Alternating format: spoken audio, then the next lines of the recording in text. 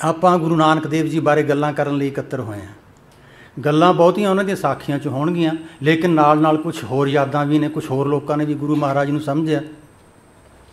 ਜਿਹੜੀ ਚੀਜ਼ ਮੈਨੂੰ ਵਿਚਿੱਤਰ ਲੱਗਦੀ ਹੈ, ਤੁਹਾਨੂੰ ਵੀ ਲੱਗੇ ਸ਼ਾਇਦ ਇਹ ਗੱਲ ਸੁਣਨ ਤੋਂ ਬਾਅਦ, ਏਸ਼ੀਆ ਦਾ ਭ੍ਰਮਣ ਕੀਤਾ ਮਹਾਰਾਜ ਨੇ। 25000 ਕਿਲੋਮੀਟਰ ਤੋਂ ਪਲੱਸ ਹੈ ਉਹਨਾਂ ਦਾ ਟੂਰ ਡਿਸਟੈਂਸ ਜਿੱਥੇ ਕਿਤੇ ਮਹਾਰਾਜ ਗਏ, ਜਿਨ੍ਹਾਂ ਸੰਗਤਾਂ ਨੂੰ ਮਿਲੇ ਪਿੰਡ 'ਚ ਜਾਂ ਸ਼ਹਿਰ 'ਚ, ਜ਼ਿੰਦਗੀ 'ਚ ਜ਼ਿੰਦਗੀ 'ਚ ਪਹਿਲੀ ਵਾਰੀ ਮਿਲੇ। ਤੇ ਜ਼ਿੰਦਗੀ 'ਚ ਆਖਰੀ ਵਾਰੀ ਮਿਲੇ। ਪਹਿਲੀ ਵਾਰੀ ਤੇ ਆਖਰੀ ਵਾਰੀ। ਤੋਂ ਜਿਹੜਾ ਸ਼ਖਸ ਆਪਾਂ ਨੂੰ ਪਹਿਲੀ ਵਾਰੀ ਮਿਲੇ ਤੇ ਆਖਰੀ ਵਾਰੀ ਮਿਲੇ, ਉਹ ਅਜਨਬੀ ਰਹਿੰਦਾ ਪਰ ਇੰਨੀਆਂ ਯਾਤਰਾਵਾਂ ਪਿਛਲੇਰੇ ਨੌ ਗੁਰੂ ਸਾਹਿਬਾਨ ਨਹੀਂ ਕਰ ਸਕੇ, ਤਾਂ ਵੀ ਨੌਵੇਂ ਪਾਤਸ਼ਾਹ ਅਸਾਮ ਤੇ ਬੰਗਾਲ ਤੱਕ ਗਏ ਸਨ। ਉਹਨਾਂ ਦਾ ਰੂਟ ਉਹ ਹੀ ਸੀ ਜਿਹੜਾ ਗੁਰੂ ਨਾਨਕ ਦੇਵ ਜੀ ਦਾ ਸੀ। ਪਿੰਡ 'ਚ, ਸ਼ਹਿਰ 'ਚ ਜਦੋਂ ਦਾਖਲ ਹੁੰਦੇ, ਸੰਗਤ ਨੂੰ ਪਤਾ ਲੱਗਦਾ, ਸੰਗਤ ਦਰਸ਼ਨ ਕਰਨ ਆਉਂਦੀ, ਮੱਥਾ ਟੇਕ ਕੇ ਸੰਗਤਾਂ ਇਤਰਾਜ਼ ਇਹ ਕਰਦੀਆਂ, ਮਹਾਰਾਜ ਇੰਨੀ ਦੇਰ ਬਾਅਦ ਦੀਦਾਰ ਦਿੱਤੇ। 200 ਸਾਲ। ਦੋ ਸਦੀਆਂ ਬਾਅਦ ਗੁਰੂ ਤੇਗ ਬਹਾਦਰ ਸਾਹਿਬ ਦੇ ਸਾਹਮਣੇ ਇਤਰਾਜ਼ ਪ੍ਰਗਟ ਕਰ ਰਹੇ ਨੇ।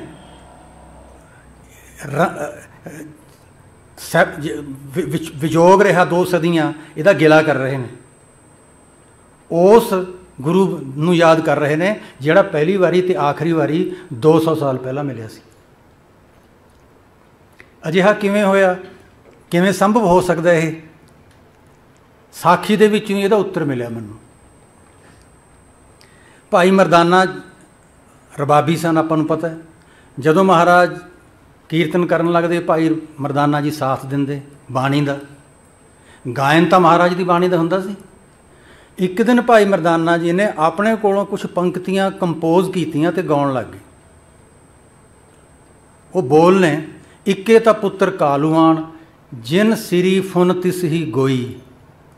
ਮਹਿਤਾ ਕਲਿਆਣ ਰਾਜ ਦਾ ਬੇਟਾ ਇੱਕ, ਜਿਨੇ ਸ੍ਰਿਸ਼ਟੀ ਦੀ ਰਚਨਾ ਕੀਤੀ। ਉਹ ਸ੍ਰਿਸ਼ਟੀ ਦੀ ਰਚਨਾ ਦਾ ਪੇੜਾ ਆਪਣੇ ਹੱਥਾਂ 'ਚ ਲੈ ਕੇ ਦੁਬਾਰਾ ਗੁੰਨਣ ਲੱਗ ਗਿਆ। ਇੱਕੇ ਤਾਂ ਪੁੱਤਰ ਕਾਲੂਆਨ ਜਿਨ ਸ੍ਰੀ, ਜਿਨੇ ਸਿਰਜੀ ਸੀ, ਤਿਸ ਫੁਨ ਹੀ ਗੋਈ, ਫਿਰ ਉਹਨੂੰ ਗੁੰਨਣ ਲੱਗ ਗਏ ਦੁਬਾਰਾ।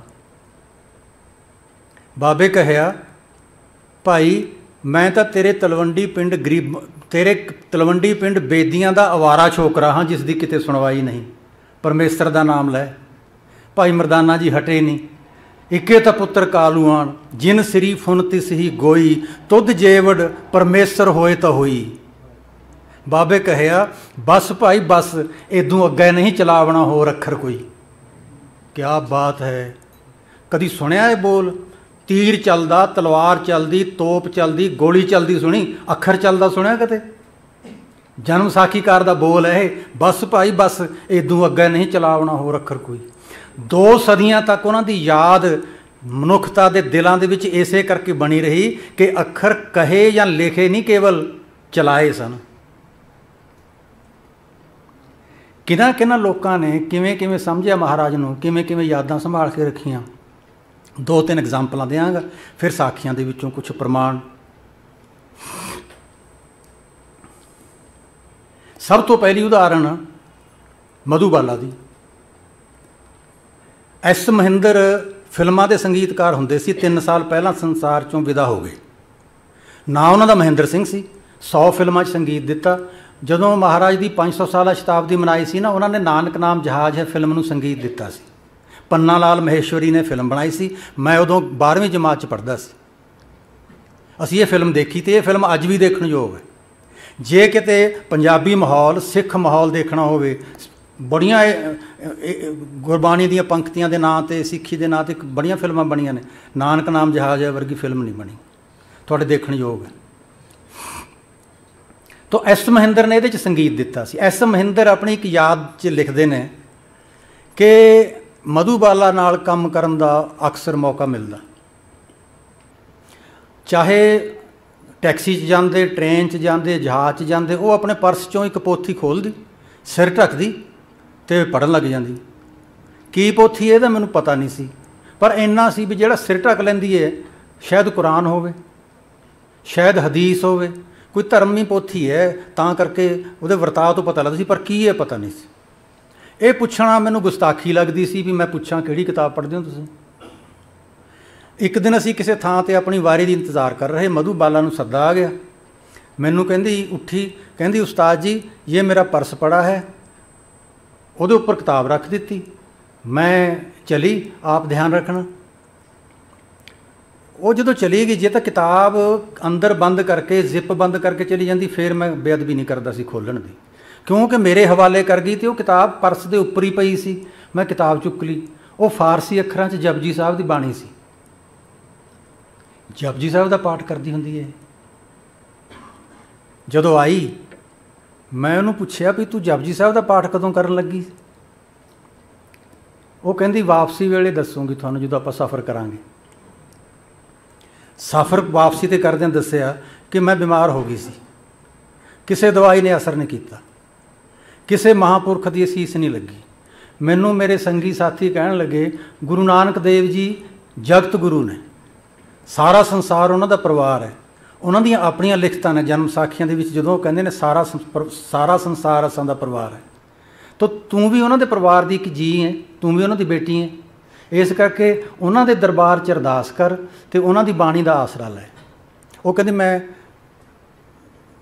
ਬੰਬੇ ਗੁਰਦੁਆਰਾ ਹੈ, ਜਿੱਥੇ ਉਹ ਰਹਿੰਦੀ ਸੀ, ਮੈਂ ਹੁਣ ਉਹ ਏਰੀਆ ਦਾ ਨਾਮ ਵੀ ਮੈਨੂੰ ਯਾਦ ਆ ਜਾਊਗਾ। ਉਸ ਗੁਰਦੁਆਰੇ ਜਾ ਕੇ ਅਰਦਾਸ ਕੀਤੀ। ਰਾਜੀ ਹੋਣੀ ਸ਼ੁਰੂ ਹੋ ਗਈ। ਫਿਰ ਗੁਟਕਾ ਮੰਗਵਾਇਆ, ਫਾਰਸੀ ਅੱਖਰ, ਉਰਦੂ ਤੇ ਫਾਰਸੀ ਦੀ ਲਿਪੀ ਇੱਕੋ ਹੀ ਹੈ। ਫਾਰਸੀ ਅੱਖਰਾਂ 'ਚ ਗੁਟਕਾ ਮੰਗਵਾਇਆ, ਕਹਿੰਦੀ ਮੈਂ ਪਾਠ ਕਰਦੀ ਹੁੰਦੀ ਸੰਗਤ ਨੂੰ ਕਹਿੰਦੇ, ਪ੍ਰਧਾਨ ਜੀ ਨੂੰ ਕਹਿੰਦੇ ਗੁਰਦੁਆਰੇ ਦੇ ਨੂੰ ਕਿ ਗੁਰੂ ਨਾਨਕ ਦੇਵ ਜੀ ਦੇ ਗੁਰਪੁਰਬ ਗੁਰਪੁਰਬ ਵਾਲੇ ਦਿਨ ਜੇ ਲੰਗਰ ਦੀ ਸੇਵਾ ਮੈਂ ਕਰਦੇ ਕਰਾਂ ਮਨਜ਼ੂਰ ਕਰ ਲਓਗੇ। ਉਹ ਕਹਿੰਦਾ ਮੈਂ ਕਮੇਟੀ ਨੂੰ ਪੁੱਛੂੰਗਾ। ਕਮੇਟੀ 'ਚ ਗੱਲ ਰੱਖੀ। ਕਮੇਟੀ ਕਹਿੰਦੇ, ਸਾਨੂੰ ਕੀ ਇਤਰਾਜ਼ ਇਸ ਗੱਲ ਦਾ? ਸੇਵਕ ਸੇਵਾ ਕਰਨਾ ਚਾਹੁੰਦਾ ਤਾਂ ਕਰੇ। ਅਰਦਾਸ ਹੋਣ ਲੱਗੀ ਉਹ ਐਸ ਮਹਿੰਦਰ ਨੂੰ ਦੱਸ ਰਹੀ ਹੈ, ਕਹਿੰਦੀ, ਮੇਰੇ ਜਦੋਂ ਪ੍ਰੋਡਿਊਸਰ ਨਾਲ ਇਕਰਾਰਨਾਮਾ ਦਸਖਤ ਹੁੰਦਾ ਹੈ, ਉਹਦੇ 'ਚ ਜੋ ਸ਼ਰਤਾਂ ਉਹਨਾਂ ਦੀਆਂ ਹੁੰਦੀਆਂ ਨੇ, ਮੈਂ ਮੰਨਦੀ ਆ ਵੀ ਦੇਸ਼ 'ਚ ਜਾਂ ਵਿਦੇਸ਼ 'ਚ ਜਿੱਥੇ ਵੀ ਐਕਟਿੰਗ ਕਰਨੀ ਪਊਗੀ, ਕਰੂੰਗੀ, ਜਾਊਂਗੀ। ਲੇਕਿਨ ਮੈਂ ਆਪਣੀ ਇੱਕ ਸ਼ਰਤ ਪਵਾਨੀ ਹੁੰਨੀ ਆ ਵਿੱਚ ਵੀ ਜਦੋਂ ਗੁਰੂ ਨਾਨਕ ਦੇਵ ਜੀ ਦਾ ਗੁਰਪੁਰਬ ਹੋਵੇ, ਉਦੋਂ ਅੰਧੇਰੀ ਗੁਰਦੁਆਰਾ, ਅੰਧੇਰੀ ਇਲਾਕਾ ਉਦੋਂ ਬੰਬੇ ਦੇ ਅੰਧੇਰੀ ਗੁਰਦੁਆਰੇ ਦੇ ਵਿੱਚ ਮੈਂ ਹੋਣੀ ਚਾਹੀਦੀ ਆ ਇਹ ਜ਼ਿੰਮੇਵਾਰੀ ਤੁਹਾਡੀ। ਮੈਂ ਗੁਰੂ ਨਾਨਕ ਦੇਵ ਜੀ ਦਾ ਮੱਥਾ ਟੇਕਣਾ, ਉਸ ਦਿਨ ਨਹੀਂ ਭੁੱਲਣਾ ਤੇ ਲੰਗਰ ਦੀ ਸੇਵਾ ਮੇਰੀ ਹੁੰਦੀ ਇਸ ਤਰ੍ਹਾਂ ਸਾਲੋ ਸਾਲ ਹੁੰਦਾ ਗਿਆ। ਇੱਕ ਦਿਨ ਖਬਰ ਮਿਲੀ ਕਿ ਮਧੂਬਾਲਾ ਸੰਸਾਰ ਚੋਂ ਚਲੀ ਗਈ। ਉਹਦੀ ਆਤਮਾ ਦੀ ਸ਼ਾਂਤੀ ਵਾਸਤੇ ਪਾਠ ਦਾ ਭੋਗ ਪਾਇਆ ਗਿਆ। ਪਿਤਾ ਜੀ ਮੌਜੂਦ ਸੀ, ਪਿਤਾ ਹਾਜ਼ਰ ਹੋਇਆ। ਪਿਤਾ ਨੇ ਕਿਹਾ ਕਿ ਮੇਰੀ ਧੀ ਨੂੰ ਜਿੰਨੇ ਸਾਹ ਮਿਲੇ, ਉਹਨੇ ਨਿਭਾ ਕੇ ਚਲੀ ਗਈ। ਉਹਦਾ ਵਸਤਾ ਨਹੀਂ ਸੀ ਵੀ ਉਹ ਹੋਰ ਇੱਥੇ ਰਹਿੰਦੀ। ਪਰ ਉਹਦੀ ਜਿਹੜੀ ਇੱਛਾ ਸੀ ਵੀ ਲੰਗਰ ਦੀ ਸੇਵਾ, ਪ੍ਰਕਾਸ਼ ਪੁਰਬ ਤੇ ਉਹਦੀ ਹੋਵੇ, ਇਹ ਚਾਲੂ ਰਹਿਣੀ ਚਾਹੀਦੀ। ਹੈ ਮੇਰੇ ਕੋਲ ਜਿਹੜਾ ਪੈਸਾ ਇਹ ਵੀ ਹੋ ਸਕਦਾ ਹੀ ਹੈ। ਉਹਦੇ ਨਾਂ ਦੀ ਅਰਦਾਸ ਹੋਵੇ। ਉਹਦੀ ਮੌਤ ਪਿੱਛੋਂ ਵੀ ਮਧੂਬਾਲਾ ਦੇ ਨਾਂ ਦੀ ਅਰਦਾਸ ਹੁੰਦੀ ਰਹੀ ਲੰਗਰ ਦੀ। ਫਿਰ 6 ਸਾਲ ਬਾਅਦ ਖਬਰ ਮਿਲੀ, ਪਿਤਾ ਵੀ ਚਲੇ ਗਏ। ਸੰਗਤ ਨੇ ਉਹਨਾਂ ਦੇ ਆਤਮਾ ਦੀ ਸ਼ਾਂਤੀ ਨਿਮਿਤ ਪਾਠ ਦਾ ਭੋਗ ਪਾਇਆ। ਸੰਗਤ ਦੇ ਵਿੱਚੋਂ ਮੈਂਬਰਾਂ ਨੇ ਕਿਹਾ ਵੀ ਪਿਓ ਪੁੱਤ ਆਖਰੀ ਸਾਹਾਂ ਤੱਕ ਤਾਂ ਸੇਵਾ ਕਰਦੇ ਰਹੇ, ਧੀ ਪੁੱਤ। ਤੇ ਜੇ ਸੰਸਾਰ ਚੋਂ ਚਲੇ ਗਏ, ਉਹਨਾਂ ਦਾ ਕਸੂਰ ਥੋੜਾ ਇੱਥੇ ਅਰਦਾਸ ਮਧੂਬਾਲਾ ਦੇ ਨਾਂ ਦੀ ਹੋਣੀ ਚਾਹੀਦੀ ਅੱਗੋਂ ਨੂੰ ਵੀ। ਐਸ ਮਹਿੰਦਰ ਕਹਿੰਦੇ ਨੇ, ਗੁਰਪੁਰਬ ਵਾਲੇ ਦਿਨ ਤੁਸੀਂ ਅੰਧੇਰੀ ਗੁਰਦੁਆਰੇ 'ਚ ਜਾਓ ਦੁਪਹਿਰ ਨੂੰ, ਅਰਦਾਸ, ਅਰਦਾਸੀ ਨੂੰ ਅਰਦਾਸ ਕਰਦਾ ਸੁਣੋ। ਮਧੂਬਾਲਾ ਆਪ ਦੀ ਧੀ ਵੱਲੋਂ ਪਿਤਾ ਲੰਗਰ ਦੀ ਸੇਵਾ ਹਾਜ਼ਰ ਹੈ, ਮਨਜ਼ੂਰ ਕਰੋ ਸੰਗਤ ਵਿੱਚ ਵਰਤਾਨ ਦੀ ਆਗਿਆ ਦੇ ਤੋ ਮੁਸਲਮਾਨ ਕੁੜੀ ਹੈ ਮਧੂਬਾਲਾ ਇੱਕ ਤਾਂ ਇਹ ਘਟਨਾ, ਦੂਜੀ ਘਟਨਾ ਬਲਵੰਤ ਗਾਰਗੀ ਦੀ। ਮੈਂ ਆਪਣੇ ਵਿਦਿਆਰਥੀਆਂ ਨੂੰ ਭੁੱਲਦਾ ਨਹੀਂ, ਇਹ ਘਟਨਾ ਸੁਣਾਉਣਾ। 1969 ਚ ਬਲਵੰਤ ਗਾਰਗੀ ਨੇ ਵੀ ਇੱਕ ਲੇਖ ਲਿਖਿਆ ਸੀ। 500 ਸਾਲਾ ਸ਼ਤਾਬਦੀ ਮਨਾਈ ਗਈ ਸੀ। ਇਹ ਲੇਖ ਅੰਗਰੇਜ਼ੀ ਤੇ ਪੰਜਾਬੀ ਚ ਭਾਸ਼ਾ ਵਿਭਾਗ ਨੇ ਛਪਵਾ ਕੇ ਵੰਡਿਆ ਸੀ। ਉਸ ਲੇਖ 'ਚ ਆਪਣੇ ਬਚਪਨ ਦਾ ਜ਼ਿਕਰ ਕਰਦਾ ਗਾਰਗੀ। ਬਲਵੰਤ ਗਾਰਗੀ ਦੇਖੋ ਸਿੱਖ ਨਹੀਂ ਬੁਢਲਾਡੇ ਦੇ ਲਾਗੇ ਬਾਣੀਆਂ ਦਾ ਮੁੰਡਾ। ਸਿੱਖੀ ਦਾ ਉਹਨੂੰ ਪਤਾ ਹੀ ਨਹੀਂ।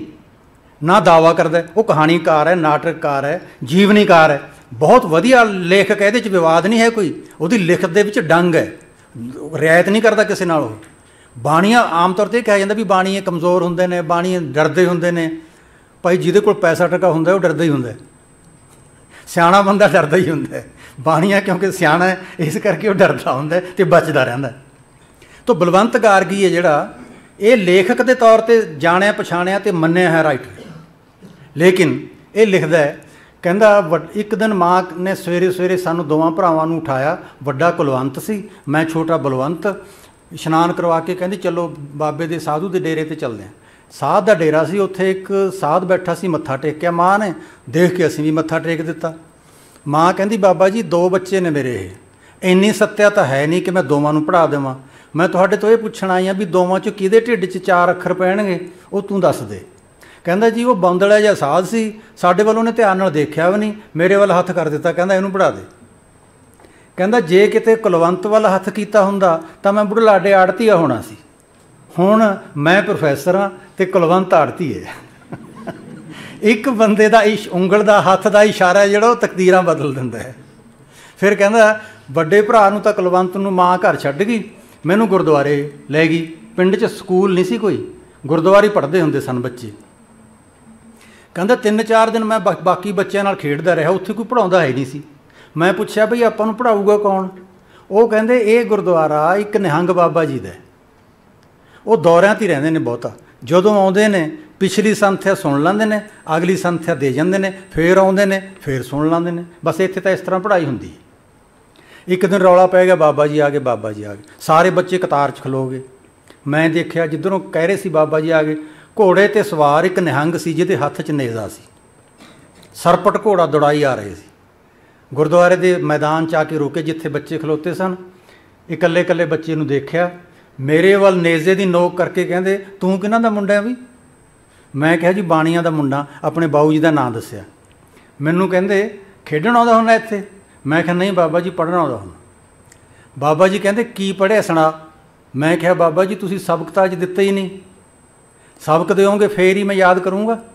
ਬਾਬਾ ਜੀ ਨੇ ਬੱਚਿਆਂ ਨੂੰ ਪਰੇ ਹਟਣ ਦਾ ਇਸ਼ਾਰਾ ਕੀਤਾ। ਘੋੜੇ ਦੀ ਕਾਠੀ ਤੇ ਬੈਠਿਆਂ ਬਿਠਾਇਆ ਜ਼ਮੀਨ ਤੇ ਪਹਿਲਾਂ ਏਕ ਹੈ, ਫਿਰ ਖੁੱਲੇ ਮੂੰਹ ਵਾਲਾ ਊੜਾ, ਮੈਨੂੰ ਕਹਿੰਦੇ, ਆਖ ਇੱਕ ਓੰਕਾਰ ਤੇ ਮੱਥਾ ਟੇਕ।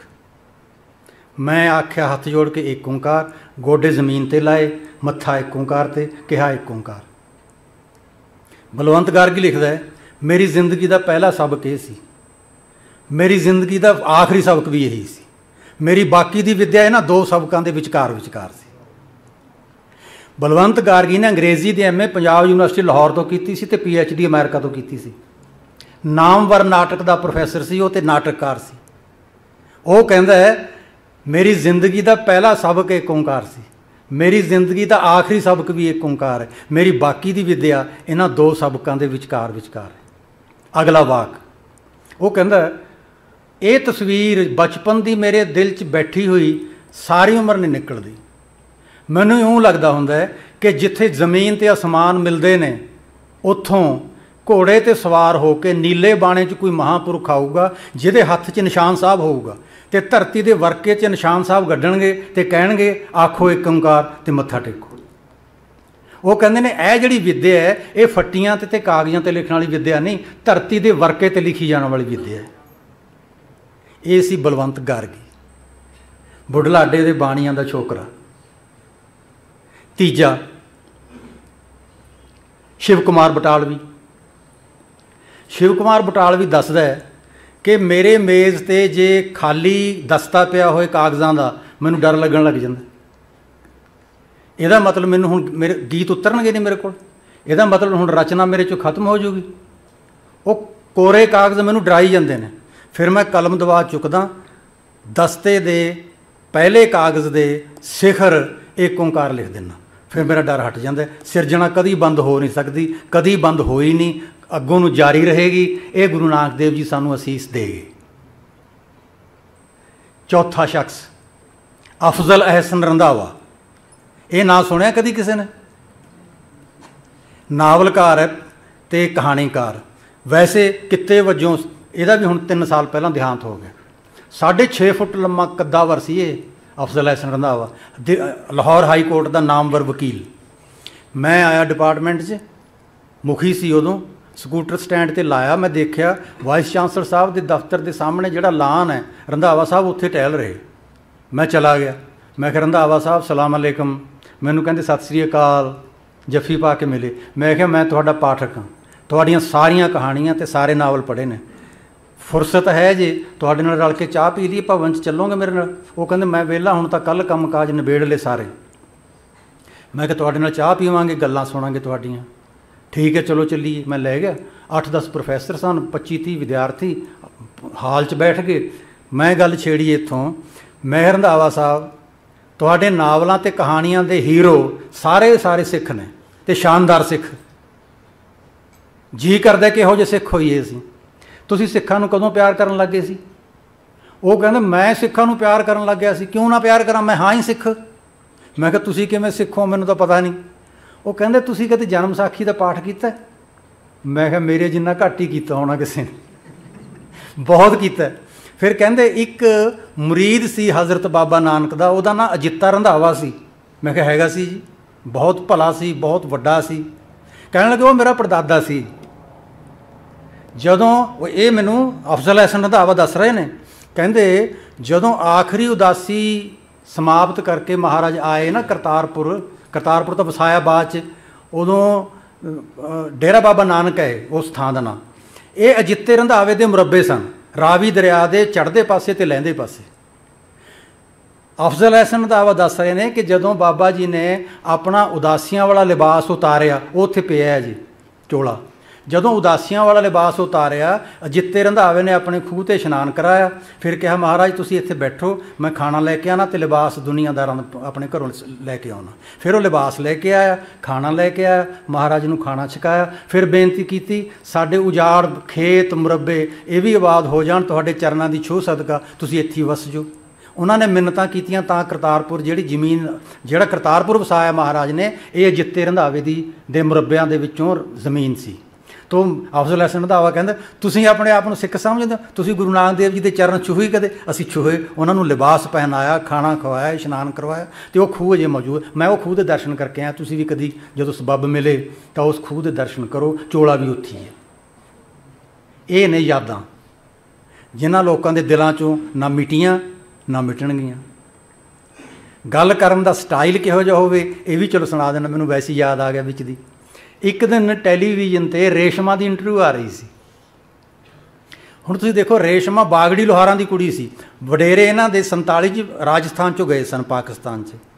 ਅਨਪੜ ਮਸਾਂ ਔਖੀ ਸੌਖੀ ਹੋ ਕੇ ਉਹਨੇ ਵੀ ਪੇਮੈਂਟਾਂ ਲੈਣੀਆਂ ਨੇ, ਆਪਣੇ ਦਸਖਤ ਕਰਨੇ ਸਿੱਖੇ ਸੀ, ਹੋਰ ਉਹਨੂੰ ਨਹੀਂ ਆਉਂਦਾ ਸੀ ਕੁਝ ਕੋਰੀ ਅਨਪੜ ਉਹਦੀ ਇੰਟਰਵਿਊ ਆ ਰਹੀ। ਐਂਕਰ ਪੁੱਛਣ ਲੱਗਿਆ, ਕਿਹੜਾ ਵੱਡਾ ਗਾਇਕ ਤੁਹਾਨੂੰ ਚੰਗਾ ਲੱਗਿਆ? ਉਹ ਕਹਿੰਦੀ, ਸਾਰੇ ਚੰਗੇ ਲੱਗਦੇ ਨੇ। ਨਹੀਂ ਨਹੀਂ, ਕਿਸੇ ਇੱਕ ਦਾ ਨਾਂ ਲਓ। ਉਹ ਕਹਿੰਦੀ, ਇੱਕ ਨਾਂ ਤੇ ਅੱਲਾ ਪਰਵਰਦਗਾਰ ਦਾ ਉਸੇ ਦਾ ਨਾਂ ਤੇ ਲੈਣੀ ਆ, ਉਸੇ ਦਾ ਦਿੱਤਾ ਤੇ ਖਾਣੀ ਆ ਮੈਂ। ਐਂਕਰ ਕਹਿੰਦਾ, ਨਹੀਂ ਨਹੀਂ, ਰੱਬ ਦਾ ਨਾਂ ਨਹੀਂ ਮੈਂ ਪੁੱਛਿਆ। ਗਾਇਕ ਦਾ ਨਾਂ, ਕਿਸੇ ਇੱਕ ਗਾਇਕ ਦਾ ਨਾਂ ਲਓ ਜਿਹੜਾ ਤੁਹਾਨੂੰ ਸਭ ਤੋਂ ਵਧੀਆ ਲੱਗਿਆ ਹੋਵੇ। ਉਹ ਕਹਿੰਦੀ, ਜੇ ਬਜ਼ਿੱਦੋ ਤਾਂ ਇੱਕ ਨਹੀਂ, ਦੋ ਨਾਂ ਲਵਾਂਗੀ। ਇੱਕ ਮਲਕਾ ਤਰਨਮ ਨੂਰ ਜਹਾਨ ਦੂਸਰੀ ਲਤਾ ਮੰਗੇਸ਼ਕਰ। ਮੈਂ ਬਾਲੜੀ ਹੁੰਦੀ ਸਾਂ, ਇਹਨਾਂ ਦੋਵਾਂ ਦੇ ਪੱਥਰ ਦੇ ਤਵੇ ਵੱਜਦੇ ਹੁੰਦੇ ਸਨ। ਮੈਂ ਨਕਲ ਕਰਦੀ ਰਹਿੰਦੀ।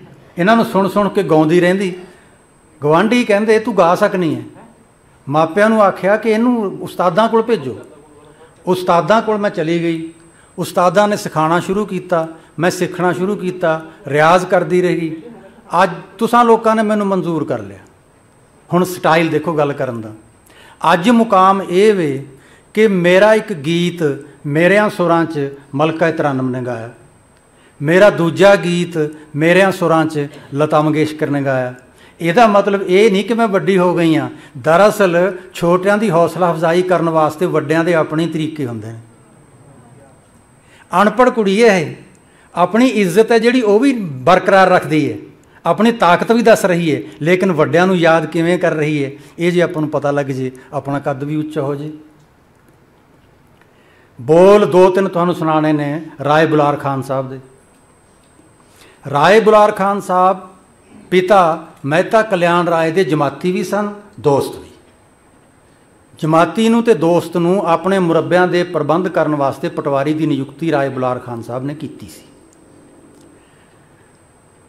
ਸੱਪ ਦੀ ਛਾਂ ਕੀਤੀ ਹੋਈ ਦੇਖੀ ਸੀ। ਕੁਝ ਹੋਰ ਚੀਜ਼ਾਂ ਦੇਖੀਆਂ। ਰਾਏ ਬੁਲਾਰ ਖਾਨ ਸਾਹਿਬ ਨੂੰ ਪਤਾ ਲੱਗਿਆ ਕਿ ਇਹ ਬੱਚਾ ਆਮ ਨਹੀਂ। ਆਪਾਂ ਨੂੰ ਸਾਖੀ ਪਤਾ ਹੈ, ਸੱਚੇ ਸੌਦੇ ਵਾਲੀ, ਉਹ ਸੱਚੇ ਸੌਦੇ ਵਾਲੀ ਸਾਖੀ ਨੂੰ ਖਰਾ ਸੌਦਾ ਲਿਖਿਆ ਹੈ ਸਾਖੀ, ਜਨਮ ਸਾਖੀ ਕੁਝ ਪ੍ਰਚਾਰਕ ਤੇ ਕੀਰਤਨੀ ਦੱਸਦੇ ਨੇ ਕਿ ਲੰਗਰ ਦੀ ਸ਼ੁਰੂਆਤ ਉਹਨਾਂ 20 ਰੁਪਈਆਂ ਨਾਲ ਹੋਈ। ਮੈਂ ਇਹਦੇ ਨਾਲ ਸਹਿਮਤ ਨਹੀਂ ਹਾਂ। ਬਗਾਨੀ ਕਮਾਈ ਸੀ ਉਹ। ਬਗਾਨੀ ਕਮਾਈ ਨਾਲ ਲੰਗਰ ਸ਼ੁਰੂ ਕਰਨ ਦੇ ਹੱਕ 'ਚ ਨਹੀਂ ਸਨ ਮਹਾਰਾਜ। ਲੰਗਰ ਕਰਤਾਰਪੁਰ ਸ਼ੁਰੂ ਹੋਇਆ ਸੀ। ਰਾਏ ਬੁਲਾਰ ਖਾਨ ਸਾਹਿਬ ਦੀ ਗੱਲ ਤਾਂ ਸੁਣਾਣੀ ਸੁਣਾਣੀ ਹੈ, ਲੇਕਿਨ ਲੰਗਰ ਤੇ ਕਰਤਾਰਪੁਰ ਸ਼ੁਰੂ ਹੋਇਆ, ਇਹਦੇ ਬਾਰੇ ਵੀ ਤੁਹਾਨੂੰ ਇੱਕ ਘਟਨਾ ਮੈਨੂੰ ਯਾਦ ਆ ਗਈ ਪਰਸਨਲ ਮੇਰੇ ਸੀਨੀਅਰ ਕੁਲੀਗ ਹੁੰਦੇ ਸਨ head of the distance education department Mahinderpal Kohli Hindu ਸਨ। ਪ੍ਰੋਫੈਸਰ ਸਨ ਪੰਜਾਬੀ ਦੇ ਡਾਇਰੈਕਟਰ ਸਨ ਐਜੂਕੇਸ਼ਨ ਉਹ ਡਿਸਟੈਂਸ ਐਜੂਕੇਸ਼ਨ ਡਿਪਾਰਟਮੈਂਟ ਇੱਕੋ ਹੀ ਧੀ ਸੀ ਉਹਨਾਂ ਦੀ, ਉਹ, ਉਹਨਾਂ ਦਾ ਹਸਬੈਂਡ ਜਾਨੀ ਕਿ ਜਵਾਈ ਦੂਰ ਵਸਦਾ ਸੀ ਤੇ ਫਿਰ ਉਹ ਇੱਕੋ ਬੇਟੀ ਸੀ ਰਿਟਾਇਰਮੈਂਟ ਤੋਂ ਬਾਅਦ ਫਿਰ ਉਹ ਅਸਾਮ 'ਚ ਆਪਣੀ ਧੀ ਕੋਲ ਚਲੇ ਗਏ। ਕਦੀ ਕਦਾਈ ਮੈਨੂੰ ਚਿੱਠੀ ਲਿਖਦੇ ਹੁੰਦੇ ਸੀ। ਇੱਕ ਚਿੱਠੀ 'ਚ ਲਿਖਿਆ ਉਹਨਾਂ ਨੇ, ਪਿਆਰੇ ਪੰਨੂ, ਅੱਜ ਗੁਰੂ ਨਾਨਕ ਦੇਵ ਜੀ ਦਾ ਗੁਰਪੁਰਬ ਸੀ। ਸਵੇਰ ਸਾਰ ਉੱਠਿਆ, ਇਸ਼ਨਾਨ ਕੀਤਾ, ਗੁਰਦੁਆਰਾ ਸਾਹਿਬ ਗਿਆ, ਸੇਵਾ ਕੀਤੀ, ਲੰਗਰ ਵਰਤਾਇਆ, ਲੰਗਰ ਛਕਿਆ, ਸਾਰਾ ਦਿਨ ਚੰਗਾ ਲੰਘਿਆ। ਤੂੰ ਯਾਦ ਆਇਆ, ਸੋਚਿਆ ਤੈਨੂੰ ਜੋ ਮੇਰੇ ਦਿਲ 'ਚ ਅਹਿਸਾਸ ਪੈਦਾ ਹੁੰਦਾ ਰਿਹਾ, ਉਹ ਗੱਲ ਸੁਣਾਵਾਂ। ਸ਼ਾਇਦ ਤੈਨੂੰ ਚੰਗੀ ਲੱਗੇ। 2500 ਸਾਲ ਪਹਿਲੋਂ ਇਹ ਚਿੱਠੀ 'ਚ ਲਿਖਿਆ ਹੈ। 2500 ਸਾਲ ਪਹਿਲੋਂ ਕਪਲਵਸਤੂ ਦੀ ਰਿਆਸਤ 'ਚੋਂ ਇੱਕ ਜਵਾਨ ਨਿਕਲਿਆ। ਹੱਥ 'ਚ ਮੰਗਤਿਆਂ ਦਾ ਠੂਠਾ ਫੜਿਆ ਤੇ ਮੰਗਣ ਲੱਗ ਗਿਆ। ਪੂਰੇ ਦਾ ਪੂਰਾ ਇੱਕ ਰਾਸ਼ਟਰ ਮੰਗਤਿਆਂ ਦਾ ਰਾਸ਼ਟਰ ਬਣਾ ਦਿੱਤਾ। ਭਿੱਖੂ ਮੈਨੇ ਮੰਗਤਾ ਹੁੰਦਾ ਭੀਖ ਮੰਗਣ ਵਾਲਾ। ਕਹਿੰਦੇ ਉਹਦੇ ਤੋਂ 2000 ਸਾਲ ਬਾਅਦ, ਅੱਜ ਤੋਂ 500 ਸਾਲ ਪਹਿਲੋਂ ਤਲਵੰਡੀ ਪਿੰਡ 'ਚ ਇੱਕ ਬੱਚਾ ਪੈਦਾ ਹੋਇਆ, ਜਵਾਨ ਹੋਇਆ, ਬੰਦਗੀ ਕੀਤੀ। ਪਿਛਲੀ ਉਮਰੇ ਜ਼ਮੀਨ ਲਈ ਹਲ ਵਾਇਆ ਮੱਝਾਂ ਪਾਲੀਆਂ, ਖੀਰ ਦਾ ਕੜਾਹਾ ਤਿਆਰ ਕਰਕੇ ਕਟੋਰਾ ਹੱਥ 'ਚ ਮੈਨੂੰ ਫੜਾ ਕੇ ਕਿਹਾ, ਨਾਲੇ ਲੋੜਵੰਦਾਂ ਨੂੰ ਛਕਾ, ਨਾਲੇ ਆਪ ਛਕ ਮੰਗਤਿਆਂ ਦੇ ਰਾਸ਼ਟਰ ਨੂੰ ਉਸ ਸ਼ਖਸ ਨੇ ਦਾਤਿਆਂ ਦੇ ਰਾਸ਼ਟਰ 'ਚ ਬਦਲ ਦਿੱਤਾ।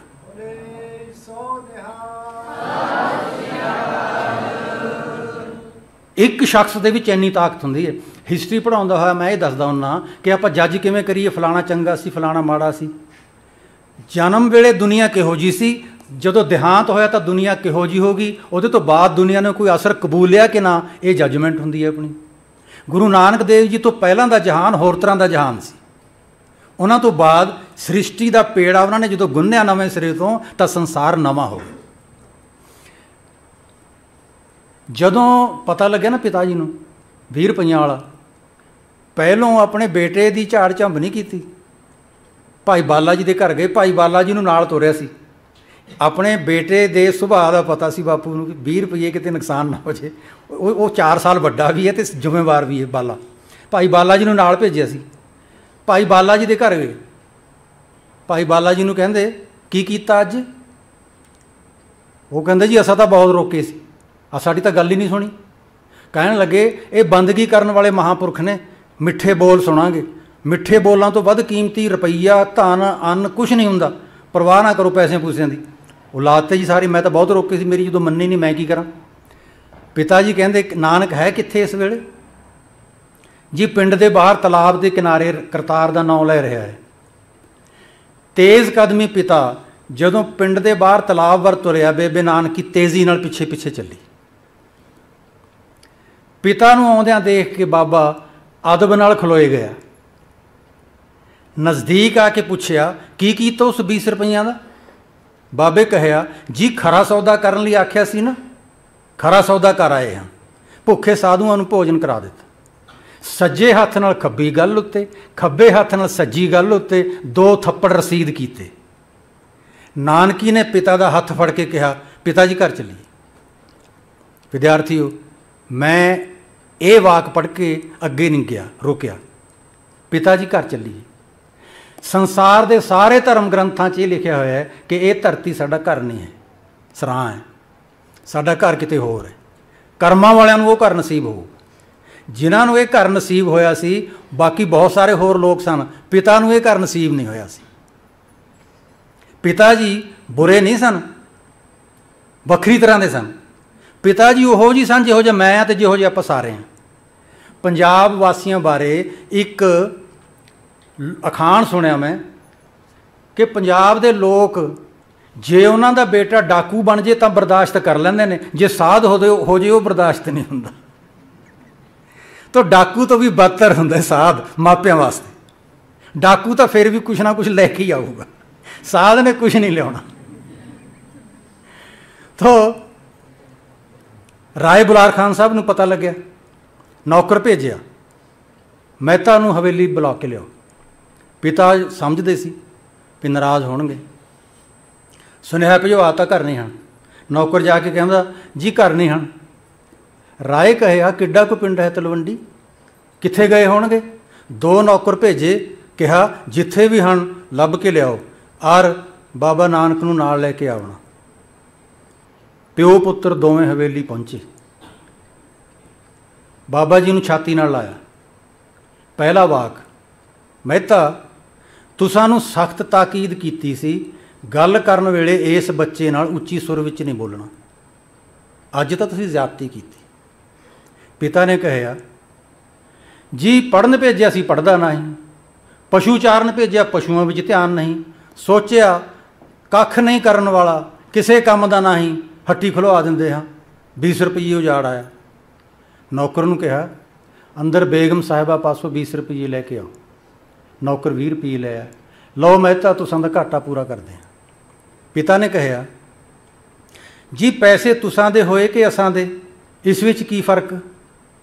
ਰਾਏ ਕਹਿਆ, ਜੇ ਇਸ ਵਿੱਚ ਕੋਈ ਫ਼ਰਕ ਨਹੀਂ, ਫਿਰ ਅੱਜ ਜ਼ੁਲਮ ਕਾਸ ਲਈ ਕੀਤਾ ਸਾਈ ਫਰਿਸ਼ਤੇ ਉੱਪਰ?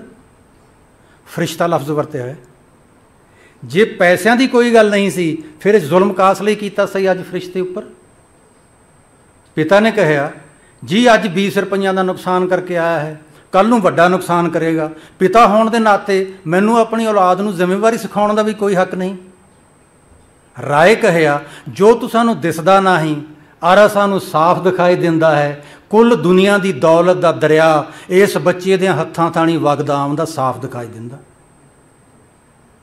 I repeat this sentence Mehta ਜੋ ਤੁਸਾਂ ਨੂੰ ਦਿਸਦਾ ਨਹੀਂ ਆਰਾ ਸਾਨੂੰ ਸਾਫ਼ ਦਿਖਾਈ ਦਿੰਦਾ ਹੈ। ਕੁੱਲ ਦੁਨੀਆ ਦੀ ਦੌਲਤ ਦਾ ਦਰਿਆ ਇਸ ਬੱਚੇ ਦੇ ਹੱਥਾਂ ਥਾਣੀ ਵਗਦਾ ਆਉਂਦਾ ਸਾਫ਼ ਦਿਖਾਈ ਦਿੰਦਾ। ਮਹਿਤਾ, ਤੁਸੀਂ ਹਿੰਦੂ ਹੋ ਔਰ ਮੈਂ ਮੁਸਲਮਾਨ। ਇਸ ਕਰਕੇ ਚੁੱਪ ਹਾਂ ਕਿ ਤੁਹਾਡਾ ਭਾਈਚਾਰਾ ਚਰਚਾ ਕਰੇਗਾ। ਨਹੀਂ ਤਾਂ ਕਈ ਵਾਰ ਦਿਲ ਵਿੱਚ ਖਿਆਲ ਆਇਆ ਕਿ ਇਸ ਬੱਚੇ ਨੂੰ ਤੁਹਾਡੇ ਘਰੋਂ ਆਪਣੀ ਹਵੇਲੀ ਵਿੱਚ ਲੈ ਆਵਾਂ ਮੈਂ ਤਾਂ ਤੁਸੀਂ ਇਸ ਨੂੰ ਪੁੱਤਰ ਕਰਕੇ ਜਾਣਦੇ ਹੋ। ਅਸੀਂ ਜਾਣਦੇ ਹਾਂ ਖੁਦਾਵੰਦ ਕਰੀਮ ਇਸ ਰਾਹੀਂ ਧਰਤੀ ਉੱਪਰ ਅਸਾਂ ਨਾਲ ਗੱਲਾਂ ਕਰਨ ਆਇਆ ਹੈ। ਆਖਰੀ ਵਾਕ, ਮੈਂ ਤਾਂ ਇਸੇ ਸਦਕਾ ਮੇਰੀ ਤਲਵੰਡੀ ਵਸਦੀ ਹੈ। ਕੋਈ ਮੁੱਲ ਹੈ ਨਾ ਵਾਕਾਂ ਦਾ? ਇੱਕ ਇੱਕ ਵਾਕ ਦੇ ਚਰਨਾਂ 'ਚ ਕਰੋੜ ਕਰੋੜ ਰੁਪਈਆ ਰੱਖਦੀ ਉਹ ਛੋਟਾ ਹੈ। ਜਿਨ੍ਹਾਂ ਨੇ ਮਹਾਰਾਜ ਨੂੰ ਜਾਣ ਲਿਆ, ਉਹ ਇਹੋ ਜਿਹੇ ਹੋ ਗਏ। ਮੈਂ ਈਰਾਨ ਦਾ ਵਿਜ਼ਿਟਿੰਗ ਪ੍ਰੋਫੈਸਰ ਹਾਂ। ਤਿੰਨ ਥਾਂ ਤੇ ਗੁਰਦੁਆਰੇ ਨੇ, ਸਭ ਤੋਂ ਵੱਡਾ ਗੁਰਦੁਆਰਾ ਤਹਿਰਾਨ 'ਚ। ਭਾਈ ਮਰਦਾਨਾ ਜੀ ਸਮੇਤ ਮਹਾਰਾਜ ਨੇ ਇੱਥੇ ਰਾਤ ਕੱਟੀ ਸੀ ਇਤਿਹਾਸਕ ਗੁਰਦੁਆਰਾ ਹੈ, ਸ਼ਾਨਦਾਰ। ਗੁਰਦੁਆਰਾ ਤਾਂ ਹਰੇਕ ਹੀ ਸ਼ਾਨਦਾਰ ਹੈ, ਲੇਕਿਨ ਇਸ ਗੁਰਦੁਆਰੇ ਦੇ ਕੋਈ ਲਗਭਗ ਅੱਧਾ ਪੌਣਾ ਕਿਲੋਮੀਟਰ ਦੂਰ ਮੈਟਰੋ ਸਟੇਸ਼ਨ ਵਾਲੇ ਪਾਸੇ ਇੱਕ ਗੇਟ ਬਣਿਆ ਹੈ। ਉਹ ਗੇਟ ਇੰਨਾ ਸੋਹਣਾ, ਮੈਂ ਦੇਰ ਤੱਕ ਖਲੋਤਾ ਗੇਟ ਦੇਖਦਾ ਰਿਹਾ। ਉੱਥੋਂ ਦੇ ਪ੍ਰਬੰਧਕਾਂ ਨੂੰ, ਸਿੱਖਾਂ ਨੂੰ ਪੁੱਛਿਆ ਕਿ ਇਹ ਦਰਵਾਜ਼ਾ, ਇਹ ਗੇਟ ਇੰਨਾ ਸੋਹਣਾ ਡਿਜ਼ਾਈਨ ਕਿਹਨੇ ਬਣਾਇਆ, ਕਦੋਂ ਬਣਵਾਇਆ? ਉਹ ਕਹਿੰਦੇ ਜੀ, ਅਸੀਂ ਗੁਰਦੁਆਰਾ ਤਾਂ ਸਰਕਾਰ ਦੀ ਆਗਿਆ ਲੈ ਕੇ ਬਣਾ ਲਿਆ ਜੀ। ਪਹਿਲਾਂ ਤਾਂ ਛੋਟਾ ਜਿਹਾ ਕੱਚਾ ਥਾਂ ਸੀ, ਫਿਰ ਅਸੀਂ ਪੱਕਾ ਕਰ ਲਿਆ। ਸਰਕਾਰ ਤੋਂ ਆਗਿਆ ਮਿਲ ਗਈ ਸੀ। ਰਜ਼ਾ ਸ਼ਾਹ ਪਹਿਲਵੀ ਨੇ ਆਗਿਆ ਦੇ ਦਿੱਤੀ, ਬਾਦਸ਼ਾਹ ਨੇ। ਜਦੋਂ ਗੁਰਦੁਆਰਾ ਬਣ ਗਿਆ, ਮਹਾਰਾਜ ਦਾ ਪ੍ਰਕਾਸ਼ ਹੋ ਗਿਆ ਈਰਾਨੀ ਧਨੀ ਤੇ ਆਰਟਿਸਟ ਆ ਗਏ। ਕਹਿਣ ਲੱਗੇ, ਜੀ, ਤੁਹਾਡੇ ਪਹਿਲੇ ਨਬੀ ਦੀ ਯਾਦ 'ਚ ਅਸੀਂ ਦਰਵਾਜ਼ਾ ਉਸਾਰਨਾ ਗੇਟ ਉਸਾਰਨਾ, ਸਾਨੂੰ ਆਗਿਆ ਦੇ ਦਿਓ। ਖਰਚਾ ਸਾਡਾ ਡਿਜ਼ਾਈਨ ਸਾਡਾ। ਸੰਗਤ ਨੇ ਕਿਉਂ ਇਨਕਾਰ ਕਰਨਾ ਸੀ? ਕਹਿੰਦੇ ਉਸਾਰ ਦਿਓ ਉਸਾਰ ਦਿੱਤਾ। ਇੰਨਾ ਸੋਹਣਾ ਬਣਾਤਾ ਇਰਾਨੀਆਂ ਨੇ ਇੱਕ ਗੇਟ। ਫਿਰ ਕਹਿਣ ਲੱਗੇ ਇਹਦਾ ਨਾਂ ਰੱਖਣਾ ਕੀ ਨਾਂ ਰੱਖੀ ਜਿੰਨੇ ਵੀ ਨਾਂ ਸੁਝਾਏ ਗਏ, ਪਸੰਦ ਨਹੀਂ ਆਏ। ਇਰਾਨੀ ਸੰਗਤ ਕਹਿੰਦੀ, ਤੁਸੀਂ ਆਪਣੇ ਨਬੀ ਦੇ ਸੁਭਾਅ ਦੱਸੋ। ਉਹਨਾਂ ਦੇ ਜੀਵਨ ਦੀਆਂ ਵਾਰਦਾਤਾਂ ਸਾਖੀਆਂ ਸੁਣਾਓ। ਸਾਖੀਆਂ ਸੁਣਾਉਣ ਲੱਗੇ, ਸੁਣਦੇ ਰਹੇ, ਸੁਣਾਉਂਦੇ ਰਹੇ। ਜਦੋਂ ਇਹ ਦੱਸਿਆ ਕਿ ਸਾਡੇ ਪਹਿਲੇ ਨਬੀ ਨੇ ਸਾਰੀ ਉਮਰ ਆਪਣੀ ਜੇਬ 'ਚ ਪੈਸਾ ਨਹੀਂ ਰੱਖਿਆ ਸੀ, ਇਰਾਨੀ ਕਹਿੰਦੇ ਨਾ ਮਿਲ ਗਿਆ। ਜਿਨੇ ਆਪਣੀ ਜੇਬ 'ਚ ਸਾਰੀ ਉਮਰ ਪੈਸਾ ਨਹੀਂ ਰੱਖਿਆ, ਉਹਦੇ ਜਿਹੜਾ ਦੌਲਤਮੰਦ ਦੁਨੀਆ 'ਚ ਕੋਈ ਨਹੀਂ ਹੈ। ਗੇਟ ਦਾ ਨਾਂ ਰੱਖਾਂਗੇ ਦਰਵਾਜ਼ਾ ਹੈ ਦੌਲਤ। ਉਹ ਗੇਟ ਦਾ ਨਾਂ ਦਰਵਾਜ਼ਾ ਹੈ ਦੌਲਤ। ਇਹ ਤਾਂ ਨਹੀਂ ਹੈ ਕਿ ਪੈਸੇ ਹੈਗੇ ਨਹੀਂ ਸੀ। ਪੈਸੇ ਰੱਖਦੇ ਨਹੀਂ ਸੀ ਆਪਣੇ ਕੋਲ। ਸਾਰਾ ਕੁਝ ਉਹਨਾਂ ਦਾ ਆਪਣੇ ਵਾਸਤੇ ਸੀ, ਸੰਗਤ ਵਾਸਤੇ ਸੀ। ਸਾਰਾ ਸੰਸਾਰ ਉਹਨਾਂ ਦਾ ਪਰਿਵਾਰ ਹੈ। ਇੱਕ ਮੈਂ ਘਟਨਾ ਇਹ ਵੀ ਪੜ੍ਹੀ ਕਿ ਭਾਈ ਮਰਦਾਨਾ ਜੀ ਨੂੰ ਹੁਕਮ ਸੀ ਨਾ ਵੀ ਖਾਣ ਪੀਣ ਦੀ ਚੀਜ਼, ਪੈਸਾ ਇਹ ਚੁੱਕਣਾ ਨਹੀਂ ਹੈ। ਕੋਈ ਸ਼ਰਧਾਲੂ ਅੱਖ ਬਚਾ ਕੇ ਭਾਈ ਮਰਦਾਨਾ ਜੀ ਦੇ ਬੋਝੇ 'ਚ ਇੱਕ ਮੋਹਰ ਪਾ ਗਿਆ। ਤੁਰ ਪਏ। ਸ਼ਾਮ ਹੋ ਗਈ, ਹਨੇਰਾ ਪੈਣ ਲੱਗਿਆ, ਜੰਗਲ ਦੇ ਕਿਨਾਰੇ ਰਾਤ ਕੱਟਣੀ ਸੀ। ਭਾਈ ਮਰਦਾਨਾ ਜੀ ਕਹਿੰਦੇ, ਬਾਬਾ ਜੀ, ਡਰ ਲੱਗਦਾ ਬਾਬੇ ਕਹਿਆ ਜਿਸ ਵਸਤੂ ਸਦਕਾ ਡਰ ਲੱਗਦਾ ਹੋਵੇ ਸੋ ਸੁੱਟ ਦਈਦੀ ਹੈ। ਇਹ ਨਹੀਂ ਪੁੱਛਿਆ ਕਿਉਂ ਡਰ ਲੱਗਦਾ ਹੈ, ਕਿਸ ਤੋਂ ਡਰ ਲੱਗਦਾ ਨਾ। ਕੋਈ ਕੋਈ ਓਪਰੀ ਵਸਤੂ ਆ ਗਈ ਭਾਈ ਮਰਦਾਨੇ ਕੋਲ, ਜਿਸ ਕਰਕੇ ਡਰ ਗਈ, ਅੱਗੇ ਤਾਂ ਕਦੇ ਡਰੇ ਨਹੀਂ ਸੀ। ਤੋ ਇਹ ਤਾਕਤਾਂ ਨੇ ਦੇਖੋ, ਉਹ, ਉਹਨਾਂ ਦਾ ਵਿਸ਼ਵਾਸ ਹੈ ਇਰਾਨੀਆਂ ਦਾ ਕਿ ਇਹ ਜਿਸ ਨਬੀ ਦਾ ਇਹ ਥਾਂ ਹੈ, ਯਾਦਗਾਰੀ ਸਥਾਨ, ਇਸ ਦਰਵਾਜ਼ੇ ਹੇਠੋਂ ਦੇ ਸਿਰ ਝੁਕਾ ਕੇ ਲੰਘੋ, ਜੇ ਦੌਲਤ ਮੰਗੋਗੇ ਦੌਲਤ ਮਿਲੇਗੀ, ਸ਼ੋਹਰਤ ਮੰਗੋਗੇ ਸ਼ੋਹਰਤ ਮਿਲੇਗੀ, ਵਿਦਿਆ ਮੰਗੋਗੇ ਤਾਲੀਮ ਮਿਲੇਗੀ, ਜਰਨੈਲੀ ਮੰਗੋਗੇ ਤਾਂ ਤੁਹਾਨੂੰ ਬਾਦਸ਼ਾਹੀ ਮੰਗ ਲਓ ਬਿਸ਼ੱਕ, ਜੋ ਮਰਜ਼ੀ ਮੰਗੋ, ਮੰਗਣ ਦਾ ਤਰੀਕਾ ਹੋਣਾ ਚਾਹੀਦਾ। ਹੁਣ ਮੰਗਣ ਦਾ ਤਰੀਕਾ ਕਿਵੇਂ ਹੈ? ਮੈਨੂੰ ਛੋਟੇ ਹੁੰਦੇ ਨੂੰ ਪਤਾ ਨਹੀਂ ਸੀ। ਮਾਂ ਨੂੰ ਪੁੱਛ, ਮਾਂ ਇਹ ਕਿਹਾ ਕਰਦੀ ਸੀ? ਅਸੀਂ ਜਦੋਂ ਨਵੀਂ ਕਲਾਸ ਚੜ੍ਹਦੇ ਨੰਬਰ ਨੰਬਰ ਰੱਟੇ ਮਾਰਦੇ ਬਥੇਰੇ ਨੰਬਰ ਚੰਗੇ ਲੈ ਲਾਂਦੇ, ਤੇ ਨਵੀਆਂ ਕਿਤਾਬਾਂ ਖਰੀਦਣ ਲਈ ਪੈਸੇ ਨਹੀਂ ਹੁੰਦੇ ਸੀ, ਨਵੀਆਂ ਵਰਦੀਆਂ ਵਾਸਤੇ ਪੈਸੇ ਨਹੀਂ ਹੁੰਦੇ ਸੀ ਉਦਾਸ ਹੋ ਜਾਂਦੇ।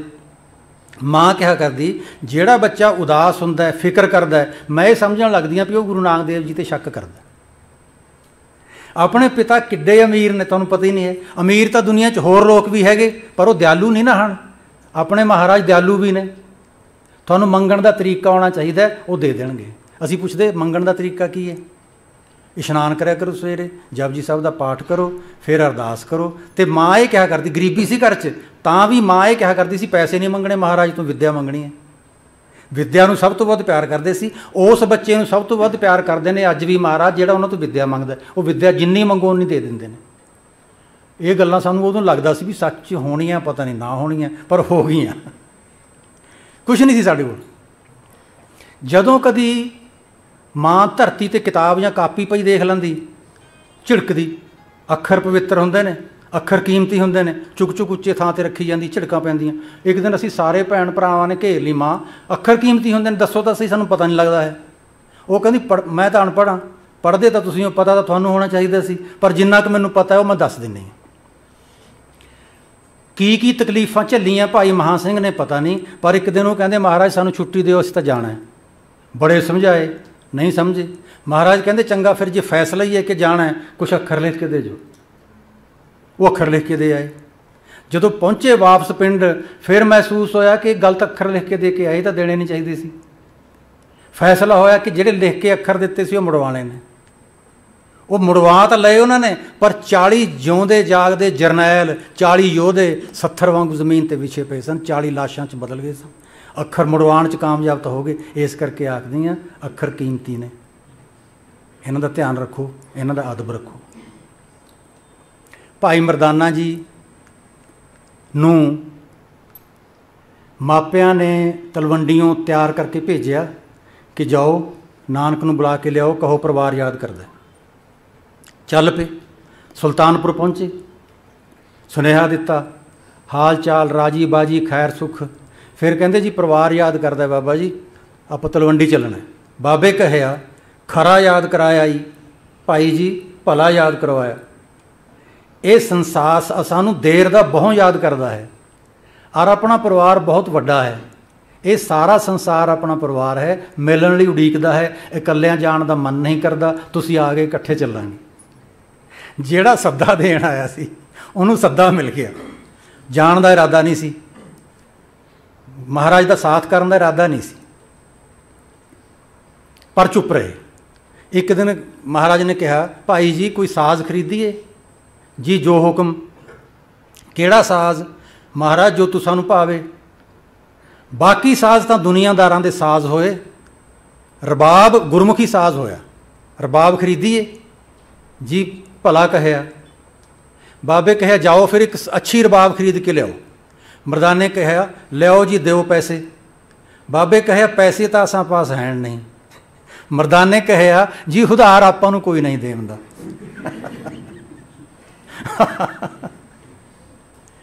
ਬਾਬੇ ਕਹਿਆ ਭਾਈ ਜੀ, ਗਰਜ਼ਵੰਦ ਹੋਣਾ ਚੰਗੀ ਗੱਲ ਤਾਂ ਨਹੀਂ, ਸਵਾਲੀ ਹੋਣਾ ਚੰਗੀ ਗੱਲ ਤਾਂ ਨਹੀਂ, ਪਰ ਕੀ ਕਰੀਏ, ਗਰਜ਼ ਕਾਰੇ ਕਰਾਉਂਦੀ ਹੈ। ਬੇਬੇ ਨਾਨਕੀ ਜੀ ਪਾਸ ਜਾਓ, ਉੱਥੋਂ ਆਪਣੀ ਗਰਜ਼ ਪੂਰੀ ਹੋਏਗੀ। ਭਾਈ ਮਰਦਾਨਾ ਜੀ ਗਏ, ਮੱਥਾ ਟੇਕਿਆ। ਅਰਜ਼ ਕੀਤੀ ਪੈਸੇ ਦਿਓ। ਮੁੱਠੀ 'ਚ ਜਿੰਨੇ ਚਾਂਦੀ ਦੇ ਰੁਪਈਏ ਆਏ, ਭਾਈ ਮਰਦਾਨਾ ਜੀ ਦੀ ਝੋਲੀ 'ਚ ਪਾਉਂਦੇ ਆਖਿਆ, ਸਰਫਾ ਨਹੀਂ ਕਰਨਾ। ਜੇ ਹੋਰ ਜ਼ਰੂਰਤ ਪਵੇ, ਫੇਰ ਆਉਣਾ। ਅੱਛੀ ਰਬਾਬ ਖਰੀਦਣੀ। ਔਰ ਨਾਨਕ ਨੂੰ ਇਹ ਤਾਂ ਆਖਣਾ ਕਿ ਭੈਣ ਨੂੰ ਮਿਲਦਾ ਕਿਉਂ ਨਹੀਂ, ਮਹੀਨੇ ਗੁਜ਼ਰ ਜਾਂਦੇ ਹਨ। ਭਾਈ ਮਰਦਾਨਾ ਜੀ ਬਾਬਾ ਜੀ ਕੋਲ ਗਏ, ਇਹ ਕਿਹਾ ਕਿ ਭੈਣ ਦਾ ਸੁਨੇਹਾ ਹੈ, ਤੁਸੀਂ ਜਾਓ ਭੈਣ ਨੂੰ ਮੱਥਾ ਟੇਕਣ ਮਿਲਣ, ਮੈਂ ਚੱਲਿਆ ਰਬਾਬ ਖਰੀਦਣ। ਭਾਈ ਮਰਦਾਨਾ ਜੀ ਦਾ ਆਖਾ ਮੰਨ ਕੇ ਮਹਾਰਾਜ ਘਰ ਗਏ। ਘਰ ਜਾਣ ਦਾ ਵੀ ਦ੍ਰਿਸ਼ ਦੇਖ ਲਓ। ਜਦੋਂ ਗਏ, ਜਦੋਂ ਬਾਬਾ ਜੀ, ਜਦੋਂ ਗੁਰੂ ਨਾਨਕ ਦੇਵ ਜੀ, ਇਹ ਤਾਂ ਭਾਈ ਮਰਦਾਨਾ ਜੀ ਗਏ ਨਾ, ਜਦੋਂ ਗੁਰੂ ਨਾਨਕ ਦੇਵ ਜੀ ਭੈਣ ਨੂੰ ਮਿਲਣ ਜਾਂਦੇ, ਤਾਂ ਜ਼ਿਕਰ ਆਉਂਦਾ ਸਾਖੀ ਚ, ਭਾਈ ਬਾਲਾ ਜੀ ਵਾਲੀ ਚ ਨਾਨਕੀ ਨੇ ਝੁਕ ਕੇ ਚਰਨ ਛੋਹਣੇ ਚਾਹੇ। ਬਾਬੇ ਕਹਿਆ, ਬੇਬੇ, ਤੂੰ ਅਸਾਂ ਤੋਂ ਵੱਡੀ ਹੈ ਔਰ ਪਰਮੇਸ਼ਰ ਕੀ ਪਿਆਰੀ ਵੀ। ਤੂੰ ਜੋ ਅਸਾਂ ਦੇ ਪੈਰਾਂ ਵੱਲ ਦੇਖਦੀ ਹੈ, ਅਸਾਂ ਨੂੰ ਆਪਣੇ ਵਿੱਚ ਵੱਡਾ ਉਗਣ ਦਿਸਦਾ ਹੈ। ਨਾਨਕੀ ਕਹਿਆ, ਭਾਈ ਜੀ, ਸੱਚ ਆਖਦੀ ਹਾਂ, ਭਰਾ ਕਰਕੇ ਨਹੀਂ ਜਾਣਦੀ, ਪਰਮੇਸ਼ਰ ਕਰਕੇ ਜਾਣਦੀ ਹਾਂ। ਇਹ ਨੇ ਥੋੜੇ ਜਿਹੇ ਕਰਮਾਂ ਵਾਲੇ ਲੋਕ। ਭਾਈ ਮਰਦਾਨਾ ਜੀ ਖਾਲੀ ਹੱਥ ਵਾਪਸ ਆ ਗਏ ਕੁਝ ਦਿਨ ਚੱਕਰ ਲਾ ਕੇ ਆਲੇ ਦੁਆਲੇ ਦੇ ਪਿੰਡਾਂ 'ਚ। ਜੀ ਤੁਸਾਂ ਦੀ ਆਵਾਜ਼ ਦਾ ਸਾਥ ਦੇਵੇ, ਇਸ ਤਰ੍ਹਾਂ ਦੀ ਰਬਾਬ ਮਿਲੀ ਨਹੀਂ। ਬਾਬੇ ਕਹਿਆ, ਦੋਹਾਂ ਦਰਿਆਵਾਂ ਵਿਚਕਾਰ ਜੱਟਾਂ ਦਾ ਇੱਕ ਪਿੰਡ ਹੈ ਆਸ਼ਕਪੁਰ। ਤਿੱਥੇ ਫਰਿੰਦਾ ਨਾਉ ਦਾ ਇੱਕ ਕਾਰੀਗਰ ਹੈ। ਵੱਡਾ ਉਸਤਾਦ ਹੈ। ਉਸ ਪਾਸੋਂ ਲੈਣੀ। ਹਿੰਦੂ ਹੈ। ਫੇਰੂ ਵੀ ਆਖਦੇ ਹਨ। ਅਰ ਜੇ ਨਾ ਦੇਵੇ, ਤਿਸ ਪਾਸ ਅਸਾਂ ਦਾ ਨਾਮ ਲੈਣਾ। ਭਾਈ ਮਰਦਾਨਾ ਜੀ ਨੇ ਪਿੰਡ ਲੱਭ ਲਿਆ, ਘਰ ਲੱਭ ਲਿਆ ਫਰੰਦੂ ਜੀ ਫਰੰਦਾ ਦਾ। ਘਰ ਮਿਲ ਗਏ, ਦੁਆ ਸਲਾਮ ਹੋਈ, ਅਰਜ਼ ਗੁਜ਼ਾਰੀ, ਜੀ ਇੱਕ ਬਹੁਤ ਵਧੀਆ ਕਿਸਮ ਦੀ ਰਬਾਬ ਚਾਹੀਦੀ ਹੈ। ਫਰੰਦੇ ਕਹਿਆ ਬਣ ਤਾਂ ਜਾਏਗੀ, ਪਰ ਇੰਨੀ ਜਲਦੀ ਨਹੀਂ, ਕੁਝ ਮਹੀਨੇ ਲੱਗਣਗੇ। ਕੰਧ ਨਾਲ ਕਿੱਲੀ ਉੱਪਰ ਲਟਕਦੀ ਰਬਾਬ ਵੱਲ ਇਸ਼ਾਰਾ ਕਰਦਿਆਂ ਭਾਈ ਮਰਦਾਨੇ ਕਹਿਆ ਜੀ ਉਹ ਪਈ ਤਾਂ ਹੈ ਇੱਕ? ਫਰੰਦੇ ਕਹਿਆ ਸੋ ਤੁਸਾਂ ਦੇ ਕੰਮ ਦੀ ਨਹੀਂ। ਕੀ ਨੁਕਸ ਹੈ ਜੀ ਇਸ ਵਿੱਚ? ਭਾਈ ਜੀ, ਨੁਕਸ ਨਹੀਂ। ਕਾਮਲ ਫਕੀਰ ਹੈ ਇੱਕ ਬਾਬਾ ਨਾਨਕ। ਕਦੀ ਇਹ ਨਾਮ ਸੁਣਿਆ ਹੈ? ਤਿਨਾਂ ਦੇ ਕਦਮਾਂ ਦਾ ਧਿਆਨ ਧਰ ਕੇ ਡਾਢੀ ਮੁਸ਼ਕਲ ਨਾਲ ਤਿਆਰ ਕੀਤੀ ਹੈ ਰਬਾਬ। ਜਦੋਂ ਦੀਦਾਰ ਨਸੀਬ ਹੋਏ, ਤਿਨਾਂ ਦੇ ਕਦਮਾਂ ਵਿੱਚ ਰੱਖਾਂਗਾ। ਭਾਈ ਮਰਦਾਨਾ ਜੀ ਨੇ ਦੱਸਿਆ ਨਹੀਂ। ਕਹਿੰਦੇ, ਆਗਿਆ ਹੋਏ ਤਾਂ ਵਜਾ ਕੇ ਦੇਖ ਲਵਾਂ। ਫਰੰਦੇ ਕਹਿਆ, ਵਜਾਵਣੀ ਤਾਂ ਦਰ ਕਿਨਾਰ ਛੋਣ ਵੀ ਨਹੀਂ ਦੇਵਾਂਗਾ ਫਿਰ ਭਾਈ ਮਰਦਾਨਾ ਜੀ ਨੇ ਦੱਸਿਆ, ਜੀ, ਤੁਹਾਡਾ ਨਾਂ, ਤੁਹਾਡਾ ਸਿਰਨਾਵਾ ਬਾਬਾ ਜੀ ਨੇ ਦੱਸਿਆ, ਉਹਨਾਂ ਨੇ ਤੁਹਾਡੇ ਕੋਲ ਭੇਜਿਆ। ਫਰਿੰਦੇ ਕਹਿਆ, ਜਿਨ੍ਹਾਂ ਦਾ ਨਾਮ ਲੈ ਕੇ ਜਹਾਨ ਤਰ ਜਾਏਗਾ ਤਿਨਾਂ ਦੀ ਜ਼ੁਬਾਨ ਉੱਪਰ ਅਸਾਂ ਦਾ ਨਾਮ ਆਇਆ। ਸਾਡੇ ਵਰਗਾ ਸੰਸਾਰ 'ਚ ਕੌਣ ਹੈ ਕੋਈ ਅੱਜ? ਜੇ ਤੁਸਾਂ ਨੂੰ ਬਾਬਾ ਨਾਨਕ ਨੇ ਭੇਜਿਆ ਹੈ, ਫਿਰ ਇੱਥੇ ਬੈਠੇ ਕਾਸ ਲਈ ਹਾਂ। ਅਸਾਂ ਨੂੰ ਝਬਦੇ ਤਿਨਾਂ ਪਾਸ ਲੈ ਚਲੋ। ਅੱਖ ਦੇ ਪਲਕਾਰੇ ਜਿੰਨੇ ਸਮਾਂ ਲੱਗਣਾ ਚਾਹੀਦਾ। ਭਾਈ ਮਰਦਾਨਾ ਜੀ ਅੱਗੇ ਅੱਗੇ, ਰਬਾਬ ਸਮੇਤ ਭਾਈ ਫਰੰਦਾ ਜੀ ਪਿੱਛੇ ਪਿੱਛੇ। ਪਹੁੰਚੇ। ਭਾਈ ਫਰੰਦਾ ਜੀ ਨੇ ਮਹਾਰਾਜ ਦੇ ਚਰਨਾਂ 'ਚ ਰਬਾਬ ਰੱਖੀ। ਅਸੀਸ ਮਿਲੀ। ਬਾਬੇ ਕਹਿਆ, ਕਿੰਨੀ ਭੇਟਾ ਤਾਰੀਏ ਭਾਈ ਜੀ? ਫਰੰਦੇ ਕਹਿਆ, ਜੀ ਦੀਦਾਰ, ਇਸ ਦੀ ਭੇਟਾ ਦੀਦਾਰ ਹੈ, ਸੋ ਨਸੀਬ ਹੋਏ ਗਈ ਹੈ। ਅਸਾਂ ਨੂੰ ਆਪ ਦੀ ਅਸੀਸ ਮਿਲੀ ਤਨ ਹੋਏ।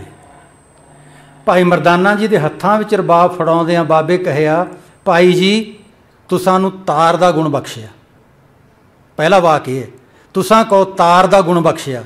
ਦੂਜਾ ਵਾਕ, ਇਸ ਨੂੰ ਵੇਚਣਾ ਨਹੀਂ। ਤੀਜਾ ਵਾਕ ਦਾਰਾਏ ਸਵਾਲੀ ਨੂੰ ਖਾਲੀ ਨਹੀਂ ਮੋੜਨਾ। ਤੀਜਾ ਵਾਕ ਸੁਣ ਕੇ ਭਾਈ ਮਰਦਾਨਾ ਹੱਸ ਪਏ, ਅਸਾਂ ਕੰਗਾਲਾਂ ਪਾਸ ਕੌਣ ਆਏਗਾ ਬਾਬਾ ਸਵਾਲੀ ਬਾਬੇ ਕਹਿਆ, ਜੋ ਦੌਲਤ ਤੂੰ ਸਾਨੂੰ ਨਸੀਬ ਹੋਈ, ਜਹਾਨ ਤਰਸੇਗਾ ਤਿਸ ਤਾਈਂ। ਤੁਸਾਂ ਜਿੱਡਾ ਅਮੀਰ ਸੰਸਾਰ ਵਿੱਚ ਕੋਈ ਨਹੀਂ ਭਾਈ ਜੀ। ਗੱਲਾਂ ਸ਼ੁਰੂ ਤੋਂ ਹੀ ਹੁਣ ਤੱਕ ਦਰਵਾਜ਼ਾ ਦੌਲਤ ਤੱਕ ਧਨ ਦੀ ਧਨ ਦੀਆਂ ਬਾਰਿਸ਼ਾਂ ਹੋ ਰਹੀਆਂ ਨੇ ਦੌਲਤ ਦੀਆਂ। ਹੈ ਨਾ ਚਮਤਕਾਰ? ਭਾਈ ਮਰਦਾਨਾ ਜੀ ਮਹਾਰਾਜ ਦੇ ਸਿੱਖ ਸਨ, ਇਹ ਤਾਂ ਆਪਾਂ ਨੂੰ ਸਾਰਿਆਂ ਨੂੰ ਹੀ ਪਤਾ ਹੈ। ਲੇਕਿਨ ਦੋਸਤ ਵੀ ਤਾਂ ਸਨ। ਦੋਸਤੀ ਦਾ ਜ਼ਿਕਰ ਹੈ ਜਿਹੜਾ ਉਹ ਮੈਂ ਘੱਟ ਪੜਿਆ ਕਿਤਾਬਾਂ 'ਚ, ਜਨਮ ਸਾਖੀਆਂ 'ਚ ਪੜਿਆ ਦੋ ਘਟਨਾਵਾਂ ਸੁਣਾਉਣਾ ਤੁਹਾਨੂੰ, ਪਤਾ ਲੱਗ ਜਾਏਗਾ ਦੋਸਤੀ ਦਾ। ਜਦ ਬਾਬਾ ਬੰਦਗੀ ਕਰਨ ਲੱਗਦਾ ਪੰਜ ਕਰਮ ਦੂਰ ਖਲੋ ਕੇ ਭਾਈ ਮਰਦਾਨਾ ਸਖਤ ਪਹਿਰਾ ਦਿੰਦਾ ਤਾਂ ਕਿ ਤਿਨਾਂ ਦੀ ਬੰਦਗੀ ਵਿੱਚ ਕੋਈ ਪਸ਼ੂ, ਪੰਛੀ ਜਾਂ ਮਨੁੱਖ ਵਿਗਨ ਨਾ ਪਾਏ। ਅਰ ਜਦ ਬਾਬਾ ਗਾਉਣ ਲੱਗਦਾ, ਉਠਾਏ ਕੇ ਰਬਾਬ, ਇੰਨਾ ਨਜ਼ਦੀਕ ਬੈਠਦਾ ਕਿ ਗੋਡੇ ਨਾਲ ਗੋਡਾ ਖੈਂਦਾ ਇਹ ਦ੍ਰਿਸ਼ ਦੋਸਤੀ ਦਾ। ਇਹ ਹਜ਼ਾਰ ਪੰਨਿਆਂ ਦੀ ਕਿਤਾਬ 'ਚ ਨਹੀਂ ਆਪਾਂ ਨੂੰ ਮਿਲੂਗਾ।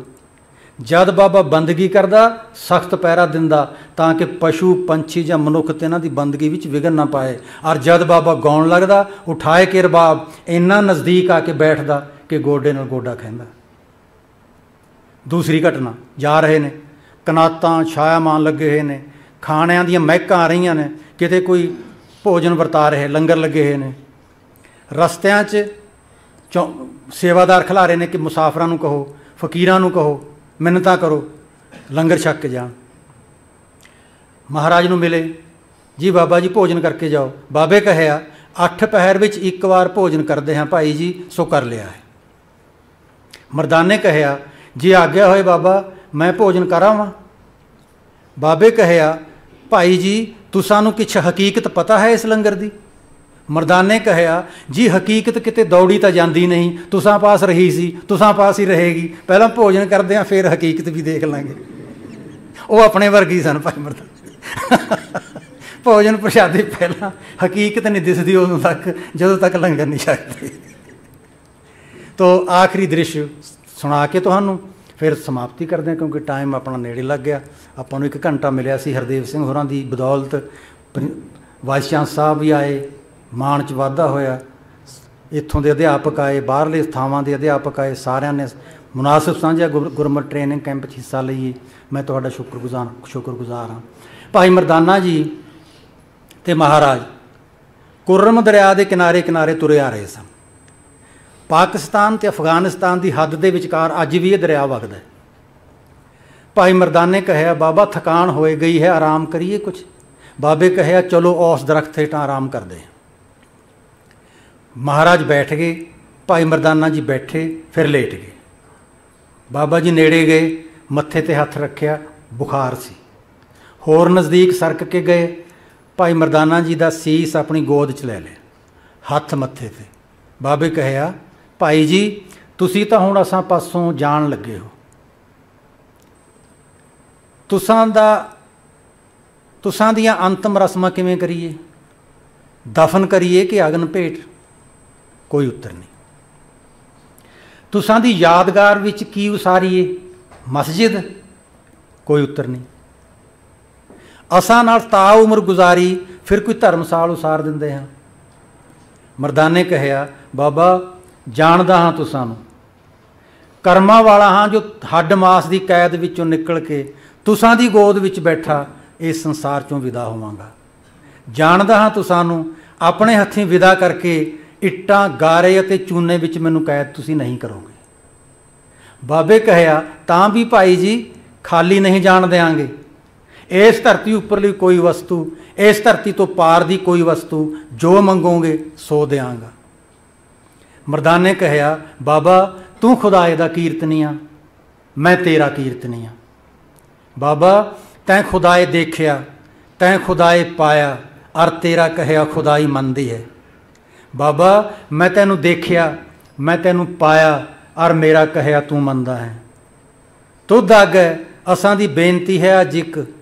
ਅਸਾਂ ਨੂੰ ਵਿਛੋੜਨਾ ਨਹੀਂ ਆਪਣੇ ਨਾਲੋਂ, ਨਾ ਇੱਥੇ, ਨਾ ਉੱਥੇ।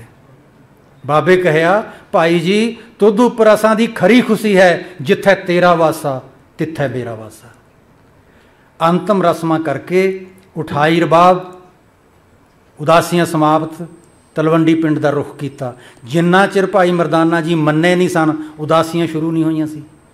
ਮਨਾ ਕੇ ਉਹਨਾਂ ਨੂੰ ਨਾਲ ਲੈ ਗਏ। ਜਦੋਂ ਭਾਈ ਮਰਦਾਨਾ ਜੀ ਨਾ ਰਹੇ, ਉਦਾਸੀਆਂ ਸਮਾਪਤ। ਭਾਈ ਮਰਦਾਨਾ ਜੀ ਦਾ ਸਾਥ ਹੈ ਜਿਹੜਾ, ਉਹ ਉਦਾਸੀਆਂ ਦਾ ਸਾਥ ਹੈ, ਯਾਤਰਾਵਾਂ ਦਾ ਸਾਥ ਹੈ। ਉੱਥੋਂ ਫਿਰ ਆਪਣੀ ਮੰਜ਼ਲ ਤਲਵੰਡੀ ਪਿੰਡ ਵੱਲ ਨੂੰ ਰੁਖ ਕੀਤਾ। ਨਾ ਭਾਈ ਮਰਦਾਨਾ ਜੀ ਦੇ ਘਰ ਗਏ, ਨਾ ਆਪਣੇ ਘਰ। ਪਿੰਡ ਦੇ ਵਿਚਕਾਰ ਖੂਹ ਸੀ। ਖੂਹ ਦੀ ਮਣ ਤੇ ਬੈਠ ਗਏ, ਕਿਨਾਰੇ ਤੇ। ਪਿੰਡ ਪਤਾ ਲੱਗਦਾ ਗਿਆ, ਸੰਗਤ ਦਰਸ਼ਨ ਵਾਸਤੇ ਆਉਂਦੀ ਗਈ, ਦਰੀਆਂ ਚਾਦਰਾਂ ਵਿਛਦੀਆਂ ਗਈਆਂ। ਮਹਾਰਾਜ ਸ਼ਸ਼ੋਭਤ। ਭਾਈ ਮਰਦਾਨਾ ਜੀ ਦੇ ਘਰ ਪਤਾ ਲੱਗਿਆ, ਆ ਗਏ। ਵੱਡਾ ਬੇਟਾ, ਸ਼ਾਹਜ਼ਾਦ। ਭਾਈ ਸ਼ਾਹਜ਼ਾਦ ਆਇਆ, ਮਹਾਰਾਜ ਦੇ ਚਰਨ ਛੂਹੇ, ਅਸੀਸ ਲਈ ਸੰਗਤ ਵਿੱਚ ਬੈਠਿਆ। ਥੋੜੀ ਦੇਰ ਬਾਅਦ ਸਾਥੀਆਂ ਨੂੰ ਪੁੱਛਣ ਲੱਗਿਆ, ਅੱਬਾ ਕਿੱਥੇ ਹੈ ਕਿਸੇ ਨੂੰ ਪਤਾ ਨਹੀਂ ਸੀ। ਫੇਰ ਮਹਾਰਾਜ ਦੇ ਨਜ਼ਦੀਕ ਗਿਆ। ਜੀ ਬਾਬਾ ਜੀ, ਅੱਬੂ ਕਿੱਥੇ ਹੈ ਅੱਬੂ ਕਿਵੇਂ ਹੈ ਬਾਬੇ ਕਹਿਆ, ਸ਼ਾਹਜ਼ਾਦ ਪੁੱਤਰ, ਤੁਸਾਂ ਦੇ ਅੱਬੂ ਨਿੱਜ ਘਰ ਚਲੇ ਗਏ ਹਨ। ਫੇਰ ਘਰ ਸ਼ਬਦ ਆ ਗਿਆ। ਸ਼ਾਹਜ਼ਾਦ ਪੁੱਤਰ, ਤੁਸਾਂ ਦੇ ਅੱਬੂ ਨਿੱਜ ਘਰ ਚਲੇ ਗਏ ਹਨ। ਜਿਹੜੇ ਨਿੱਜ ਘਰ ਚਲੇ ਜਾਵਣ, ਤਿਨਾਂ ਦਾ ਸੋਗ ਨਹੀਂ ਕਰਨਾ। ਤਿਨਾਂ ਦੇ ਨਾਂ ਦਾ ਸਰੋਪਾਉ ਤੁਸਾਂ ਨੂੰ ਦੇਣ ਲਈ ਮੈਂ ਸੈਂਕੜੇ ਕੋਸਾਂ ਦਾ ਪੰਧ ਮਾਰ ਕੇ ਤਲਵੰਡੀ ਪੁੱਜਿਆ ਹਾਂ। ਦੱਸੋ ਪੁੱਤਰ, ਕੀ ਚਾਹੀਦਾ? ਦੇਵਾਂਗਾ ਸ਼ਾਹਜ਼ਾਦ ਕਹਿਆ ਬਾਬਾ, ਸਾਰੀ ਦੁਨੀਆ ਵਿੱਚ ਘੁੰਮਦੇ ਫਿਰਦੇ ਤਾਲੀਮ ਵੰਡਦੇ ਰਹੇ, ਵਿਦਿਆ ਵੰਡਦੇ ਰਹੇ, ਤਲਵੰਡੀ ਪਿੰਡ ਤੁਸੀਂ ਰਹੇ ਹੀ ਨਹੀਂ, ਸੰਸਾਰ ਵਿਦਵਾਨ ਹੋ ਗਿਆ, ਅਕਲਵੰਦ ਹੋ ਗਿਆ। ਅਸੀਂ ਤਲਵੰਡੀ ਪਿੰਡ ਦੇ ਲੋਕ ਤੁਸਾਂ ਦੀ ਗੈਰ ਹਾਜ਼ਰੀ ਵਿੱਚ ਅਨਪੜ੍ਹ ਦੇ ਅਨਪੜ੍ਹ, ਜਾਹਲ ਦੇ ਜਾਹਲ। ਅਸਾਂ ਨੂੰ ਤਾਂ ਇਹ ਵੀ ਪਤਾ ਨਹੀਂ ਕਿ ਵੱਡਿਆਂ ਪਾਸੋਂ ਮੰਗੀ ਦਾ ਕੀ ਹੁੰਦਾ ਹੈ। ਵਾਹ ਵਾਹ।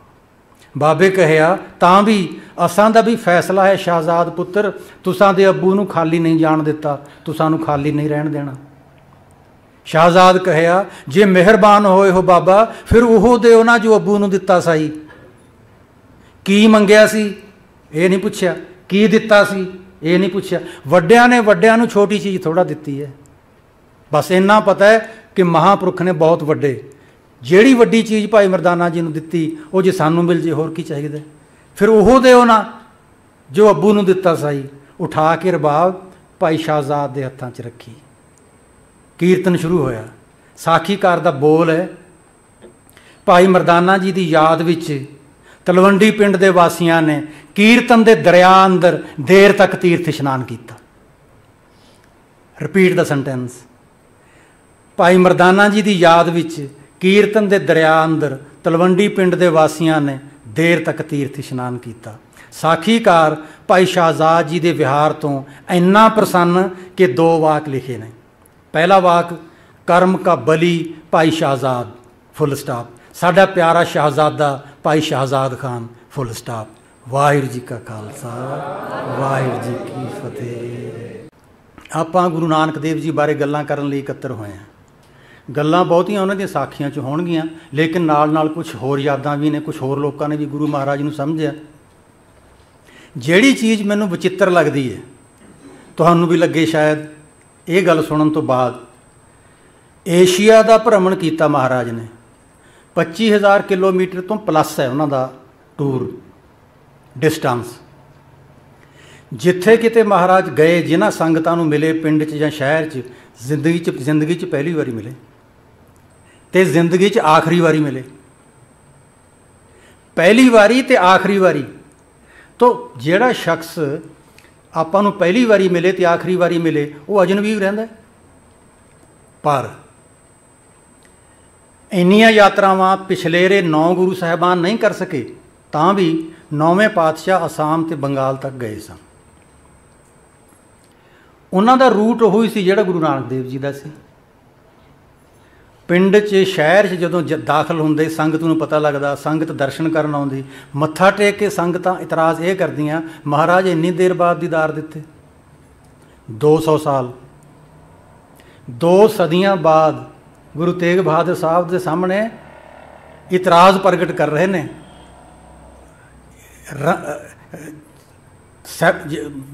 ਵਿਜੋਗ ਰਿਹਾ ਦੋ ਸਦੀਆਂ, ਇਹਦਾ ਗਿਲਾ ਕਰ ਰਹੇ ਨੇ। ਉਸ ਗੁਰੂ ਨੂੰ ਯਾਦ ਕਰ ਰਹੇ ਨੇ, ਜਿਹੜਾ ਪਹਿਲੀ ਵਾਰੀ ਤੇ ਆਖਰੀ ਵਾਰੀ 200 ਸਾਲ ਪਹਿਲਾਂ ਮਿਲਿਆ ਸੀ। ਅਜਿਹਾ ਕਿਵੇਂ ਹੋਇਆ? ਕਿਵੇਂ ਸੰਭਵ ਹੋ ਸਕਦਾ ਇਹ? ਸਾਖੀ ਦੇ ਵਿੱਚੋਂ ਇਹਦਾ ਉੱਤਰ ਮਿਲਿਆ ਮੈਨੂੰ। ਭਾਈ ਮਰਦਾਨਾ ਰਬਾਬੀ ਸਨ, ਆਪਾਂ ਨੂੰ ਪਤਾ ਹੈ। ਜਦੋਂ ਮਹਾਰਾਜ ਕੀਰਤਨ ਕਰਨ ਲੱਗਦੇ, ਭਾਈ ਮਰਦਾਨਾ ਜੀ ਸਾਥ ਦਿੰਦੇ, ਬਾਣੀ ਦਾ। ਗਾਇਨ ਤਾਂ ਮਹਾਰਾਜ ਦੀ ਬਾਣੀ ਦਾ ਹੁੰਦਾ ਸੀ। ਇੱਕ ਦਿਨ ਭਾਈ ਮਰਦਾਨਾ ਜੀ ਨੇ ਆਪਣੇ ਕੋਲੋਂ ਕੁਝ ਪੰਕਤੀਆਂ ਕੰਪੋਜ਼ ਕੀਤੀਆਂ ਤੇ ਗਾਉਣ ਲੱਗ ਗਏ। ਉਹ ਬੋਲ ਨੇ, ਇੱਕੇ ਤਾਂ ਪੁੱਤਰ ਕਾਲੂਆਨ ਜਿਨ ਸਿਰੀ ਫੁਨ ਤਿਸ ਹੀ ਗੋਈ। ਮਹਿਤਾ ਕਲਿਆਣ ਰਾਜ ਦਾ ਬੇਟਾ ਇੱਕ, ਜਿਨੇ ਸ੍ਰਿਸ਼ਟੀ ਦੀ ਰਚਨਾ ਕੀਤੀ। ਉਹ ਸ੍ਰਿਸ਼ਟੀ ਦੀ ਰਚਨਾ ਦਾ ਪੇੜਾ ਆਪਣੇ ਹੱਥਾਂ 'ਚ ਲੈ ਕੇ ਦੁਬਾਰਾ ਗੁੰਨਣ ਲੱਗ ਗਿਆ। ਇੱਕੇ ਤਾਂ ਪੁੱਤਰ ਕਾਲੂਆਨ ਜਿਨ ਸ੍ਰੀ, ਜਿਨੇ ਸਿਰਜੀ ਸੀ, ਤਿਸ ਫੁਨ ਹੀ ਗੋਈ। ਫਿਰ ਉਹਨੂੰ ਗੁੰਨਣ ਲੱਗ ਗਏ ਦੁਬਾਰਾ। ਬਾਬੇ ਕਹਿਆ, ਭਾਈ, ਮੈਂ ਤਾਂ ਤੇਰੇ ਤਲਵੰਡੀ ਪਿੰਡ ਗਰੀਬ, ਤੇਰੇ ਤਲਵੰਡੀ ਪਿੰਡ ਬੇਦੀਆਂ ਦਾ ਅਵਾਰਾ ਛੋਕਰਾ ਹਾਂ, ਜਿਸ ਦੀ ਕਿਤੇ ਸੁਣਵਾਈ ਨਹੀਂ। ਪਰਮੇਸ਼ਰ ਦਾ ਨਾਮ ਲੈ। ਭਾਈ ਮਰਦਾਨਾ ਜੀ ਹਟੇ ਨਹੀਂ। ਇੱਕੇ ਤਾਂ ਪੁੱਤਰ ਕਾਲੂਆਨ, ਜਿਨ ਸ੍ਰੀ ਫੁਨ ਤਿਸ ਹੀ ਗੋਈ, ਤੁਧ ਜੇਵੜ ਪਰਮੇਸ਼ਰ ਹੋਏ ਤਾਂ ਹੋਈ। ਬਾਬੇ ਕਹਿਆ, ਬਸ ਭਾਈ, ਬਸ ਇਦੋਂ ਅੱਗੇ ਨਹੀਂ ਚਲਾਵਣਾ ਹੋਰ ਅੱਖਰ ਕੋਈ। ਕੀ ਬਾਤ ਹੈ। ਕਦੀ ਸੁਣਿਆ ਇਹ ਬੋਲ? ਤੀਰ ਚੱਲਦਾ, ਤਲਵਾਰ ਚੱਲਦੀ, ਤੋਪ ਚੱਲਦੀ, ਗੋਲੀ ਚੱਲਦੀ, ਸੁਣੀ? ਅੱਖਰ ਚੱਲਦਾ ਸੁਣਿਆ ਕਦੇ ਜਨਮ ਸਾਖੀਕਾਰ ਦਾ ਬੋਲ ਹੈ ਬਸ ਭਾਈ, ਬਸ ਇਦੋਂ ਅੱਗੇ ਨਹੀਂ ਚਲਾਉਣਾ ਹੋਰ ਅੱਖਰ ਕੋਈ। ਦੋ ਸਦੀਆਂ ਤੱਕ ਉਹਨਾਂ ਦੀ ਯਾਦ ਮਨੁੱਖਤਾ ਦੇ ਦਿਲਾਂ ਦੇ ਵਿੱਚ ਇਸੇ ਕਰਕੇ ਬਣੀ ਰਹੀ ਕਿ ਅੱਖਰ ਕਹੇ ਜਾਂ ਲਿਖੇ ਨਹੀਂ, ਕੇਵਲ ਚਲਾਏ ਸਨ। ਕਿਨਾਂ ਕਿਨਾਂ ਲੋਕਾਂ ਨੇ ਕਿਵੇਂ ਕਿਵੇਂ ਸਮਝਿਆ ਮਹਾਰਾਜ ਨੂੰ? ਕਿਵੇਂ ਕਿਵੇਂ ਯਾਦਾਂ ਸੰਭਾਲ ਕੇ ਰੱਖੀਆਂ? ਦੋ ਤਿੰਨ ਐਗਜ਼ਾਮਪਲਾਂ ਦਿਆਂਗਾ, ਫਿਰ ਸਾਖੀਆਂ ਦੇ ਵਿੱਚੋਂ ਕੁਝ ਪ੍ਰਮਾਣ। ਸਭ ਤੋਂ ਪਹਿਲੀ ਉਦਾਹਰਣ ਮਧੂਬਾਲਾ ਦੀ। ਐਸ ਮਹਿੰਦਰ ਫਿਲਮਾਂ ਦੇ ਸੰਗੀਤਕਾਰ ਹੁੰਦੇ ਸੀ 3 ਸਾਲ ਪਹਿਲਾਂ ਸੰਸਾਰ ਚੋਂ ਵਿਦਾ ਹੋ ਗਏ। ਨਾ ਉਹਨਾਂ ਦਾ ਮਹਿੰਦਰ ਸਿੰਘ ਸੀ 100 ਫਿਲਮਾਂ 'ਚ ਸੰਗੀਤ ਦਿੱਤਾ। ਜਦੋਂ ਮਹਾਰਾਜ ਦੀ 500 ਸਾਲਾ ਸ਼ਤਾਬਦੀ ਮਨਾਈ ਸੀ ਨਾ, ਉਹਨਾਂ ਨੇ ਨਾਨਕ ਨਾਮ ਜਹਾਜ਼ ਹੈ ਫਿਲਮ ਨੂੰ ਸੰਗੀਤ ਦਿੱਤਾ ਸੀ। ਪੰਨਾ ਲਾਲ ਮਹੇਸ਼ਵਰੀ ਨੇ ਫਿਲਮ ਬਣਾਈ ਸੀ। ਮੈਂ ਉਦੋਂ 12ਵੀਂ ਜਮਾਤ 'ਚ ਪੜ੍ਹਦਾ ਸੀ। ਅਸੀਂ ਇਹ ਫਿਲਮ ਦੇਖੀ ਤੇ ਇਹ ਫਿਲਮ ਅੱਜ ਵੀ ਦੇਖਣ ਯੋਗ ਹੈ। ਜੇ ਕਿਤੇ ਪੰਜਾਬੀ ਮਾਹੌਲ, ਸਿੱਖ ਮਾਹੌਲ ਦੇਖਣਾ ਹੋਵੇ, ਬੜੀਆਂ ਗੁਰਬਾਣੀ ਦੀਆਂ ਪੰਕਤੀਆਂ ਦੇ ਨਾਂ ਤੇ, ਸਿੱਖੀ ਦੇ ਨਾਂ ਤੇ ਬੜੀਆਂ ਫਿਲਮਾਂ ਬਣੀਆਂ ਨੇ। ਨਾਨਕ ਨਾਮ ਜਹਾਜ਼ ਵਰਗੀ ਫਿਲਮ ਨਹੀਂ ਬਣੀ। ਤੁਹਾਡੇ ਦੇਖਣ ਯੋਗ ਹੈ। ਤਾਂ ਐਸ ਮਹਿੰਦਰ ਨੇ ਇਹਦੇ ਚ ਸੰਗੀਤ ਦਿੱਤਾ ਸੀ। ਐਸ ਮਹਿੰਦਰ ਆਪਣੀ ਇੱਕ ਯਾਦ 'ਚ ਲਿਖਦੇ ਨੇ ਕਿ ਮਧੂਬਾਲਾ ਨਾਲ ਕੰਮ ਕਰਨ ਦਾ ਅਕਸਰ ਮੌਕਾ ਮਿਲਦਾ। ਚਾਹੇ ਟੈਕਸੀ 'ਚ ਜਾਂਦੇ, ਟ੍ਰੇਨ 'ਚ ਜਾਂਦੇ, ਜਹਾਜ਼ 'ਚ ਜਾਂਦੇ, ਉਹ ਆਪਣੇ ਪਰਸ 'ਚੋਂ ਇੱਕ ਪੋਥੀ ਖੋਲਦੀ, ਸਿਰ ਢੱਕਦੀ ਤੇ ਪੜਨ ਲੱਗ ਜਾਂਦੀ।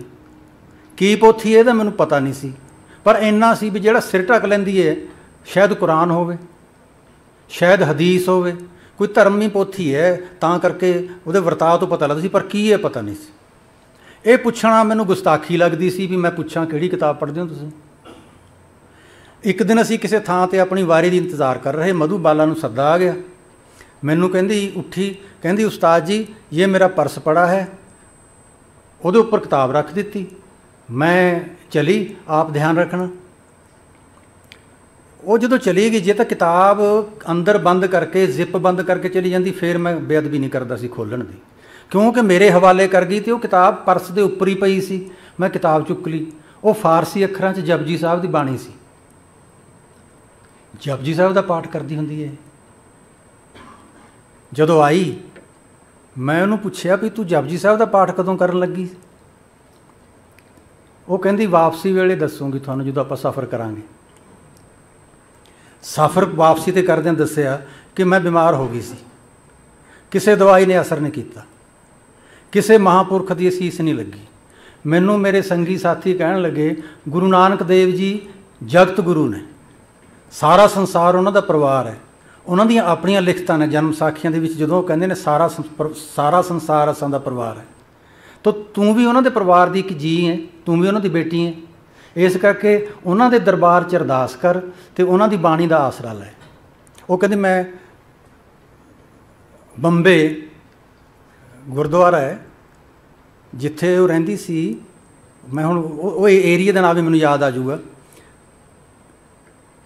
ਉਸ ਗੁਰਦੁਆਰੇ ਜਾ ਕੇ ਅਰਦਾਸ ਕੀਤੀ। ਰਾਜੀ ਹੋਣੀ ਸ਼ੁਰੂ ਹੋ ਗਈ।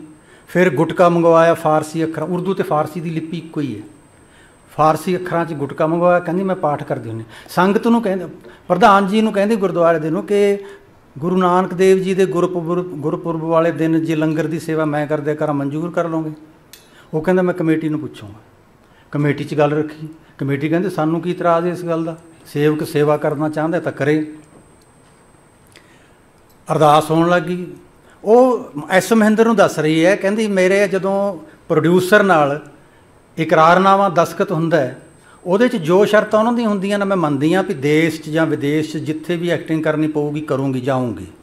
ਲੇਕਿਨ ਮੈਂ ਆਪਣੀ ਇੱਕ ਸ਼ਰਤ ਪਵਾਨੀ ਹੁੰਨੀ ਆ ਵਿੱਚ ਵੀ ਜਦੋਂ ਗੁਰੂ ਨਾਨਕ ਦੇਵ ਜੀ ਦਾ ਗੁਰਪੁਰਬ ਹੋਵੇ, ਉਦੋਂ ਅੰਧੇਰੀ ਗੁਰਦੁਆਰਾ, ਅੰਧੇਰੀ ਇਲਾਕਾ ਉਦੋਂ ਬੰਬੇ ਦੇ ਅੰਧੇਰੀ ਗੁਰਦੁਆਰੇ ਦੇ ਵਿੱਚ ਮੈਂ ਹੋਣੀ ਚਾਹੀਦੀ ਆ, ਇਹ ਜ਼ਿੰਮੇਵਾਰੀ ਤੁਹਾਡੀ। ਮੈਂ ਗੁਰੂ ਨਾਨਕ ਦੇਵ ਜੀ ਦਾ ਮੱਥਾ ਟੇਕਣਾ, ਉਸ ਦਿਨ ਨਹੀਂ ਭੁੱਲਣਾ ਤੇ ਲੰਗਰ ਦੀ ਸੇਵਾ ਮੇਰੀ ਹੁੰਦੀ। ਇਸ ਤਰ੍ਹਾਂ ਸਾਲੋ ਸਾਲ ਹੁੰਦਾ ਗਿਆ। ਇੱਕ ਦਿਨ ਖਬਰ ਮਿਲੀ ਕਿ ਮਧੂਬਾਲਾ ਸੰਸਾਰ ਚੋਂ ਚਲੀ ਗਈ। ਉਹਦੀ ਆਤਮਾ ਦੀ ਸ਼ਾਂਤੀ ਵਾਸਤੇ ਪਾਠ ਦਾ ਭੋਗ ਪਾਇਆ ਗਿਆ। ਪਿਤਾ ਜੀ ਮੌਜੂਦ ਸੀ, ਪਿਤਾ ਹਾਜ਼ਰ ਹੋਇਆ। ਪਿਤਾ ਨੇ ਕਿਹਾ ਕਿ ਮੇਰੀ ਧੀ ਨੂੰ ਜਿੰਨੇ ਸਾਹ ਮਿਲੇ, ਉਹਨੇ ਨਿਭਾ ਕੇ ਚਲੀ ਗਈ। ਉਹਦਾ ਵਸਤਾ ਨਹੀਂ ਸੀ ਵੀ ਉਹ ਹੋਰ ਇੱਥੇ ਰਹਿੰਦੀ, ਪਰ ਉਹਦੀ ਜਿਹੜੀ ਇੱਛਾ ਸੀ ਵੀ ਲੰਗਰ ਦੀ ਸੇਵਾ, ਪ੍ਰਕਾਸ਼ ਪੁਰਬ ਤੇ ਉਹਦੀ ਹੋਵੇ, ਇਹ ਚਾਲੂ ਰਹਿਣੀ ਚਾਹੀਦੀ ਹੈ। ਮੇਰੇ ਕੋਲ ਜਿਹੜਾ ਪੈਸਾ ਇਹ ਵੀ ਹੋ ਸਕਦਾ ਹੀ ਹੈ। ਉਹਦੇ ਨਾਂ ਦੀ ਅਰਦਾਸ ਹੋਵੇ। ਉਹਦੀ ਮੌਤ ਪਿੱਛੋਂ ਵੀ ਮਧੂਬਾਲਾ ਦੇ ਨਾਂ ਦੀ ਅਰਦਾਸ ਹੁੰਦੀ ਰਹੀ ਲੰਗਰ ਦੀ। ਫਿਰ 6 ਸਾਲ ਬਾਅਦ ਖਬਰ ਮਿਲੀ, ਪਿਤਾ ਵੀ ਚਲੇ ਗਏ। ਸੰਗਤ ਨੇ ਉਹਨਾਂ ਦੇ ਆਤਮਾ ਦੀ ਸ਼ਾਂਤੀ ਨਿਮਿਤ ਪਾਠ ਦਾ ਭੋਗ ਪਾਇਆ। ਸੰਗਤ ਦੇ ਵਿੱਚੋਂ ਮੈਂਬਰਾਂ ਨੇ ਕਿਹਾ ਵੀ ਪਿਓ ਪੁੱਤ ਆਖਰੀ ਸਾਹਾਂ ਤੱਕ ਤਾਂ ਸੇਵਾ ਕਰਦੇ ਰਹੇ, ਧੀ ਪੁੱਤ। ਤੇ ਜੇ ਸੰਸਾਰ ਚੋਂ ਚਲੇ ਗਏ, ਉਹਨਾਂ ਦਾ ਕਸੂਰ ਥੋੜਾ ਇੱਥੇ ਅਰਦਾਸ ਮਧੂਬਾਲਾ ਦੇ ਨਾਂ ਦੀ ਹੋਣੀ ਚਾਹੀਦੀ ਅੱਗੋਂ ਨੂੰ ਵੀ। ਐਸ ਮਹਿੰਦਰ ਕਹਿੰਦੇ ਨੇ, ਗੁਰਪੁਰਬ ਵਾਲੇ ਦਿਨ ਤੁਸੀਂ ਅੰਧੇਰੀ ਗੁਰਦੁਆਰੇ 'ਚ ਜਾਓ ਦੁਪਹਿਰ ਨੂੰ। ਅਰਦਾਸ, ਅਰਦਾਸੀ ਨੂੰ ਅਰਦਾਸ ਕਰਦਾ ਸੁਣੋ। ਮਧੂਬਾਲਾ ਆਪ ਦੀ ਧੀ ਵੱਲੋਂ ਪਿਤਾ ਲੰਗਰ ਦੀ ਸੇਵਾ ਹਾਜ਼ਰ ਹੈ, ਮਨਜ਼ੂਰ ਕਰੋ ਸੰਗਤ ਵਿੱਚ ਵਰਤਾਨ ਦੀ ਆਗਿਆ ਦੇ ਤੋ ਮੁਸਲਮਾਨ ਕੁੜੀ ਹੈ ਇਹ, ਮਧੂਬਾਲਾ। ਇੱਕ ਤਾਂ ਇਹ ਘਟਨਾ, ਦੂਜੀ ਘਟਨਾ ਬਲਵੰਤ ਗਾਰਗੀ ਦੀ। ਮੈਂ ਆਪਣੇ ਵਿਦਿਆਰਥੀਆਂ ਨੂੰ ਭੁੱਲਦਾ ਨਹੀਂ ਇਹ ਘਟਨਾ ਸੁਣਾਉਣਾ। 1969 ਚ ਬਲਵੰਤ ਗਾਰਗੀ ਨੇ ਵੀ ਇੱਕ ਲੇਖ ਲਿਖਿਆ ਸੀ। 500 ਸਾਲਾ ਸ਼ਤਾਬਦੀ ਮਨਾਈ ਗਈ ਸੀ। ਇਹ ਲੇਖ ਅੰਗਰੇਜ਼ੀ ਤੇ ਪੰਜਾਬੀ ਚ ਭਾਸ਼ਾ ਵਿਭਾਗ ਨੇ ਛਪਵਾ ਕੇ ਵੰਡਿਆ ਸੀ। ਉਸ ਲੇਖ 'ਚ ਆਪਣੇ ਬਚਪਨ ਦਾ ਜ਼ਿਕਰ ਕਰਦਾ ਗਾਰਗੀ। ਬਲਵੰਤ ਗਾਰਗੀ ਦੇਖੋ ਸਿੱਖ ਨਹੀਂ ਬੁਢਲਾਡੇ ਦੇ ਲਾਗੇ ਬਾਣੀਆਂ ਦਾ ਮੁੰਡਾ। ਸਿੱਖੀ ਦਾ ਉਹਨੂੰ ਪਤਾ ਹੀ ਨਹੀਂ। ਨਾ ਦਾਵਾ ਕਰਦਾ ਉਹ ਕਹਾਣੀਕਾਰ ਹੈ, ਨਾਟਕਕਾਰ ਹੈ, ਜੀਵਨੀਕਾਰ ਹੈ। ਬਹੁਤ ਵਧੀਆ ਲੇਖਕ ਹੈ, ਇਹਦੇ 'ਚ ਵਿਵਾਦ ਨਹੀਂ ਹੈ ਕੋਈ। ਉਹਦੀ ਲਿਖਤ ਦੇ ਵਿੱਚ ਡੰਗ ਹੈ। ਰਿਆਇਤ ਨਹੀਂ ਕਰਦਾ ਕਿਸੇ ਨਾਲ ਉਹ। ਬਾਣੀਆਂ ਆਮ ਤੌਰ ਤੇ ਕਿਹਾ ਜਾਂਦਾ ਵੀ ਬਾਣੀਏ ਕਮਜ਼ੋਰ ਹੁੰਦੇ ਨੇ ਬਾਣੀਏ ਡਰਦੇ ਹੁੰਦੇ ਨੇ। ਭਾਈ ਜਿਹਦੇ ਕੋਲ ਪੈਸਾ ਟਕਾ ਹੁੰਦਾ ਉਹ ਡਰਦਾ ਹੀ ਹੁੰਦਾ ਸਿਆਣਾ ਬੰਦਾ ਡਰਦਾ ਹੀ ਹੁੰਦਾ ਬਾਣੀਆਂ ਕਿਉਂਕਿ ਸਿਆਣਾ ਹੈ, ਇਸ ਕਰਕੇ ਉਹ ਡਰਦਾ ਹੁੰਦਾ ਤੇ ਬਚਦਾ ਰਹਿੰਦਾ ਤੋਂ ਬਲਵੰਤ ਗਾਰਗੀ ਹੈ ਜਿਹੜਾ, ਇਹ ਲੇਖਕ ਦੇ ਤੌਰ ਤੇ ਜਾਣਿਆ, ਪਛਾਣਿਆ ਤੇ ਮੰਨਿਆ ਹੈ ਰਾਈਟਰ ਲੇਕਿਨ ਇਹ ਲਿਖਦਾ ਹੈ, ਕਹਿੰਦਾ ਇੱਕ ਦਿਨ ਮਾਂ ਨੇ ਸਵੇਰੇ ਸਵੇਰੇ ਸਾਨੂੰ ਦੋਵਾਂ ਭਰਾਵਾਂ ਨੂੰ ਉਠਾਇਆ, ਵੱਡਾ ਕੁਲਵੰਤ ਸੀ, ਮੈਂ ਛੋਟਾ ਬਲਵੰਤ, ਇਸ਼ਨਾਨ ਕਰਵਾ ਕੇ ਕਹਿੰਦੀ, ਚਲੋ, ਬਾਬੇ ਦੇ ਸਾਧੂ ਦੇ ਡੇਰੇ ਤੇ ਚੱਲਦੇ ਆਂ। ਸਾਧ ਦਾ ਡੇਰਾ ਸੀ, ਉੱਥੇ ਇੱਕ ਸਾਧ ਬੈਠਾ ਸੀ ਮੱਥਾ ਟੇਕਿਆ ਮਾਂ ਨੇ ਦੇਖ ਕੇ ਅਸੀਂ ਵੀ ਮੱਥਾ ਟੇਕ ਦਿੱਤਾ। ਮਾਂ ਕਹਿੰਦੀ, ਬਾਬਾ ਜੀ, ਦੋ ਬੱਚੇ ਨੇ ਮੇਰੇ ਇਹ। ਇੰਨੀ ਸੱਤਿਆ ਤਾਂ ਹੈ ਨਹੀਂ ਕਿ ਮੈਂ ਦੋਵਾਂ ਨੂੰ ਪੜਾ ਦੇਵਾਂ। ਮੈਂ ਤੁਹਾਡੇ ਤੋਂ ਇਹ ਪੁੱਛਣ ਆਈ ਆ ਵੀ ਦੋਵਾਂ ਚੋਂ ਕਿਹਦੇ ਢਿੱਡ 'ਚ ਚਾਰ ਅੱਖਰ ਪੈਣਗੇ, ਉਹ ਤੂੰ ਦੱਸ ਦੇ। ਕਹਿੰਦਾ, ਜੀ, ਉਹ ਬੰਦਲਾ ਜਿਹਾ ਸਾਧ ਸੀ, ਸਾਡੇ ਵੱਲ ਉਹਨੇ ਧਿਆਨ ਨਾਲ ਦੇਖਿਆ ਵੀ ਨਹੀਂ, ਮੇਰੇ ਵੱਲ ਹੱਥ ਕਰ ਦਿੱਤਾ। ਕਹਿੰਦਾ, ਇਹਨੂੰ ਪੜਾ ਦੇ। ਕਹਿੰਦਾ, ਜੇ ਕਿਤੇ ਕੁਲਵੰਤ ਵੱਲ ਹੱਥ ਕੀਤਾ ਹੁੰਦਾ, ਤਾਂ ਮੈਂ ਬੁਢਲਾਡੇ ਆੜਤੀਆ ਹੋਣਾ ਸੀ। ਹੁਣ ਮੈਂ ਪ੍ਰੋਫੈਸਰ ਹਾਂ ਤੇ ਕੁਲਵੰਤ ਆੜਤੀ ਹੈ। ਇੱਕ ਬੰਦੇ ਦਾ ਇਸ, ਉਂਗਲ ਦਾ ਹੱਥ ਦਾ ਇਸ਼ਾਰਾ ਜਿਹੜਾ ਉਹ ਤਕਦੀਰਾਂ ਬਦਲ ਦਿੰਦਾ ਹੈ। ਫਿਰ ਕਹਿੰਦਾ, ਵੱਡੇ ਭਰਾ ਨੂੰ ਤਾਂ ਕੁਲਵੰਤ ਨੂੰ ਮਾਂ ਘਰ ਛੱਡ ਗਈ, ਮੈਨੂੰ ਗੁਰਦੁਆਰੇ ਲੈ ਗਈ। ਪਿੰਡ 'ਚ ਸਕੂਲ ਨਹੀਂ ਸੀ ਕੋਈ, ਗੁਰਦੁਆਰੇ ਪੜ੍ਹਦੇ ਹੁੰਦੇ ਸਨ ਬੱਚੇ। ਕਹਿੰਦਾ, ਤਿੰਨ ਚਾਰ ਦਿਨ ਮੈਂ ਬਾਕੀ ਬੱਚਿਆਂ ਨਾਲ ਖੇਡਦਾ ਰਿਹਾ, ਉੱਥੇ ਕੋਈ ਪੜਾਉਂਦਾ ਹੈ ਨਹੀਂ ਸੀ। ਮੈਂ ਪੁੱਛਿਆ, ਭਈ ਆਪਾਂ ਨੂੰ ਪੜਾਊਗਾ ਕੌਣ?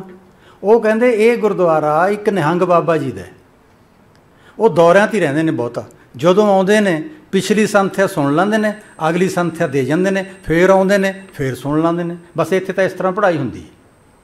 ਇੱਕ ਦਿਨ ਰੌਲਾ ਪੈ ਗਿਆ, ਬਾਬਾ ਜੀ ਆ ਗਏ, ਬਾਬਾ ਜੀ ਆ ਗਏ। ਸਾਰੇ ਬੱਚੇ ਕਤਾਰ 'ਚ ਖਲੋਗੇ ਮੈਂ ਦੇਖਿਆ ਜਿੱਧਰੋਂ ਕਹਿ ਰਹੇ ਸੀ ਬਾਬਾ ਜੀ ਆ ਗਏ, ਘੋੜੇ ਤੇ ਸਵਾਰ ਇੱਕ ਨਿਹੰਗ ਸੀ, ਜਿਹਦੇ ਹੱਥ 'ਚ ਨੇਜ਼ਾ ਸੀ। ਸਰਪਟ ਘੋੜਾ ਦੌੜਾਈ ਆ ਰਹੇ ਸੀ। ਗੁਰਦੁਆਰੇ ਦੇ ਮੈਦਾਨ 'ਚ ਆ ਕੇ ਰੁਕੇ, ਜਿੱਥੇ ਬੱਚੇ ਖਲੋਤੇ ਸਨ। ਇਕੱਲੇ ਇਕੱਲੇ ਬੱਚੇ ਨੂੰ ਦੇਖਿਆ ਮੇਰੇ ਵੱਲ ਨੇਜ਼ੇ ਦੀ ਨੋਕ ਕਰਕੇ ਕਹਿੰਦੇ, ਤੂੰ ਕਿਹਨਾਂ ਦਾ ਮੁੰਡਾ ਵੀ? ਮੈਂ ਕਿਹਾ, ਜੀ, ਬਾਣੀਆਂ ਦਾ ਮੁੰਡਾ, ਆਪਣੇ ਬਾਊ ਜੀ ਦਾ ਨਾਂ ਦੱਸਿਆ। ਮੈਨੂੰ ਕਹਿੰਦੇ, ਖੇਡਣ ਆਉਂਦਾ ਹੁੰਦਾ ਇੱਥੇ? ਮੈਂ ਕਿਹਾ, ਨਹੀਂ ਬਾਬਾ ਜੀ, ਪੜ੍ਹਨ ਆਉਂਦਾ ਹੁੰਦਾ। ਬਾਬਾ ਜੀ ਕਹਿੰਦੇ, ਕੀ ਪੜ੍ਹਿਆ ਸੁਣਾ? ਮੈਂ ਕਿਹਾ, ਬਾਬਾ ਜੀ, ਤੁਸੀਂ ਸਬਕ ਤਾਂ ਅੱਜ ਦਿੱਤਾ ਹੀ ਨਹੀਂ। ਸਬਕ ਦਿਓਗੇ, ਫੇਰ ਹੀ ਮੈਂ ਯਾਦ ਕਰੂੰਗਾ। ਬਾਬਾ ਜੀ ਨੇ ਬੱਚਿਆਂ ਨੂੰ ਪਰੇ ਹਟਣ ਦਾ ਇਸ਼ਾਰਾ ਕੀਤਾ। ਘੋੜੇ ਦੀ ਕਾਠੀ ਤੇ ਬੈਠਿਆਂ ਬਿਠਾਇਆ ਜ਼ਮੀਨ ਤੇ ਪਹਿਲਾਂ ਏਕਾ ਹੈ ਫਿਰ ਖੁੱਲੇ ਮੂੰਹ ਵਾਲਾ ਊੜਾ ਮੈਨੂੰ ਕਹਿੰਦੇ, ਆਖ ਇੱਕ ਓੰਕਾਰ ਤੇ ਮੱਥਾ ਟੇਕ। ਮੈਂ ਆਖਿਆ, ਹੱਥ ਜੋੜ ਕੇ ਇੱਕ ਓੰਕਾਰ, ਗੋਡੇ ਜ਼ਮੀਨ ਤੇ ਲਾਏ, ਮੱਥਾ ਇੱਕ ਓੰਕਾਰ ਤੇ, ਕਿਹਾ ਇੱਕ ਓੰਕਾਰ। ਬਲਵੰਤ ਗਾਰਗੀ ਲਿਖਦਾ ਹੈ, ਮੇਰੀ ਜ਼ਿੰਦਗੀ ਦਾ ਪਹਿਲਾ ਸਬਕ ਇਹ ਸੀ। ਮੇਰੀ ਜ਼ਿੰਦਗੀ ਦਾ ਆਖਰੀ ਸਬਕ ਵੀ ਇਹੀ ਸੀ। ਮੇਰੀ ਬਾਕੀ ਦੀ ਵਿੱਦਿਆ ਇਹਨਾਂ ਦੋ ਸਬਕਾਂ ਦੇ ਵਿਚਕਾਰ ਵਿਚਕਾਰ ਸੀ। ਬਲਵੰਤ ਗਾਰਗੀ ਨੇ ਅੰਗਰੇਜ਼ੀ ਦੇ ਐਮਏ ਪੰਜਾਬ ਯੂਨੀਵਰਸਿਟੀ, ਲਾਹੌਰ ਤੋਂ ਕੀਤੀ ਸੀ ਤੇ ਪੀਐਚਡੀ ਅਮਰੀਕਾ ਤੋਂ ਕੀਤੀ ਸੀ। ਨਾਮਵਰ ਨਾਟਕ ਦਾ ਪ੍ਰੋਫੈਸਰ ਸੀ, ਉਹ ਤੇ ਨਾਟਕਕਾਰ ਸੀ। ਉਹ ਕਹਿੰਦਾ ਹੈ, ਮੇਰੀ ਜ਼ਿੰਦਗੀ ਦਾ ਪਹਿਲਾ ਸਬਕ ਇੱਕ ਓੰਕਾਰ ਸੀ। ਮੇਰੀ ਜ਼ਿੰਦਗੀ ਦਾ ਆਖਰੀ ਸਬਕ ਵੀ ਇੱਕ ਓੰਕਾਰ ਹੈ। ਮੇਰੀ ਬਾਕੀ ਦੀ ਵਿਦਿਆ ਇਹਨਾਂ ਦੋ ਸਬਕਾਂ ਦੇ ਵਿਚਕਾਰ ਵਿਚਕਾਰ ਹੈ। ਅਗਲਾ ਵਾਕ। ਉਹ ਕਹਿੰਦਾ ਇਹ ਤਸਵੀਰ ਬਚਪਨ ਦੀ ਮੇਰੇ ਦਿਲ 'ਚ ਬੈਠੀ ਹੋਈ ਸਾਰੀ ਉਮਰ ਨਹੀਂ ਨਿਕਲਦੀ। ਮੈਨੂੰ ਇਉਂ ਲੱਗਦਾ ਹੁੰਦਾ ਹੈ ਕਿ ਜਿੱਥੇ ਜ਼ਮੀਨ ਤੇ ਅਸਮਾਨ ਮਿਲਦੇ ਨੇ, ਉੱਥੋਂ ਘੋੜੇ ਤੇ ਸਵਾਰ ਹੋ ਕੇ ਨੀਲੇ ਬਾਣੇ 'ਚ ਕੋਈ ਮਹਾਪੁਰਖ ਆਊਗਾ, ਜਿਹਦੇ ਹੱਥ 'ਚ ਨਿਸ਼ਾਨ ਸਾਹਿਬ ਹੋਊਗਾ, ਤੇ ਧਰਤੀ ਦੇ ਵਰਕੇ 'ਚ ਨਿਸ਼ਾਨ ਸਾਹਿਬ ਗੱਡਣਗੇ ਤੇ ਕਹਿਣਗੇ, ਆਖੋ ਇੱਕ ਓੰਕਾਰ ਤੇ ਮੱਥਾ ਟੇਕੋ। ਉਹ ਕਹਿੰਦੇ ਨੇ, ਇਹ ਜਿਹੜੀ ਵਿਦਿਆ ਹੈ, ਇਹ ਫੱਟੀਆਂ ਤੇ ਤੇ ਕਾਗਜ਼ਾਂ ਤੇ ਲਿਖਣ ਵਾਲੀ ਵਿਦਿਆ ਨਹੀਂ, ਧਰਤੀ ਦੇ ਵਰਕੇ ਤੇ ਲਿਖੀ ਜਾਣ ਵਾਲੀ ਵਿਦਿਆ ਹੈ। ਇਹ ਸੀ ਬਲਵੰਤ ਗਾਰਗੀ, ਬੁਢਲਾਡੇ ਦੇ ਬਾਣੀਆਂ ਦਾ ਛੋਕਰਾ। ਤੀਜਾ, ਸ਼ਿਵ ਕੁਮਾਰ ਬਟਾਲਵੀ। ਸ਼ਿਵ ਕੁਮਾਰ ਬਟਾਲਵੀ ਦੱਸਦਾ ਹੈ ਕਿ ਮੇਰੇ ਮੇਜ਼ ਤੇ ਜੇ ਖਾਲੀ ਦਸਤਾ ਪਿਆ ਹੋਏ ਕਾਗਜ਼ਾਂ ਦਾ, ਮੈਨੂੰ ਡਰ ਲੱਗਣ ਲੱਗ ਜਾਂਦਾ। ਇਹਦਾ ਮਤਲਬ ਮੈਨੂੰ ਹੁਣ ਮੇਰੇ ਗੀਤ ਉਤਰਨਗੇ ਨਹੀਂ ਮੇਰੇ ਕੋਲ। ਇਹਦਾ ਮਤਲਬ ਹੁਣ ਰਚਨਾ ਮੇਰੇ ਚੋਂ ਖਤਮ ਹੋ ਜੂਗੀ ਉਹ ਕੋਰੇ ਕਾਗਜ਼ ਮੈਨੂੰ ਡਰਾਈ ਜਾਂਦੇ ਨੇ। ਫਿਰ ਮੈਂ ਕਲਮ ਦਵਾ ਚੁੱਕਦਾ, ਦਸਤੇ ਦੇ ਪਹਿਲੇ ਕਾਗਜ਼ ਦੇ ਸਿਖਰ ਇੱਕ ਓੰਕਾਰ ਲਿਖ ਦਿੰਦਾ। ਫਿਰ ਮੇਰਾ ਡਰ ਹਟ ਜਾਂਦਾ ਸਿਰਜਣਾ ਕਦੀ ਬੰਦ ਹੋ ਨਹੀਂ ਸਕਦੀ, ਕਦੀ ਬੰਦ ਹੋਈ ਨਹੀਂ। ਅੱਗੋਂ ਨੂੰ ਜਾਰੀ ਰਹੇਗੀ, ਇਹ ਗੁਰੂ ਨਾਨਕ ਦੇਵ ਜੀ ਸਾਨੂੰ ਅਸੀਸ ਦੇਗੇ। ਚੌਥਾ ਸ਼ਖਸ, ਅਫਜ਼ਲ ਅਹਿਸਨ ਰੰਧਾਵਾ। ਇਹ ਨਾਂ ਸੁਣਿਆ ਕਦੀ ਕਿਸੇ ਨੇ? ਨਾਵਲਕਾਰ ਹੈ ਤੇ ਕਹਾਣੀਕਾਰ। ਵੈਸੇ ਕਿੱਤੇ ਵਜੋਂ ਇਹਦਾ ਵੀ ਹੁਣ 3 ਸਾਲ ਪਹਿਲਾਂ ਦੇਹਾਂਤ ਹੋ ਗਿਆ। 6.5 ਫੁੱਟ ਲੰਮਾ ਕੱਦਾਵਰ ਸੀ ਇਹ, ਅਫਜ਼ਲ ਹਸਨ ਰੰਧਾਵਾ। ਲਾਹੌਰ ਹਾਈ ਕੋਰਟ ਦਾ ਨਾਮਵਰ ਵਕੀਲ। ਮੈਂ ਆਇਆ ਡਿਪਾਰਟਮੈਂਟ 'ਚ, ਮੁਖੀ ਸੀ ਉਦੋਂ। ਸਕੂਟਰ ਸਟੈਂਡ ਤੇ ਲਾਇਆ, ਮੈਂ ਦੇਖਿਆ ਵਾਈਸ ਚਾਂਸਲਰ ਸਾਹਿਬ ਦੇ ਦਫ਼ਤਰ ਦੇ ਸਾਹਮਣੇ ਜਿਹੜਾ ਲਾਨ ਹੈ, ਰੰਧਾਵਾ ਸਾਹਿਬ ਉੱਥੇ ਟਹਿਲ ਰਹੇ। ਮੈਂ ਚਲਾ ਗਿਆ। ਮੈਂ ਕਿਹਾ, ਰੰਧਾਵਾ ਸਾਹਿਬ, ਸਲਾਮ ਅਲੈਕਮ। ਮੈਨੂੰ ਕਹਿੰਦੇ, ਸਤਿ ਸ੍ਰੀ ਅਕਾਲ। ਜੱਫੀ ਪਾ ਕੇ ਮਿਲੇ। ਮੈਂ ਕਿਹਾ, ਮੈਂ ਤੁਹਾਡਾ ਪਾਠਕ ਹਾਂ। ਤੁਹਾਡੀਆਂ ਸਾਰੀਆਂ ਕਹਾਣੀਆਂ ਤੇ ਸਾਰੇ ਨਾਵਲ ਪੜ੍ਹੇ ਨੇ। ਫੁਰਸਤ ਹੈ ਜੇ ਤੁਹਾਡੇ ਨਾਲ ਰਲ ਕੇ ਚਾਹ ਪੀ ਲਈ ਭਵਨ 'ਚ ਚੱਲੋਗੇ ਮੇਰੇ ਨਾਲ? ਉਹ ਕਹਿੰਦੇ, ਮੈਂ ਵਿਹਲਾ, ਹੁਣ ਤਾਂ ਕੱਲ ਕੰਮ ਕਾਜ ਨਿਬੇੜ ਲੈ ਸਾਰੇ। ਮੈਂ ਕਿਹਾ, ਤੁਹਾਡੇ ਨਾਲ ਚਾਹ ਪੀਵਾਂਗੇ, ਗੱਲਾਂ ਸੁਣਾਂਗੇ ਤੁਹਾਡੀਆਂ। ਠੀਕ ਹੈ, ਚਲੋ ਚੱਲੀਏ। ਮੈਂ ਲੈ ਗਿਆ। 8-10 ਪ੍ਰੋਫੈਸਰ ਸਨ 25-30 ਵਿਦਿਆਰਥੀ, ਹਾਲ 'ਚ ਬੈਠ ਗਏ। ਮੈਂ ਗੱਲ ਛੇੜੀ ਇੱਥੋਂ। ਮੈਂ ਰੰਧਾਵਾ ਸਾਹਿਬ, ਤੁਹਾਡੇ ਨਾਵਲਾਂ ਤੇ ਕਹਾਣੀਆਂ ਦੇ ਹੀਰੋ ਸਾਰੇ ਸਾਰੇ ਸਿੱਖ ਨੇ ਤੇ ਸ਼ਾਨਦਾਰ ਸਿੱਖ। ਜੀ ਕਰਦਾ ਕਿ ਇਹੋ ਜਿਹੇ ਸਿੱਖ ਹੋਈਏ ਸੀ ਤੁਸੀਂ ਸਿੱਖਾਂ ਨੂੰ ਕਦੋਂ ਪਿਆਰ ਕਰਨ ਲੱਗੇ ਸੀ? ਉਹ ਕਹਿੰਦੇ, ਮੈਂ ਸਿੱਖਾਂ ਨੂੰ ਪਿਆਰ ਕਰਨ ਲੱਗਿਆ ਸੀ। ਕਿਉਂ ਨਾ ਪਿਆਰ ਕਰਾਂ? ਮੈਂ ਹਾਂ ਹੀ ਸਿੱਖ। ਮੈਂ ਕਿਹਾ, ਤੁਸੀਂ ਕਿਵੇਂ ਸਿੱਖੋ? ਮੈਨੂੰ ਤਾਂ ਪਤਾ ਨਹੀਂ। ਉਹ ਕਹਿੰਦੇ, ਤੁਸੀਂ ਕਦੇ ਜਨਮ ਸਾਖੀ ਦਾ ਪਾਠ ਕੀਤਾ ਮੈਂ ਕਿਹਾ, ਮੇਰੇ ਜਿੰਨਾ ਘੱਟ ਹੀ ਕੀਤਾ ਹੋਣਾ ਕਿਸੇ ਨੇ। ਬਹੁਤ ਕੀਤਾ ਫਿਰ ਕਹਿੰਦੇ, ਇੱਕ ਮੁਰੀਦ ਸੀ ਹਜ਼ਰਤ ਬਾਬਾ ਨਾਨਕ ਦਾ, ਉਹਦਾ ਨਾਂ ਅਜਿੱਤਾ ਰੰਧਾਵਾ ਸੀ। ਮੈਂ ਕਿਹਾ, ਹੈਗਾ ਸੀ ਜੀ। ਬਹੁਤ ਭਲਾ ਸੀ, ਬਹੁਤ ਵੱਡਾ ਸੀ।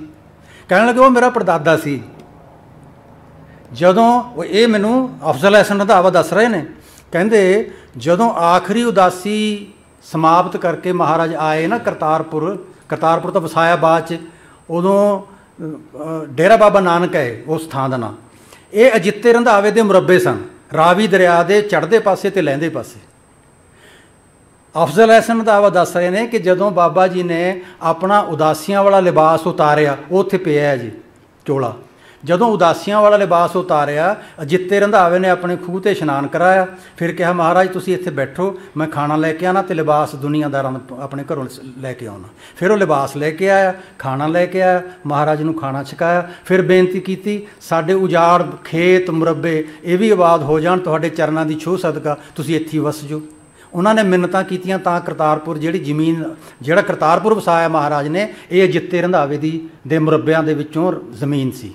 ਤੋਂ ਅਫਜ਼ਲ ਹਸਨ ਰੰਧਾਵਾ ਕਹਿੰਦਾ, ਤੁਸੀਂ ਆਪਣੇ ਆਪ ਨੂੰ ਸਿੱਖ ਸਮਝਦੇ ਤੁਸੀਂ ਗੁਰੂ ਨਾਨਕ ਦੇਵ ਜੀ ਦੇ ਚਰਨ ਛੂਹੇ ਕਦੇ? ਅਸੀਂ ਛੂਹੇ, ਉਹਨਾਂ ਨੂੰ ਲਿਬਾਸ ਪਹਿਨਾਇਆ, ਖਾਣਾ ਖਵਾਇਆ, ਇਸ਼ਨਾਨ ਕਰਵਾਇਆ ਤੇ ਉਹ ਖੂਹ ਅਜੇ ਮੌਜੂਦ ਮੈਂ ਉਹ ਖੂਹ ਦੇ ਦਰਸ਼ਨ ਕਰਕੇ ਆਇਆ, ਤੁਸੀਂ ਵੀ ਕਦੀ ਜਦੋਂ ਸਬੱਬ ਮਿਲੇ ਤਾਂ ਉਸ ਖੂਹ ਦੇ ਦਰਸ਼ਨ ਕਰੋ, ਚੋਲਾ ਵੀ ਉੱਥੇ ਹੈ। ਇਹ ਨੇ ਯਾਦਾਂ, ਜਿਨ੍ਹਾਂ ਲੋਕਾਂ ਦੇ ਦਿਲਾਂ 'ਚੋਂ ਨਾ ਮਿਟੀਆਂ, ਨਾ ਮਿਟਣਗੀਆਂ। ਗੱਲ ਕਰਨ ਦਾ ਸਟਾਈਲ ਕਿਹੋ ਜਿਹਾ ਹੋਵੇ, ਇਹ ਵੀ ਚਲੋ ਸੁਣਾ ਦੇਣਾ, ਮੈਨੂੰ ਵੈਸੇ ਯਾਦ ਆ ਗਿਆ ਵਿੱਚ ਦੀ। ਇੱਕ ਦਿਨ ਟੈਲੀਵਿਜ਼ਨ ਤੇ ਰੇਸ਼ਮਾ ਦੀ ਇੰਟਰਵਿਊ ਆ ਰਹੀ ਸੀ। ਹੁਣ ਤੁਸੀਂ ਦੇਖੋ, ਰੇਸ਼ਮਾ ਬਾਗੜੀ ਲੋਹਾਰਾਂ ਦੀ ਕੁੜੀ ਸੀ।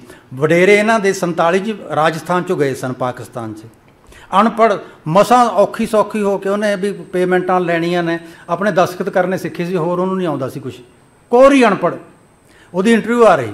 ਐਂਕਰ ਪੁੱਛਣ ਲੱਗਿਆ, ਕਿਹੜਾ ਵੱਡਾ ਗਾਇਕ ਤੁਹਾਨੂੰ ਚੰਗਾ ਲੱਗਿਆ? ਉਹ ਕਹਿੰਦੀ, ਸਾਰੇ ਚੰਗੇ ਲੱਗਦੇ ਨੇ। ਨਹੀਂ ਨਹੀਂ, ਕਿਸੇ ਇੱਕ ਦਾ ਨਾਂ ਲਓ। ਉਹ ਕਹਿੰਦੀ, ਇੱਕ ਨਾਂ ਤੇ ਅੱਲਾ ਪਰਵਰਦਗਾਰ ਦਾ ਉਸੇ ਦਾ ਨਾਂ ਤੇ ਲੈਣੀ ਆ, ਉਸੇ ਦਾ ਦਿੱਤਾ ਤੇ ਖਾਣੀ ਆ ਮੈਂ। ਐਂਕਰ ਕਹਿੰਦਾ, ਨਹੀਂ ਨਹੀਂ, ਰੱਬ ਦਾ ਨਾਂ ਨਹੀਂ, ਮੈਂ ਪੁੱਛਿਆ, ਗਾਇਕ ਦਾ ਨਾਂ, ਕਿਸੇ ਇੱਕ ਗਾਇਕ ਦਾ ਨਾਂ ਲਓ ਜਿਹੜਾ ਤੁਹਾਨੂੰ ਸਭ ਤੋਂ ਵਧੀਆ ਲੱਗਿਆ ਹੋਵੇ। ਉਹ ਕਹਿੰਦੀ, ਜੇ ਬਜ਼ਿੱਦ ਹੋ, ਤਾਂ ਇੱਕ ਨਹੀਂ, ਦੋ ਨਾਂ ਲਵਾਂਗੀ। ਇੱਕ ਮਲਕਾ ਤਰਨਮ ਨੂਰ ਜਹਾਨ ਦੂਸਰੀ ਲਤਾ ਮੰਗੇਸ਼ਕਰ। ਮੈਂ ਬਾਲੜੀ ਹੁੰਦੀ ਸਾਂ, ਇਹਨਾਂ ਦੋਵਾਂ ਦੇ ਪੱਥਰ ਦੇ ਤਵੇ ਵੱਜਦੇ ਹੁੰਦੇ ਸਨ। ਮੈਂ ਨਕਲ ਕਰਦੀ ਰਹਿੰਦੀ। ਇਹਨਾਂ ਨੂੰ ਸੁਣ ਸੁਣ ਕੇ ਗਾਉਂਦੀ ਰਹਿੰਦੀ। ਗਵਾਂਢੀ ਕਹਿੰਦੇ, ਤੂੰ ਗਾ ਸਕਨੀ ਹੈ। ਮਾਪਿਆਂ ਨੂੰ ਆਖਿਆ ਕਿ ਇਹਨੂੰ ਉਸਤਾਦਾਂ ਕੋਲ ਭੇਜੋ। ਉਸਤਾਦਾਂ ਕੋਲ ਮੈਂ ਚਲੀ ਗਈ। ਉਸਤਾਦਾਂ ਨੇ ਸਿਖਾਉਣਾ ਸ਼ੁਰੂ ਕੀਤਾ। ਮੈਂ ਸਿੱਖਣਾ ਸ਼ੁਰੂ ਕੀਤਾ। ਰਿਆਜ਼ ਕਰਦੀ ਰਹੀ। ਅੱਜ ਤੁਸੀਂ ਲੋਕਾਂ ਨੇ ਮੈਨੂੰ ਮਨਜ਼ੂਰ ਕਰ ਲਿਆ। ਹੁਣ ਸਟਾਈਲ ਦੇਖੋ ਗੱਲ ਕਰਨ ਦਾ। ਅੱਜ ਮੁਕਾਮ ਇਹ ਵੇ ਕਿ ਮੇਰਾ ਇੱਕ ਗੀਤ ਮੇਰਿਆਂ ਸੁਰਾਂ 'ਚ ਮਲਕਾ ਇਤਰਾਨਮ ਨੇ ਗਾਇਆ। ਮੇਰਾ ਦੂਜਾ ਗੀਤ ਮੇਰਿਆਂ ਸੁਰਾਂ 'ਚ ਲਤਾ ਮੰਗੇਸ਼ਕਰ ਨੇ ਗਾਇਆ। ਇਹਦਾ ਮਤਲਬ ਇਹ ਨਹੀਂ ਕਿ ਮੈਂ ਵੱਡੀ ਹੋ ਗਈ ਆ ਦਰਅਸਲ ਛੋਟਿਆਂ ਦੀ ਹੌਸਲਾ ਅਫਜ਼ਾਈ ਕਰਨ ਵਾਸਤੇ ਵੱਡਿਆਂ ਦੇ ਆਪਣੇ ਤਰੀਕੇ ਹੁੰਦੇ ਨੇ। ਅਨਪੜ ਕੁੜੀ ਹੈ ਆਪਣੀ ਇੱਜ਼ਤ ਹੈ ਜਿਹੜੀ ਉਹ ਵੀ ਬਰਕਰਾਰ ਰੱਖਦੀ ਹੈ। ਆਪਣੀ ਤਾਕਤ ਵੀ ਦੱਸ ਰਹੀ ਹੈ। ਲੇਕਿਨ ਵੱਡਿਆਂ ਨੂੰ ਯਾਦ ਕਿਵੇਂ ਕਰ ਰਹੀ ਹੈ? ਇਹ ਜੇ ਆਪਾਂ ਨੂੰ ਪਤਾ ਲੱਗ ਜੇ, ਆਪਣਾ ਕੱਦ ਵੀ ਉੱਚਾ ਹੋ ਜੇ। ਬੋਲ ਦੋ ਤਿੰਨ ਤੁਹਾਨੂੰ ਸੁਣਾਣੇ ਨੇ ਰਾਏ ਬੁਲਾਰ ਖਾਨ ਸਾਹਿਬ ਦੇ। ਰਾਏ ਬੁਲਾਰ ਖਾਨ ਸਾਹਿਬ, ਪਿਤਾ ਮਹਿਤਾ ਕਲਿਆਣ ਰਾਏ ਦੇ ਜਮਾਤੀ ਵੀ ਸਨ, ਦੋਸਤ ਵੀ। ਜਮਾਤੀ ਨੂੰ ਤੇ ਦੋਸਤ ਨੂੰ ਆਪਣੇ ਮੁਰੱਬਿਆਂ ਦੇ ਪ੍ਰਬੰਧ ਕਰਨ ਵਾਸਤੇ ਪਟਵਾਰੀ ਦੀ ਨਿਯੁਕਤੀ ਰਾਏ ਬੁਲਾਰ ਖਾਨ ਸਾਹਿਬ ਨੇ ਕੀਤੀ ਸੀ। ਸੱਪ ਦੀ ਛਾਂ ਕੀਤੀ ਹੋਈ ਦੇਖੀ ਸੀ। ਕੁਝ ਹੋਰ ਚੀਜ਼ਾਂ ਦੇਖੀਆਂ। ਰਾਏ ਬੁਲਾਰ ਖਾਨ ਸਾਹਿਬ ਨੂੰ ਪਤਾ ਲੱਗਿਆ ਕਿ ਇਹ ਬੱਚਾ ਆਮ ਨਹੀਂ। ਆਪਾਂ ਨੂੰ ਸਾਖੀ ਪਤਾ ਹੈ, ਸੱਚੇ ਸੌਦੇ ਵਾਲੀ, ਉਹ ਸੱਚੇ ਸੌਦੇ ਵਾਲੀ ਸਾਖੀ ਨੂੰ ਖਰਾ ਸੌਦਾ ਲਿਖਿਆ ਹੈ ਸਾਖੀ, ਜਨਮ ਸਾਖੀ ਕੁਝ ਪ੍ਰਚਾਰਕ ਤੇ ਕੀਰਤਨੀ ਦੱਸਦੇ ਨੇ ਕਿ ਲੰਗਰ ਦੀ ਸ਼ੁਰੂਆਤ ਉਹਨਾਂ 20 ਰੁਪਈਆਂ ਨਾਲ ਹੋਈ। ਮੈਂ ਇਹਦੇ ਨਾਲ ਸਹਿਮਤ ਨਹੀਂ ਹਾਂ। ਬਗਾਨੀ ਕਮਾਈ ਸੀ ਉਹ। ਬਗਾਨੀ ਕਮਾਈ ਨਾਲ ਲੰਗਰ ਸ਼ੁਰੂ ਕਰਨ ਦੇ ਹੱਕ 'ਚ ਨਹੀਂ ਸਨ ਮਹਾਰਾਜ। ਲੰਗਰ ਕਰਤਾਰਪੁਰ ਸ਼ੁਰੂ ਹੋਇਆ ਸੀ। ਰਾਏ ਬੁਲਾਰ ਖਾਨ ਸਾਹਿਬ ਦੀ ਗੱਲ ਤਾਂ ਸੁਣਾਣੀ ਸੁਣਾਣੀ ਹੈ, ਲੇਕਿਨ ਲੰਗਰ ਤੇ ਕਰਤਾਰਪੁਰ ਸ਼ੁਰੂ ਹੋਇਆ, ਇਹਦੇ ਬਾਰੇ ਵੀ ਤੁਹਾਨੂੰ ਇੱਕ ਘਟਨਾ ਮੈਨੂੰ ਯਾਦ ਆ ਗਈ ਪਰਸਨਲ ਮੇਰੇ ਸੀਨੀਅਰ ਕੁਲੀਗ ਹੁੰਦੇ ਸਨ head of the distance education department Mahinderpal Kohli Hindu ਸਨ।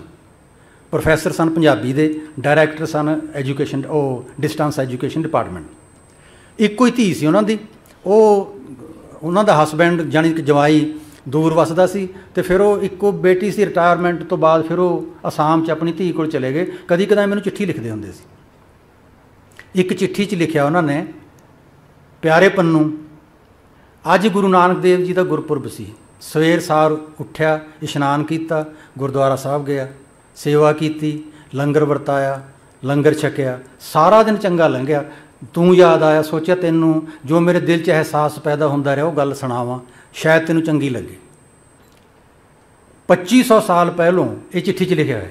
2500 ਸਾਲ ਪਹਿਲੋਂ ਕਪਲਵਸਤੂ ਦੀ ਰਿਆਸਤ 'ਚੋਂ ਇੱਕ ਜਵਾਨ ਨਿਕਲਿਆ। ਹੱਥ 'ਚ ਮੰਗਤਿਆਂ ਦਾ ਠੂਠਾ ਫੜਿਆ ਤੇ ਮੰਗਣ ਲੱਗ ਗਿਆ ਪੂਰੇ ਦਾ ਪੂਰਾ ਇੱਕ ਰਾਸ਼ਟਰ ਮੰਗਤਿਆਂ ਦਾ ਰਾਸ਼ਟਰ ਬਣਾ ਦਿੱਤਾ। ਭਿੱਖੂ ਮੈਨੇ ਮੰਗਤਾ ਹੁੰਦਾ ਭੀਖ ਮੰਗਣ ਵਾਲਾ।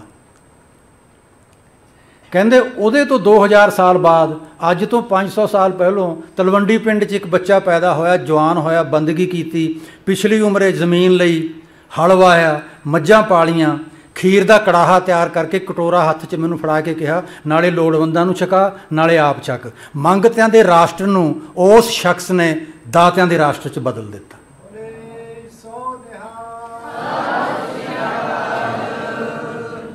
ਇੱਕ ਸ਼ਖਸ ਦੇ ਵਿੱਚ ਇੰਨੀ ਤਾਕਤ ਹੁੰਦੀ ਹੈ। ਹਿਸਟਰੀ ਪੜਾਉਂਦਾ ਹੋਇਆ ਮੈਂ ਇਹ ਦੱਸਦਾ ਹੁੰਨਾ ਕਿ ਆਪਾਂ ਜੱਜ ਕਿਵੇਂ ਕਰੀਏ, ਫਲਾਣਾ ਚੰਗਾ ਸੀ, ਫਲਾਣਾ ਮਾੜਾ ਸੀ। ਜਨਮ ਵੇਲੇ ਦੁਨੀਆ ਕਿਹੋ ਜੀ ਸੀ? ਜਦੋਂ ਦੇਹਾਂਤ ਹੋਇਆ ਤਾਂ ਦੁਨੀਆ ਕਿਹੋ ਜੀ ਹੋਗੀ ਉਹਦੇ ਤੋਂ ਬਾਅਦ ਦੁਨੀਆ ਨੇ ਕੋਈ ਅਸਰ ਕਬੂਲਿਆ ਕਿ ਨਾ? ਇਹ ਜੱਜਮੈਂਟ ਹੁੰਦੀ ਹੈ ਆਪਣੀ। ਗੁਰੂ ਨਾਨਕ ਦੇਵ ਜੀ ਤੋਂ ਪਹਿਲਾਂ ਦਾ ਜਹਾਨ ਹੋਰ ਤਰ੍ਹਾਂ ਦਾ ਜਹਾਨ ਸੀ।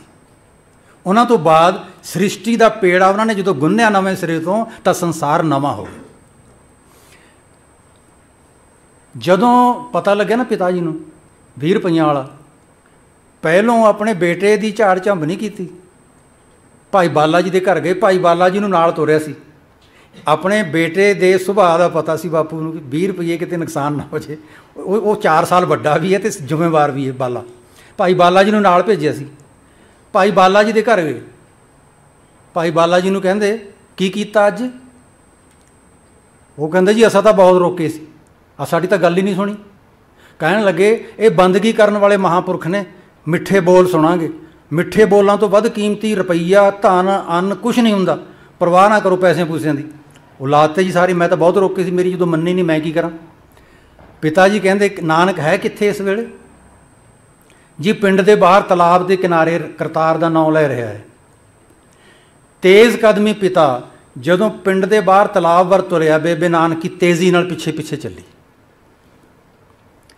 ਪਿਤਾ ਨੂੰ ਆਉਂਦਿਆਂ ਦੇਖ ਕੇ ਬਾਬਾ ਅਦਬ ਨਾਲ ਖਲੋਏ ਗਿਆ। ਨਜ਼ਦੀਕ ਆ ਕੇ ਪੁੱਛਿਆ, ਕੀ ਕੀਤਾ ਉਸ 20 ਰੁਪਈਆਂ ਦਾ? ਬਾਬੇ ਕਹਿਆ, ਜੀ, ਖਰਾ ਸੌਦਾ ਕਰਨ ਲਈ ਆਖਿਆ ਸੀ ਨਾ। ਖਰਾ ਸੌਦਾ ਕਰ ਆਏ ਹਾਂ। ਭੁੱਖੇ ਸਾਧੂਆਂ ਨੂੰ ਭੋਜਨ ਕਰਾ ਦਿੱਤਾ। ਸੱਜੇ ਹੱਥ ਨਾਲ ਖੱਬੀ ਗੱਲ ਉੱਤੇ, ਖੱਬੇ ਹੱਥ ਨਾਲ ਸੱਜੀ ਗੱਲ ਉੱਤੇ ਦੋ ਥੱਪੜ ਰਸੀਦ ਕੀਤੇ। ਨਾਨਕੀ ਨੇ ਪਿਤਾ ਦਾ ਹੱਥ ਫੜ ਕੇ ਕਿਹਾ, ਪਿਤਾ ਜੀ, ਘਰ ਚੱਲੀਏ। ਵਿਦਿਆਰਥੀਓ, ਮੈਂ ਇਹ ਵਾਕ ਪੜ੍ਹ ਕੇ ਅੱਗੇ ਨਹੀਂ ਗਿਆ, ਰੁਕਿਆ। ਪਿਤਾ ਜੀ ਘਰ ਚੱਲੀਏ ਸੰਸਾਰ ਦੇ ਸਾਰੇ ਧਰਮ ਗ੍ਰੰਥਾਂ 'ਚ ਇਹ ਲਿਖਿਆ ਹੋਇਆ ਹੈ ਕਿ ਇਹ ਧਰਤੀ ਸਾਡਾ ਘਰ ਨਹੀਂ ਹੈ, ਸਰਾਂ ਹੈ। ਸਾਡਾ ਘਰ ਕਿਤੇ ਹੋਰ ਹੈ। ਕਰਮਾਂ ਵਾਲਿਆਂ ਨੂੰ ਉਹ ਘਰ ਨਸੀਬ ਹੋਊ। ਜਿਨ੍ਹਾਂ ਨੂੰ ਇਹ ਘਰ ਨਸੀਬ ਹੋਇਆ ਸੀ, ਬਾਕੀ ਬਹੁਤ ਸਾਰੇ ਹੋਰ ਲੋਕ ਸਨ, ਪਿਤਾ ਨੂੰ ਇਹ ਘਰ ਨਸੀਬ ਨਹੀਂ ਹੋਇਆ ਸੀ। ਪਿਤਾ ਜੀ ਬੁਰੇ ਨਹੀਂ ਸਨ, ਵੱਖਰੀ ਤਰ੍ਹਾਂ ਦੇ ਸਨ। ਪਿਤਾ ਜੀ ਉਹੋ ਜੀ ਸਨ ਜਿਹੋ ਜਿਹਾ ਮੈਂ ਆ ਤੇ ਜਿਹੋ ਜਿਹਾ ਆਪਾਂ ਸਾਰੇ ਆ ਪੰਜਾਬ ਵਾਸੀਆਂ ਬਾਰੇ ਇੱਕ ਅਖਾਣ ਸੁਣਿਆ ਮੈਂ ਕਿ ਪੰਜਾਬ ਦੇ ਲੋਕ ਜੇ ਉਹਨਾਂ ਦਾ ਬੇਟਾ ਡਾਕੂ ਬਣ ਜੇ ਤਾਂ ਬਰਦਾਸ਼ਤ ਕਰ ਲੈਂਦੇ ਨੇ। ਜੇ ਸਾਧ ਹੋ ਹੋ ਜੇ ਉਹ ਬਰਦਾਸ਼ਤ ਨਹੀਂ ਹੁੰਦਾ। ਤਾਂ ਡਾਕੂ ਤੋਂ ਵੀ ਬਦਤਰ ਹੁੰਦਾ ਸਾਧ ਮਾਪਿਆਂ ਵਾਸਤੇ। ਡਾਕੂ ਤਾਂ ਫਿਰ ਵੀ ਕੁਛ ਨਾ ਕੁਛ ਲੈ ਕੇ ਹੀ ਆਊਗਾ। ਸਾਧ ਨੇ ਕੁਛ ਨਹੀਂ ਲਿਆਉਣਾ। ਤਾਂ ਰਾਏ ਬੁਲਾਰ ਖਾਨ ਸਾਹਿਬ ਨੂੰ ਪਤਾ ਲੱਗਿਆ। ਨੌਕਰ ਭੇਜਿਆ। ਮਹਿਤਾ ਨੂੰ ਹਵੇਲੀ ਬੁਲਾ ਕੇ ਲਿਓ ਪਿਤਾ ਸਮਝਦੇ ਸੀ ਕਿ ਨਾਰਾਜ਼ ਹੋਣਗੇ। ਸੁਨੇਹਾ ਭਜਵਾ ਤਾਂ ਘਰ ਨਹੀਂ ਹਨ ਨੌਕਰ ਜਾ ਕੇ ਕਹਿੰਦਾ, ਜੀ, ਘਰ ਨਹੀਂ ਹਨ ਰਾਏ ਕਹੇ ਆ ਕਿੱਡਾ ਕੋ ਪਿੰਡ ਹੈ ਤਲਵੰਡੀ? ਕਿੱਥੇ ਗਏ ਹੋਣਗੇ? ਦੋ ਨੌਕਰ ਭੇਜੇ, ਕਿਹਾ, ਜਿੱਥੇ ਵੀ ਹਨ, ਲੱਭ ਕੇ ਲਿਆਓ। ਆਰ ਬਾਬਾ ਨਾਨਕ ਨੂੰ ਨਾਲ ਲੈ ਕੇ ਆਉਣਾ। ਪਿਓ ਪੁੱਤਰ ਦੋਵੇਂ ਹਵੇਲੀ ਪਹੁੰਚੇ। ਬਾਬਾ ਜੀ ਨੂੰ ਛਾਤੀ ਨਾਲ ਲਾਇਆ। ਪਹਿਲਾ ਵਾਕ, ਮਹਿਤਾ ਤੁਸਾਂ ਨੂੰ ਸਖਤ ਤਾਕੀਦ ਕੀਤੀ ਸੀ, ਗੱਲ ਕਰਨ ਵੇਲੇ ਇਸ ਬੱਚੇ ਨਾਲ ਉੱਚੀ ਸੁਰ ਵਿੱਚ ਨਹੀਂ ਬੋਲਣਾ। ਅੱਜ ਤਾਂ ਤੁਸੀਂ ਜ਼ਿਆਦਤੀ ਕੀਤੀ। ਪਿਤਾ ਨੇ ਕਹਿਆ ਜੀ ਪੜਨ ਭੇਜਿਆ ਸੀ ਪੜਦਾ ਨਹੀਂ, ਪਸ਼ੂ ਚਾਰਨ ਭੇਜਿਆ ਪਸ਼ੂਆਂ ਵਿੱਚ ਧਿਆਨ ਨਹੀਂ, ਸੋਚਿਆ ਕੱਖ ਨਹੀਂ ਕਰਨ ਵਾਲਾ, ਕਿਸੇ ਕੰਮ ਦਾ ਨਹੀਂ, ਹੱਟੀ ਖਲਵਾ ਦਿੰਦੇ ਹਾਂ 20 ਰੁਪਏ ਉਜਾੜ ਆਇਆ। ਨੌਕਰ ਨੂੰ ਕਿਹਾ, ਅੰਦਰ ਬੇਗਮ ਸਾਹਿਬਾ ਪਾਸੋਂ 20 ਰੁਪਏ ਲੈ ਕੇ ਆਓ। ਨੌਕਰ 20 ਰੁਪਏ ਲੈ ਆ ਲਓ ਮਹਿਤਾ ਤੁਸਾਂ ਦਾ ਘਾਟਾ ਪੂਰਾ ਕਰਦੇ ਆ ਪਿਤਾ ਨੇ ਕਿਹਾ, ਜੀ, ਪੈਸੇ ਤੁਸਾਂ ਦੇ ਹੋਏ ਕਿ ਅਸਾਂ ਦੇ? ਇਸ ਵਿੱਚ ਕੀ ਫ਼ਰਕ? ਰਾਏ ਕਹਿਆ, ਜੇ ਇਸ ਵਿੱਚ ਕੋਈ ਫ਼ਰਕ ਨਹੀਂ, ਫਿਰ ਅੱਜ ਜ਼ੁਲਮ ਕਾਸ ਲਈ ਕੀਤਾ ਸਾਈ ਫਰਿਸ਼ਤੇ ਉੱਪਰ? ਫਰਿਸ਼ਤਾ ਲਫ਼ਜ਼ ਵਰਤਿਆ ਹੋਇਆ, ਜੇ ਪੈਸਿਆਂ ਦੀ ਕੋਈ ਗੱਲ ਨਹੀਂ ਸੀ, ਫਿਰ ਜ਼ੁਲਮ ਕਾਸ ਲਈ ਕੀਤਾ ਸਹੀ ਅੱਜ ਫਰਿਸ਼ਤੇ ਉੱਪਰ? ਪਿਤਾ ਨੇ ਕਿਹਾ, ਜੀ, ਅੱਜ 20 ਰੁਪਈਆਂ ਦਾ ਨੁਕਸਾਨ ਕਰਕੇ ਆਇਆ ਹੈ। ਕੱਲ ਨੂੰ ਵੱਡਾ ਨੁਕਸਾਨ ਕਰੇਗਾ। ਪਿਤਾ ਹੋਣ ਦੇ ਨਾਤੇ ਮੈਨੂੰ ਆਪਣੀ ਔਲਾਦ ਨੂੰ ਜ਼ਿੰਮੇਵਾਰੀ ਸਿਖਾਉਣ ਦਾ ਵੀ ਕੋਈ ਹੱਕ ਨਹੀਂ। ਰਾਏ ਕਹਿਆ, ਜੋ ਤੁਸਾਂ ਨੂੰ ਦਿਸਦਾ ਨਹੀਂ, ਆਰਾ ਸਾਨੂੰ ਸਾਫ਼ ਦਿਖਾਈ ਦਿੰਦਾ ਹੈ। ਕੁੱਲ ਦੁਨੀਆ ਦੀ ਦੌਲਤ ਦਾ ਦਰਿਆ ਇਸ ਬੱਚੇ ਦੇ ਹੱਥਾਂ ਥਾਣੀ ਵਗਦਾ ਆਉਂਦਾ ਸਾਫ਼ ਦਿਖਾਈ ਦਿੰਦਾ। I repeat this sentence Mehta, ਜੋ ਤੁਸਾਂ ਨੂੰ ਦਿਸਦਾ ਨਹੀਂ ਆਰਾ ਸਾਨੂੰ ਸਾਫ਼ ਦਿਖਾਈ ਦਿੰਦਾ ਹੈ। ਕੁੱਲ ਦੁਨੀਆ ਦੀ ਦੌਲਤ ਦਾ ਦਰਿਆ ਇਸ ਬੱਚੇ ਦੇ ਹੱਥਾਂ ਥਾਣੀ ਵਗਦਾ ਆਉਂਦਾ ਸਾਫ਼ ਦਿਖਾਈ ਦਿੰਦਾ। ਮਹਿਤਾ, ਤੁਸੀਂ ਹਿੰਦੂ ਹੋ ਔਰ ਮੈਂ ਮੁਸਲਮਾਨ। ਇਸ ਕਰਕੇ ਚੁੱਪ ਹਾਂ ਕਿ ਤੁਹਾਡਾ ਭਾਈਚਾਰਾ ਚਰਚਾ ਕਰੇਗਾ। ਨਹੀਂ ਤਾਂ ਕਈ ਵਾਰ ਦਿਲ ਵਿੱਚ ਖਿਆਲ ਆਇਆ ਕਿ ਇਸ ਬੱਚੇ ਨੂੰ ਤੁਹਾਡੇ ਘਰੋਂ ਆਪਣੀ ਹਵੇਲੀ ਵਿੱਚ ਲੈ ਆਵਾਂ। ਮਹਿਤਾ, ਤੁਸੀਂ ਇਸ ਨੂੰ ਪੁੱਤਰ ਕਰਕੇ ਜਾਣਦੇ ਹੋ। ਅਸੀਂ ਜਾਣਦੇ ਹਾਂ ਖੁਦਾਵੰਦ ਕਰੀਮ ਇਸ ਰਾਹੀਂ ਧਰਤੀ ਉੱਪਰ ਅਸਾਂ ਨਾਲ ਗੱਲਾਂ ਕਰਨ ਆਇਆ ਹੈ। ਆਖਰੀ ਵਾਕ ਮਹਿਤਾ ਇਸੇ ਸਦਕਾ ਮੇਰੀ ਤਲਵੰਡੀ ਵਸਦੀ ਹੈ। ਕੋਈ ਮੁੱਲ ਹੈ ਨਾ ਵਾਕਾਂ ਦਾ? ਇੱਕ ਇੱਕ ਵਾਕ ਦੇ ਚਰਨਾਂ 'ਚ ਕਰੋੜ ਕਰੋੜ ਰੁਪਈਆ ਰੱਖਦੀ ਉਹ ਛੋਟਾ ਹੈ। ਜਿਨ੍ਹਾਂ ਨੇ ਮਹਾਰਾਜ ਨੂੰ ਜਾਣ ਲਿਆ, ਉਹ ਇਹੋ ਜਿਹੇ ਹੋ ਗਏ। ਮੈਂ ਈਰਾਨ ਦਾ ਵਿਜ਼ਿਟਿੰਗ ਪ੍ਰੋਫੈਸਰ ਹਾਂ। ਤਿੰਨ ਥਾਂ ਤੇ ਗੁਰਦੁਆਰੇ ਨੇ, ਸਭ ਤੋਂ ਵੱਡਾ ਗੁਰਦੁਆਰਾ ਤਹਿਰਾਨ 'ਚ। ਭਾਈ ਮਰਦਾਨਾ ਜੀ ਸਮੇਤ ਮਹਾਰਾਜ ਨੇ ਇੱਥੇ ਰਾਤ ਕੱਟੀ ਸੀ, ਇਤਿਹਾਸਕ ਗੁਰਦੁਆਰਾ ਹੈ। ਸ਼ਾਨਦਾਰ। ਗੁਰਦੁਆਰਾ ਤਾਂ ਹਰੇਕ ਹੀ ਸ਼ਾਨਦਾਰ ਹੈ। ਲੇਕਿਨ ਇਸ ਗੁਰਦੁਆਰੇ ਦੇ ਕੋਈ ਲਗਭਗ ਅੱਧਾ ਪੌਣਾ ਕਿਲੋਮੀਟਰ ਦੂਰ ਮੈਟਰੋ ਸਟੇਸ਼ਨ ਵਾਲੇ ਪਾਸੇ ਇੱਕ ਗੇਟ ਬਣਿਆ ਹੈ। ਉਹ ਗੇਟ ਇੰਨਾ ਸੋਹਣਾ, ਮੈਂ ਦੇਰ ਤੱਕ ਖਲੋਤਾ ਗੇਟ ਦੇਖਦਾ ਰਿਹਾ। ਉੱਥੋਂ ਦੇ ਪ੍ਰਬੰਧਕਾਂ ਨੂੰ, ਸਿੱਖਾਂ ਨੂੰ ਪੁੱਛਿਆ ਕਿ ਇਹ ਦਰਵਾਜ਼ਾ, ਇਹ ਗੇਟ ਇੰਨਾ ਸੋਹਣਾ ਡਿਜ਼ਾਈਨ ਕਿਹਨੇ ਬਣਾਇਆ, ਕਦੋਂ ਬਣਵਾਇਆ? ਉਹ ਕਹਿੰਦੇ ਜੀ ਅਸੀਂ ਗੁਰਦੁਆਰਾ ਤਾਂ ਸਰਕਾਰ ਦੀ ਆਗਿਆ ਲੈ ਕੇ ਬਣਾ ਲਿਆ ਜੀ। ਪਹਿਲਾਂ ਤਾਂ ਛੋਟਾ ਜਿਹਾ ਕੱਚਾ ਥਾਂ ਸੀ, ਫਿਰ ਅਸੀਂ ਪੱਕਾ ਕਰ ਲਿਆ। ਸਰਕਾਰ ਤੋਂ ਆਗਿਆ ਮਿਲ ਗਈ ਸੀ। ਰਜ਼ਾ ਸ਼ਾਹ ਪਹਿਲਵੀ ਨੇ ਆਗਿਆ ਦੇ ਦਿੱਤੀ, ਬਾਦਸ਼ਾਹ ਨੇ। ਜਦੋਂ ਗੁਰਦੁਆਰਾ ਬਣ ਗਿਆ, ਮਹਾਰਾਜ ਦਾ ਪ੍ਰਕਾਸ਼ ਹੋ ਗਿਆ ਈਰਾਨੀ ਧਨੀ ਤੇ ਆਰਟਿਸਟ ਆ ਗਏ। ਕਹਿਣ ਲੱਗੇ ਜੀ, ਤੁਹਾਡੇ ਪਹਿਲੇ ਨਬੀ ਦੀ ਯਾਦ 'ਚ ਅਸੀਂ ਦਰਵਾਜ਼ਾ ਉਸਾਰਨਾ ਗੇਟ ਉਸਾਰਨਾ, ਸਾਨੂੰ ਆਗਿਆ ਦੇ ਦਿਓ। ਖਰਚਾ ਸਾਡਾ ਡਿਜ਼ਾਈਨ ਸਾਡਾ। ਸੰਗਤ ਨੇ ਕਿਉਂ ਇਨਕਾਰ ਕਰਨਾ ਸੀ? ਕਹਿੰਦੇ ਉਸਾਰ ਦਿਓ ਉਸਾਰ ਦਿੱਤਾ। ਇੰਨਾ ਸੋਹਣਾ ਬਣਾਤਾ ਇਰਾਨੀਆਂ ਨੇ ਇੱਕ ਗੇਟ। ਫਿਰ ਕਹਿਣ ਲੱਗੇ ਇਹਦਾ ਨਾਂ ਰੱਖਣਾ ਕੀ ਨਾਂ ਰੱਖੀਏ? ਜਿੰਨੇ ਵੀ ਨਾਂ ਸੁਝਾਏ ਗਏ, ਪਸੰਦ ਨਹੀਂ ਆਏ। ਇਰਾਨੀ ਸੰਗਤ ਕਹਿੰਦੀ, ਤੁਸੀਂ ਆਪਣੇ ਨਬੀ ਦੇ ਸੁਭਾਅ ਦੱਸੋ। ਉਹਨਾਂ ਦੇ ਜੀਵਨ ਦੀਆਂ ਵਾਰਦਾਤਾਂ ਸਾਖੀਆਂ ਸੁਣਾਓ। ਸਾਖੀਆਂ ਸੁਣਾਉਣ ਲੱਗੇ, ਸੁਣਦੇ ਰਹੇ, ਸੁਣਾਉਂਦੇ ਰਹੇ। ਜਦੋਂ ਇਹ ਦੱਸਿਆ ਕਿ ਸਾਡੇ ਪਹਿਲੇ ਨਬੀ ਨੇ ਸਾਰੀ ਉਮਰ ਆਪਣੀ ਜੇਬ 'ਚ ਪੈਸਾ ਨਹੀਂ ਰੱਖਿਆ ਸੀ, ਇਰਾਨੀ ਕਹਿੰਦੇ, ਨਾ ਮਿਲ ਗਿਆ। ਜਿਨੇ ਆਪਣੀ ਜੇਬ 'ਚ ਸਾਰੀ ਉਮਰ ਪੈਸਾ ਨਹੀਂ ਰੱਖਿਆ, ਉਹਦੇ ਜਿਹੜਾ ਦੌਲਤਮੰਦ ਦੁਨੀਆ 'ਚ ਕੋਈ ਨਹੀਂ ਹੈ। ਗੇਟ ਦਾ ਨਾਂ ਰੱਖਾਂਗੇ ਦਰਵਾਜ਼ਾ ਹੈ ਦੌਲਤ। ਉਹ ਗੇਟ ਦਾ ਨਾਂ ਦਰਵਾਜ਼ਾ ਹੈ ਦੌਲਤ। ਇਹ ਤਾਂ ਨਹੀਂ ਹੈ ਕਿ ਪੈਸੇ ਹੈਗੇ ਨਹੀਂ ਸੀ। ਪੈਸੇ ਰੱਖਦੇ ਨਹੀਂ ਸੀ ਆਪਣੇ ਕੋਲ। ਸਾਰਾ ਕੁਝ ਉਹਨਾਂ ਦਾ ਆਪਣੇ ਵਾਸਤੇ ਸੀ, ਸੰਗਤ ਵਾਸਤੇ ਸੀ। ਸਾਰਾ ਸੰਸਾਰ ਉਹਨਾਂ ਦਾ ਪਰਿਵਾਰ ਹੈ। ਇੱਕ ਮੈਂ ਘਟਨਾ ਇਹ ਵੀ ਪੜ੍ਹੀ ਕਿ ਭਾਈ ਮਰਦਾਨਾ ਜੀ ਨੂੰ ਹੁਕਮ ਸੀ ਨਾ ਵੀ ਖਾਣ ਪੀਣ ਦੀ ਚੀਜ਼, ਪੈਸਾ ਇਹ ਚੁੱਕਣਾ ਨਹੀਂ ਹੈ। ਕੋਈ ਸ਼ਰਧਾਲੂ ਅੱਖ ਬਚਾ ਕੇ ਭਾਈ ਮਰਦਾਨਾ ਜੀ ਦੇ ਬੋਝੇ 'ਚ ਇੱਕ ਮੋਹਰ ਪਾ ਗਿਆ। ਤੁਰ ਪਏ। ਸ਼ਾਮ ਹੋ ਗਈ, ਹਨੇਰਾ ਪੈਣ ਲੱਗਿਆ, ਜੰਗਲ ਦੇ ਕਿਨਾਰੇ ਰਾਤ ਕੱਟਣੀ ਸੀ। ਭਾਈ ਮਰਦਾਨਾ ਜੀ ਕਹਿੰਦੇ, ਬਾਬਾ ਜੀ, ਡਰ ਲੱਗਦਾ ਬਾਬੇ ਕਹਿਆ, ਜਿਸ ਵਸਤੂ ਸਦਕਾ ਡਰ ਲੱਗਦਾ ਹੋਵੇ ਸੋ ਸੁੱਟ ਦਈਦੀ ਹੈ। ਇਹ ਨਹੀਂ ਪੁੱਛਿਆ ਕਿਉਂ ਡਰ ਲੱਗਦਾ ਕਿਸ ਤੋਂ ਡਰ ਲੱਗਦਾ ਨਾ। ਕੋਈ ਕੋਈ ਓਪਰੀ ਵਸਤੂ ਆ ਗਈ ਭਾਈ ਮਰਦਾਨੇ ਕੋਲ। ਜਿਸ ਕਰਕੇ ਡਰ ਗਈ, ਅੱਗੇ ਤਾਂ ਕਦੇ ਡਰੇ ਨਹੀਂ ਸੀ। ਤੋ ਇਹ ਤਾਕਤਾਂ ਨੇ ਦੇਖੋ, ਉਹ ਉਹਨਾਂ ਦਾ ਵਿਸ਼ਵਾਸ ਹੈ ਇਰਾਨੀਆਂ ਦਾ ਕਿ ਇਹ ਜਿਸ ਨਬੀ ਦਾ ਇਹ ਥਾਂ ਹੈ, ਯਾਦਗਾਰੀ ਸਥਾਨ, ਇਸ ਦਰਵਾਜ਼ੇ ਹੇਠੋਂ ਦੇ ਸਿਰ ਝੁਕਾ ਕੇ ਲੰਘੋ, ਜੇ ਦੌਲਤ ਮੰਗੋਗੇ ਦੌਲਤ ਮਿਲੇਗੀ, ਸ਼ੋਹਰਤ ਮੰਗੋਗੇ ਸ਼ੋਹਰਤ ਮਿਲੇਗੀ, ਵਿਦਿਆ ਮੰਗੋਗੇ ਤਾਲੀਮ ਮਿਲੇਗੀ, ਜਰਨੈਲੀ ਮੰਗੋਗੇ ਤਾਂ ਤੁਹਾਨੂੰ ਬਾਦਸ਼ਾਹੀ ਮੰਗ ਲਓ ਬਿਸ਼ੱਕ, ਜੋ ਮਰਜ਼ੀ ਮੰਗੋ, ਮੰਗਣ ਦਾ ਤਰੀਕਾ ਹੋਣਾ ਚਾਹੀਦਾ। ਹੁਣ ਮੰਗਣ ਦਾ ਤਰੀਕਾ ਕਿਵੇਂ ਹੈ? ਮੈਨੂੰ ਛੋਟੇ ਹੁੰਦੇ ਨੂੰ ਪਤਾ ਨਹੀਂ ਸੀ। ਮਾਂ ਨੂੰ ਪੁੱਛ, ਮਾਂ ਇਹ ਕਿਆ ਕਰਦੀ ਸੀ? ਅਸੀਂ ਜਦੋਂ ਨਵੀਂ ਕਲਾਸ ਚੜ੍ਹਦੇ, ਨੰਬਰ ਨੰਬਰ ਰੱਟੇ ਮਾਰਦੇ, ਬਥੇਰੇ ਨੰਬਰ ਚੰਗੇ ਲੈ ਲਾਂਦੇ, ਤੇ ਨਵੀਆਂ ਕਿਤਾਬਾਂ ਖਰੀਦਣ ਲਈ ਪੈਸੇ ਨਹੀਂ ਹੁੰਦੇ ਸੀ, ਨਵੀਆਂ ਵਰਦੀਆਂ ਵਾਸਤੇ ਪੈਸੇ ਨਹੀਂ ਹੁੰਦੇ ਸੀ ਉਦਾਸ ਹੋ ਜਾਂਦੇ। ਮਾਂ ਕਿਹਾ ਕਰਦੀ, ਜਿਹੜਾ ਬੱਚਾ ਉਦਾਸ ਹੁੰਦਾ ਹੈ, ਫਿਕਰ ਕਰਦਾ ਹੈ, ਮੈਂ ਇਹ ਸਮਝਣ ਲੱਗਦੀ ਆ ਵੀ ਉਹ ਗੁਰੂ ਨਾਨਕ ਦੇਵ ਜੀ ਤੇ ਸ਼ੱਕ ਕਰਦਾ ਆਪਣੇ ਪਿਤਾ ਕਿੱਡੇ ਅਮੀਰ ਨੇ, ਤੁਹਾਨੂੰ ਪਤਾ ਹੀ ਨਹੀਂ ਹੈ। ਅਮੀਰ ਤਾਂ ਦੁਨੀਆ 'ਚ ਹੋਰ ਲੋਕ ਵੀ ਹੈਗੇ, ਪਰ ਉਹ ਦਿਆਲੂ ਨਹੀਂ ਨਾ ਹਨ। ਆਪਣੇ ਮਹਾਰਾਜ ਦਿਆਲੂ ਵੀ ਨੇ। ਤੁਹਾਨੂੰ ਮੰਗਣ ਦਾ ਤਰੀਕਾ ਆਉਣਾ ਚਾਹੀਦਾ ਉਹ ਦੇ ਦੇਣਗੇ। ਅਸੀਂ ਪੁੱਛਦੇ, ਮੰਗਣ ਦਾ ਤਰੀਕਾ ਕੀ ਹੈ? ਇਸ਼ਨਾਨ ਕਰਿਆ ਕਰੋ ਸਵੇਰੇ ਜਪਜੀ ਸਾਹਿਬ ਦਾ ਪਾਠ ਕਰੋ, ਫਿਰ ਅਰਦਾਸ ਕਰੋ, ਤੇ ਮਾਂ ਇਹ ਕਿਹਾ ਕਰਦੀ, ਗਰੀਬੀ ਸੀ ਘਰ 'ਚ, ਤਾਂ ਵੀ ਮਾਂ ਇਹ ਕਿਹਾ ਕਰਦੀ ਸੀ, ਪੈਸੇ ਨਹੀਂ ਮੰਗਣੇ, ਮਹਾਰਾਜ ਤੋਂ ਵਿੱਦਿਆ ਮੰਗਣੀ ਹੈ। ਵਿੱਦਿਆ ਨੂੰ ਸਭ ਤੋਂ ਵੱਧ ਪਿਆਰ ਕਰਦੇ ਸੀ, ਉਸ ਬੱਚੇ ਨੂੰ ਸਭ ਤੋਂ ਵੱਧ ਪਿਆਰ ਕਰਦੇ ਨੇ ਅੱਜ ਵੀ ਮਹਾਰਾਜ, ਜਿਹੜਾ ਉਹਨਾਂ ਤੋਂ ਵਿੱਦਿਆ ਮੰਗਦਾ ਉਹ ਵਿੱਦਿਆ ਜਿੰਨੀ ਮੰਗੋ, ਉਨੀ ਦੇ ਦਿੰਦੇ ਨੇ। ਇਹ ਗੱਲਾਂ ਸਾਨੂੰ ਉਦੋਂ ਲੱਗਦਾ ਸੀ ਵੀ ਸੱਚ ਹੋਣੀਆਂ, ਪਤਾ ਨਹੀਂ ਨਾ ਹੋਣੀਆਂ, ਪਰ ਹੋ ਗਈਆਂ। ਕੁਝ ਨਹੀਂ ਸੀ ਸਾਡੇ ਕੋਲ। ਜਦੋਂ ਕਦੀ ਮਾਂ ਧਰਤੀ ਤੇ ਕਿਤਾਬ ਜਾਂ ਕਾਪੀ ਪਈ ਦੇਖ ਲੈਂਦੀ, ਝਿੜਕਦੀ, ਅੱਖਰ ਪਵਿੱਤਰ ਹੁੰਦੇ ਨੇ, ਅੱਖਰ ਕੀਮਤੀ ਹੁੰਦੇ ਨੇ, ਚੁੱਕ ਚੁੱਕ ਉੱਚੇ ਥਾਂ ਤੇ ਰੱਖੀ ਜਾਂਦੀ, ਝਿੜਕਾਂ ਪੈਂਦੀਆਂ। ਇੱਕ ਦਿਨ ਅਸੀਂ ਸਾਰੇ ਭੈਣ ਭਰਾਵਾਂ ਨੇ ਘੇਰ ਲਈ, ਮਾਂ, ਅੱਖਰ ਕੀਮਤੀ ਹੁੰਦੇ ਨੇ, ਦੱਸੋ ਤਾਂ ਸਹੀ, ਸਾਨੂੰ ਪਤਾ ਨਹੀਂ ਲੱਗਦਾ ਹੈ। ਉਹ ਕਹਿੰਦੀ ਮੈਂ ਤਾਂ ਅਨਪੜ੍ਹ ਹਾਂ, ਪੜ੍ਹਦੇ ਤਾਂ ਤੁਸੀਂ ਪਤਾ ਤਾਂ ਤੁਹਾਨੂੰ ਹੋਣਾ ਚਾਹੀਦਾ ਸੀ, ਪਰ ਜਿੰਨਾ ਕੁ ਮੈਨੂੰ ਪਤਾ ਹੈ, ਉਹ ਮੈਂ ਦੱਸ ਦਿੰਨੀ ਹਾਂ। ਕੀ ਕੀ ਤਕਲੀਫਾਂ ਝੱਲੀਆਂ ਭਾਈ ਮਹਾ ਸਿੰਘ ਨੇ ਪਤਾ ਨਹੀਂ, ਪਰ ਇੱਕ ਦਿਨ ਉਹ ਕਹਿੰਦੇ, ਮਹਾਰਾਜ, ਸਾਨੂੰ ਛੁੱਟੀ ਦਿਓ, ਅਸੀਂ ਤਾਂ ਜਾਣਾ ਹੈ। ਬੜੇ ਸਮਝਾਏ। ਨਹੀਂ ਸਮਝੇ। ਮਹਾਰਾਜ ਕਹਿੰਦੇ, ਚੰਗਾ, ਫਿਰ ਜੇ ਫੈਸਲਾ ਹੀ ਹੈ ਕਿ ਜਾਣਾ ਹੈ ਕੁਝ ਅੱਖਰ ਲਿਖ ਕੇ ਦੇ ਜੋ ਉਹ ਅੱਖਰ ਲਿਖ ਕੇ ਦੇ ਆਏ। ਜਦੋਂ ਪਹੁੰਚੇ ਵਾਪਸ ਪਿੰਡ, ਫਿਰ ਮਹਿਸੂਸ ਹੋਇਆ ਕਿ ਗਲਤ ਅੱਖਰ ਲਿਖ ਕੇ ਦੇ ਕੇ ਆਏ ਤਾਂ ਦੇਣੇ ਨਹੀਂ ਚਾਹੀਦੇ ਸੀ। ਫੈਸਲਾ ਹੋਇਆ ਕਿ ਜਿਹੜੇ ਲਿਖ ਕੇ ਅੱਖਰ ਦਿੱਤੇ ਸੀ ਉਹ ਮੁੜਵਾਣੇ ਨੇ। ਉਹ ਮੁੜਵਾ ਤਾਂ ਲਏ ਉਹਨਾਂ ਨੇ, ਪਰ 40 ਜਿਉਂਦੇ ਜਾਗਦੇ ਜਰਨੈਲ 40 ਯੋਧੇ 70 ਵਾਂਗੂ ਜ਼ਮੀਨ ਤੇ ਵਿਛੇ ਪਏ ਸਨ 40 ਲਾਸ਼ਾਂ 'ਚ ਬਦਲ ਗਏ ਸਨ। ਅੱਖਰ ਮੁੜਵਾਉਣ 'ਚ ਕਾਮਯਾਬ ਤਾਂ ਹੋ ਗਏ, ਇਸ ਕਰਕੇ ਆਖਦੀ ਆ, ਅੱਖਰ ਕੀਮਤੀ ਨੇ। ਇਹਨਾਂ ਦਾ ਧਿਆਨ ਰੱਖੋ, ਇਹਨਾਂ ਦਾ ਅਦਬ ਰੱਖੋ।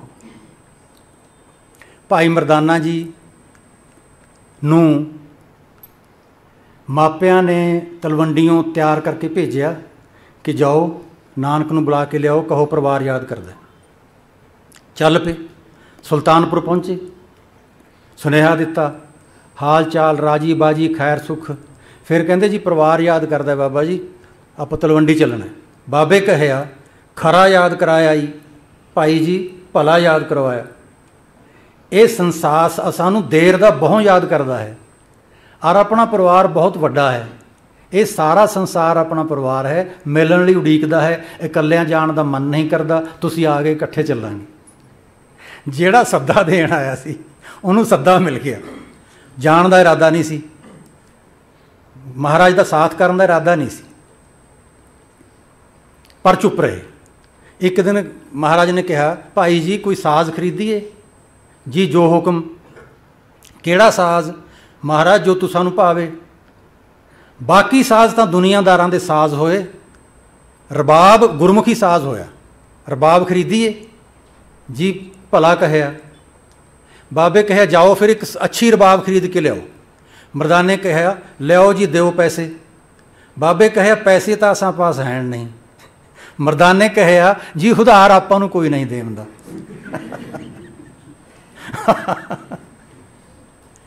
ਬਾਬੇ ਕਹਿਆ ਭਾਈ ਜੀ, ਗਰਜ਼ਵੰਦ ਹੋਣਾ ਚੰਗੀ ਗੱਲ ਤਾਂ ਨਹੀਂ, ਸਵਾਲੀ ਹੋਣਾ ਚੰਗੀ ਗੱਲ ਤਾਂ ਨਹੀਂ, ਪਰ ਕੀ ਕਰੀਏ, ਗਰਜ਼ ਕਾਰੇ ਕਰਾਉਂਦੀ ਹੈ। ਬੇਬੇ ਨਾਨਕੀ ਜੀ ਪਾਸ ਜਾਓ, ਉੱਥੋਂ ਆਪਣੀ ਗਰਜ਼ ਪੂਰੀ ਹੋਏਗੀ। ਭਾਈ ਮਰਦਾਨਾ ਜੀ ਗਏ, ਮੱਥਾ ਟੇਕਿਆ। ਅਰਜ਼ ਕੀਤੀ ਪੈਸੇ ਦਿਓ। ਮੁੱਠੀ 'ਚ ਜਿੰਨੇ ਚਾਂਦੀ ਦੇ ਰੁਪਈਏ ਆਏ, ਭਾਈ ਮਰਦਾਨਾ ਜੀ ਦੀ ਝੋਲੀ 'ਚ ਪਾਉਂਦੇ ਆਖਿਆ, ਸਰਫਾ ਨਹੀਂ ਕਰਨਾ। ਜੇ ਹੋਰ ਜ਼ਰੂਰਤ ਪਵੇ, ਫੇਰ ਆਉਣਾ। ਅੱਛੀ ਰਬਾਬ ਖਰੀਦਣੀ। ਔਰ ਨਾਨਕ ਨੂੰ ਇਹ ਤਾਂ ਆਖਣਾ ਕਿ ਭੈਣ ਨੂੰ ਮਿਲਦਾ ਕਿਉਂ ਨਹੀਂ, ਮਹੀਨੇ ਗੁਜ਼ਰ ਜਾਂਦੇ ਹਨ। ਭਾਈ ਮਰਦਾਨਾ ਜੀ ਬਾਬਾ ਜੀ ਕੋਲ ਗਏ, ਇਹ ਕਿਹਾ ਕਿ ਭੈਣ ਦਾ ਸੁਨੇਹਾ ਹੈ, ਤੁਸੀਂ ਜਾਓ ਭੈਣ ਨੂੰ ਮੱਥਾ ਟੇਕਣ ਮਿਲਣ, ਮੈਂ ਚੱਲਿਆ ਰਬਾਬ ਖਰੀਦਣ। ਭਾਈ ਮਰਦਾਨਾ ਜੀ ਦਾ ਅੱਖਾਂ ਮੰਨ ਕੇ ਮਹਾਰਾਜ ਘਰ ਗਏ। ਘਰ ਜਾਣ ਦਾ ਵੀ ਦ੍ਰਿਸ਼ ਦੇਖ ਲਓ। ਜਦੋਂ ਗਏ, ਜਦੋਂ ਬਾਬਾ ਜੀ, ਜਦੋਂ ਗੁਰੂ ਨਾਨਕ ਦੇਵ ਜੀ, ਇਹ ਤਾਂ ਭਾਈ ਮਰਦਾਨਾ ਜੀ ਗਏ ਨਾ, ਜਦੋਂ ਗੁਰੂ ਨਾਨਕ ਦੇਵ ਜੀ ਭੈਣ ਨੂੰ ਮਿਲਣ ਜਾਂਦੇ, ਤਾਂ ਬੇ ਜ਼ਿਕਰ ਆਉਂਦਾ ਸਾਖੀ ਚ ਭਾਈ ਬਾਲਾ ਜੀ ਵਾਲੀ ਚ ਨਾਨਕੀ ਨੇ ਝੁਕ ਕੇ ਚਰਨ ਛੋਹਣੇ ਚਾਹੇ। ਬਾਬੇ ਕਹਿਆ, ਬੇਬੇ, ਤੂੰ ਅਸਾਂ ਤੋਂ ਵੱਡੀ ਹੈ ਔਰ ਪਰਮੇਸ਼ਰ ਕੀ ਪਿਆਰੀ ਵੀ। ਤੂੰ ਜੋ ਅਸਾਂ ਦੇ ਪੈਰਾਂ ਵੱਲ ਦੇਖਦੀ ਹੈ, ਅਸਾਂ ਨੂੰ ਆਪਣੇ ਵਿੱਚ ਵੱਡਾ ਉਗਣ ਦਿਸਦਾ ਹੈ। ਨਾਨਕੀ ਕਹਿਆ, ਭਾਈ ਜੀ, ਸੱਚ ਆਖਦੀ ਹਾਂ, ਭਰਾ ਕਰਕੇ ਨਹੀਂ ਜਾਣਦੀ, ਪਰਮੇਸ਼ਰ ਕਰਕੇ ਜਾਣਦੀ ਹਾਂ। ਇਹ ਨੇ ਥੋੜੇ ਜਿਹੇ ਕਰਮਾਂ ਵਾਲੇ ਲੋਕ। ਭਾਈ ਮਰਦਾਨਾ ਜੀ ਖਾਲੀ ਹੱਥ ਵਾਪਸ ਆ ਗਏ ਕੁਝ ਦਿਨ ਚੱਕਰ ਲਾ ਕੇ ਆਲੇ ਦੁਆਲੇ ਦੇ ਪਿੰਡਾਂ 'ਚ। ਜੀ ਤੁਸਾਂ ਦੀ ਆਵਾਜ਼ ਦਾ ਸਾਥ ਦੇਵੇ, ਇਸ ਤਰ੍ਹਾਂ ਦੀ ਰਬਾਬ ਮਿਲੀ ਨਹੀਂ। ਬਾਬੇ ਕਹਿਆ, ਦੋਹਾਂ ਦਰਿਆਵਾਂ ਵਿਚਕਾਰ ਜੱਟਾਂ ਦਾ ਇੱਕ ਪਿੰਡ ਹੈ ਆਸ਼ਕਪੁਰ। ਤਿੱਥੇ ਫਰਿੰਦਾ ਨਾਉ ਦਾ ਇੱਕ ਕਾਰੀਗਰ ਹੈ। ਵੱਡਾ ਉਸਤਾਦ ਹੈ। ਉਸ ਪਾਸੋਂ ਲੈਣੀ। ਹਿੰਦੂ ਹੈ। ਫੇਰੂ ਵੀ ਆਖਦੇ ਹਨ। ਅਰ ਜੇ ਨਾ ਦੇਵੇ, ਤਿਸ ਪਾਸ ਅਸਾਂ ਦਾ ਨਾਮ ਲੈਣਾ। ਭਾਈ ਮਰਦਾਨਾ ਜੀ ਨੇ ਪਿੰਡ ਲੱਭ ਲਿਆ, ਘਰ ਲੱਭ ਲਿਆ ਫਰੰਦੂ ਜੀ ਫਰੰਦਾ ਦਾ। ਘਰ ਮਿਲ ਗਏ, ਦੁਆ ਸਲਾਮ ਹੋਈ, ਅਰਜ਼ ਗੁਜ਼ਾਰੀ, ਜੀ ਇੱਕ ਬਹੁਤ ਵਧੀਆ ਕਿਸਮ ਦੀ ਰਬਾਬ ਚਾਹੀਦੀ ਹੈ। ਫਰੰਦੇ ਕਹਿਆ, ਬਣ ਤਾਂ ਜਾਏਗੀ, ਪਰ ਇੰਨੀ ਜਲਦੀ ਨਹੀਂ, ਕੁਝ ਮਹੀਨੇ ਲੱਗਣਗੇ। ਕੰਧ ਨਾਲ ਕਿੱਲੀ ਉੱਪਰ ਲਟਕਦੀ ਰਬਾਬ ਵੱਲ ਇਸ਼ਾਰਾ ਕਰਦਿਆਂ ਭਾਈ ਮਰਦਾਨੇ ਕਹਿਆ, ਜੀ ਉਹ ਪਈ ਤਾਂ ਹੈ ਇੱਕ? ਫਰੰਦੇ ਕਹਿਆ, ਸੋ ਤੁਸਾਂ ਦੇ ਕੰਮ ਦੀ ਨਹੀਂ। ਕੀ ਨੁਕਸ ਹੈ ਜੀ ਇਸ ਵਿੱਚ? ਭਾਈ ਜੀ, ਨੁਕਸ ਨਹੀਂ। ਕਾਮਲ ਫਕੀਰ ਹੈ ਇੱਕ ਬਾਬਾ ਨਾਨਕ। ਕਦੀ ਇਹ ਨਾਮ ਸੁਣਿਆ ਹੈ? ਤਿਨਾਂ ਦੇ ਕਦਮਾਂ ਦਾ ਧਿਆਨ ਧਰ ਕੇ ਡਾਢੀ ਮੁਸ਼ਕਲ ਨਾਲ ਤਿਆਰ ਕੀਤੀ ਹੈ ਰਬਾਬ। ਜਦੋਂ ਦੀਦਾਰ ਨਸੀਬ ਹੋਏ, ਤਿਨਾਂ ਦੇ ਕਦਮਾਂ ਵਿੱਚ ਰੱਖਾਂਗਾ। ਭਾਈ ਮਰਦਾਨਾ ਜੀ ਨੇ ਦੱਸਿਆ ਨਹੀਂ। ਕਹਿੰਦੇ, ਆਗਿਆ ਹੋਏ ਤਾਂ ਵਜਾ ਕੇ ਦੇਖ ਲਵਾਂ। ਫਿਰੰਦੇ ਕਹਿਆ, ਵਜਾਵਣੀ ਤਾਂ ਦਰ ਕਿਨਾਰ ਛੋਣ ਵੀ ਨਹੀਂ ਦੇਵਾਂਗਾ ਫੇਰ ਭਾਈ ਮਰਦਾਨਾ ਜੀ ਨੇ ਦੱਸਿਆ, ਜੀ, ਤੁਹਾਡਾ ਨਾਂ, ਤੁਹਾਡਾ ਸਿਰਨਾਵਾ ਬਾਬਾ ਜੀ ਨੇ ਦੱਸਿਆ, ਉਹਨਾਂ ਨੇ ਤੁਹਾਡੇ ਕੋਲ ਭੇਜਿਆ ਫਿਰੰਦੇ ਕਹਿਆ, ਜਿਨ੍ਹਾਂ ਦਾ ਨਾਮ ਲੈ ਕੇ ਜਹਾਨ ਤਰ ਜਾਏਗਾ, ਤਿਨਾਂ ਦੀ ਜ਼ੁਬਾਨ ਉੱਪਰ ਅਸਾਂ ਦਾ ਨਾਮ ਆਇਆ, ਸਾਡੇ ਵਰਗਾ ਸੰਸਾਰ 'ਚ ਕੌਣ ਹੈ ਕੋਈ ਅੱਜ? ਜੇ ਤੁਸਾਂ ਨੂੰ ਬਾਬਾ ਨਾਨਕ ਨੇ ਭੇਜਿਆ ਹੈ, ਫਿਰ ਇੱਥੇ ਬੈਠੇ ਕਾਸ ਲਈ ਹਾਂ, ਅਸਾਂ ਨੂੰ ਝਬਦੇ ਤਿਨਾਂ ਪਾਸ ਲੈ ਚਲੋ। ਅੱਖ ਦੇ ਪਲਕਾਰੇ ਜਿੰਨੇ ਸਮਾਂ ਲੱਗਣਾ ਚਾਹੀਦਾ ਭਾਈ ਮਰਦਾਨਾ ਜੀ ਅੱਗੇ ਅੱਗੇ, ਰਬਾਬ ਸਮੇਤ ਭਾਈ ਫਰੰਦਾ ਜੀ ਪਿੱਛੇ ਪਿੱਛੇ। ਪਹੁੰਚੇ। ਭਾਈ ਫਰੰਦਾ ਜੀ ਨੇ ਮਹਾਰਾਜ ਦੇ ਚਰਨਾਂ 'ਚ ਰਬਾਬ ਰੱਖੀ।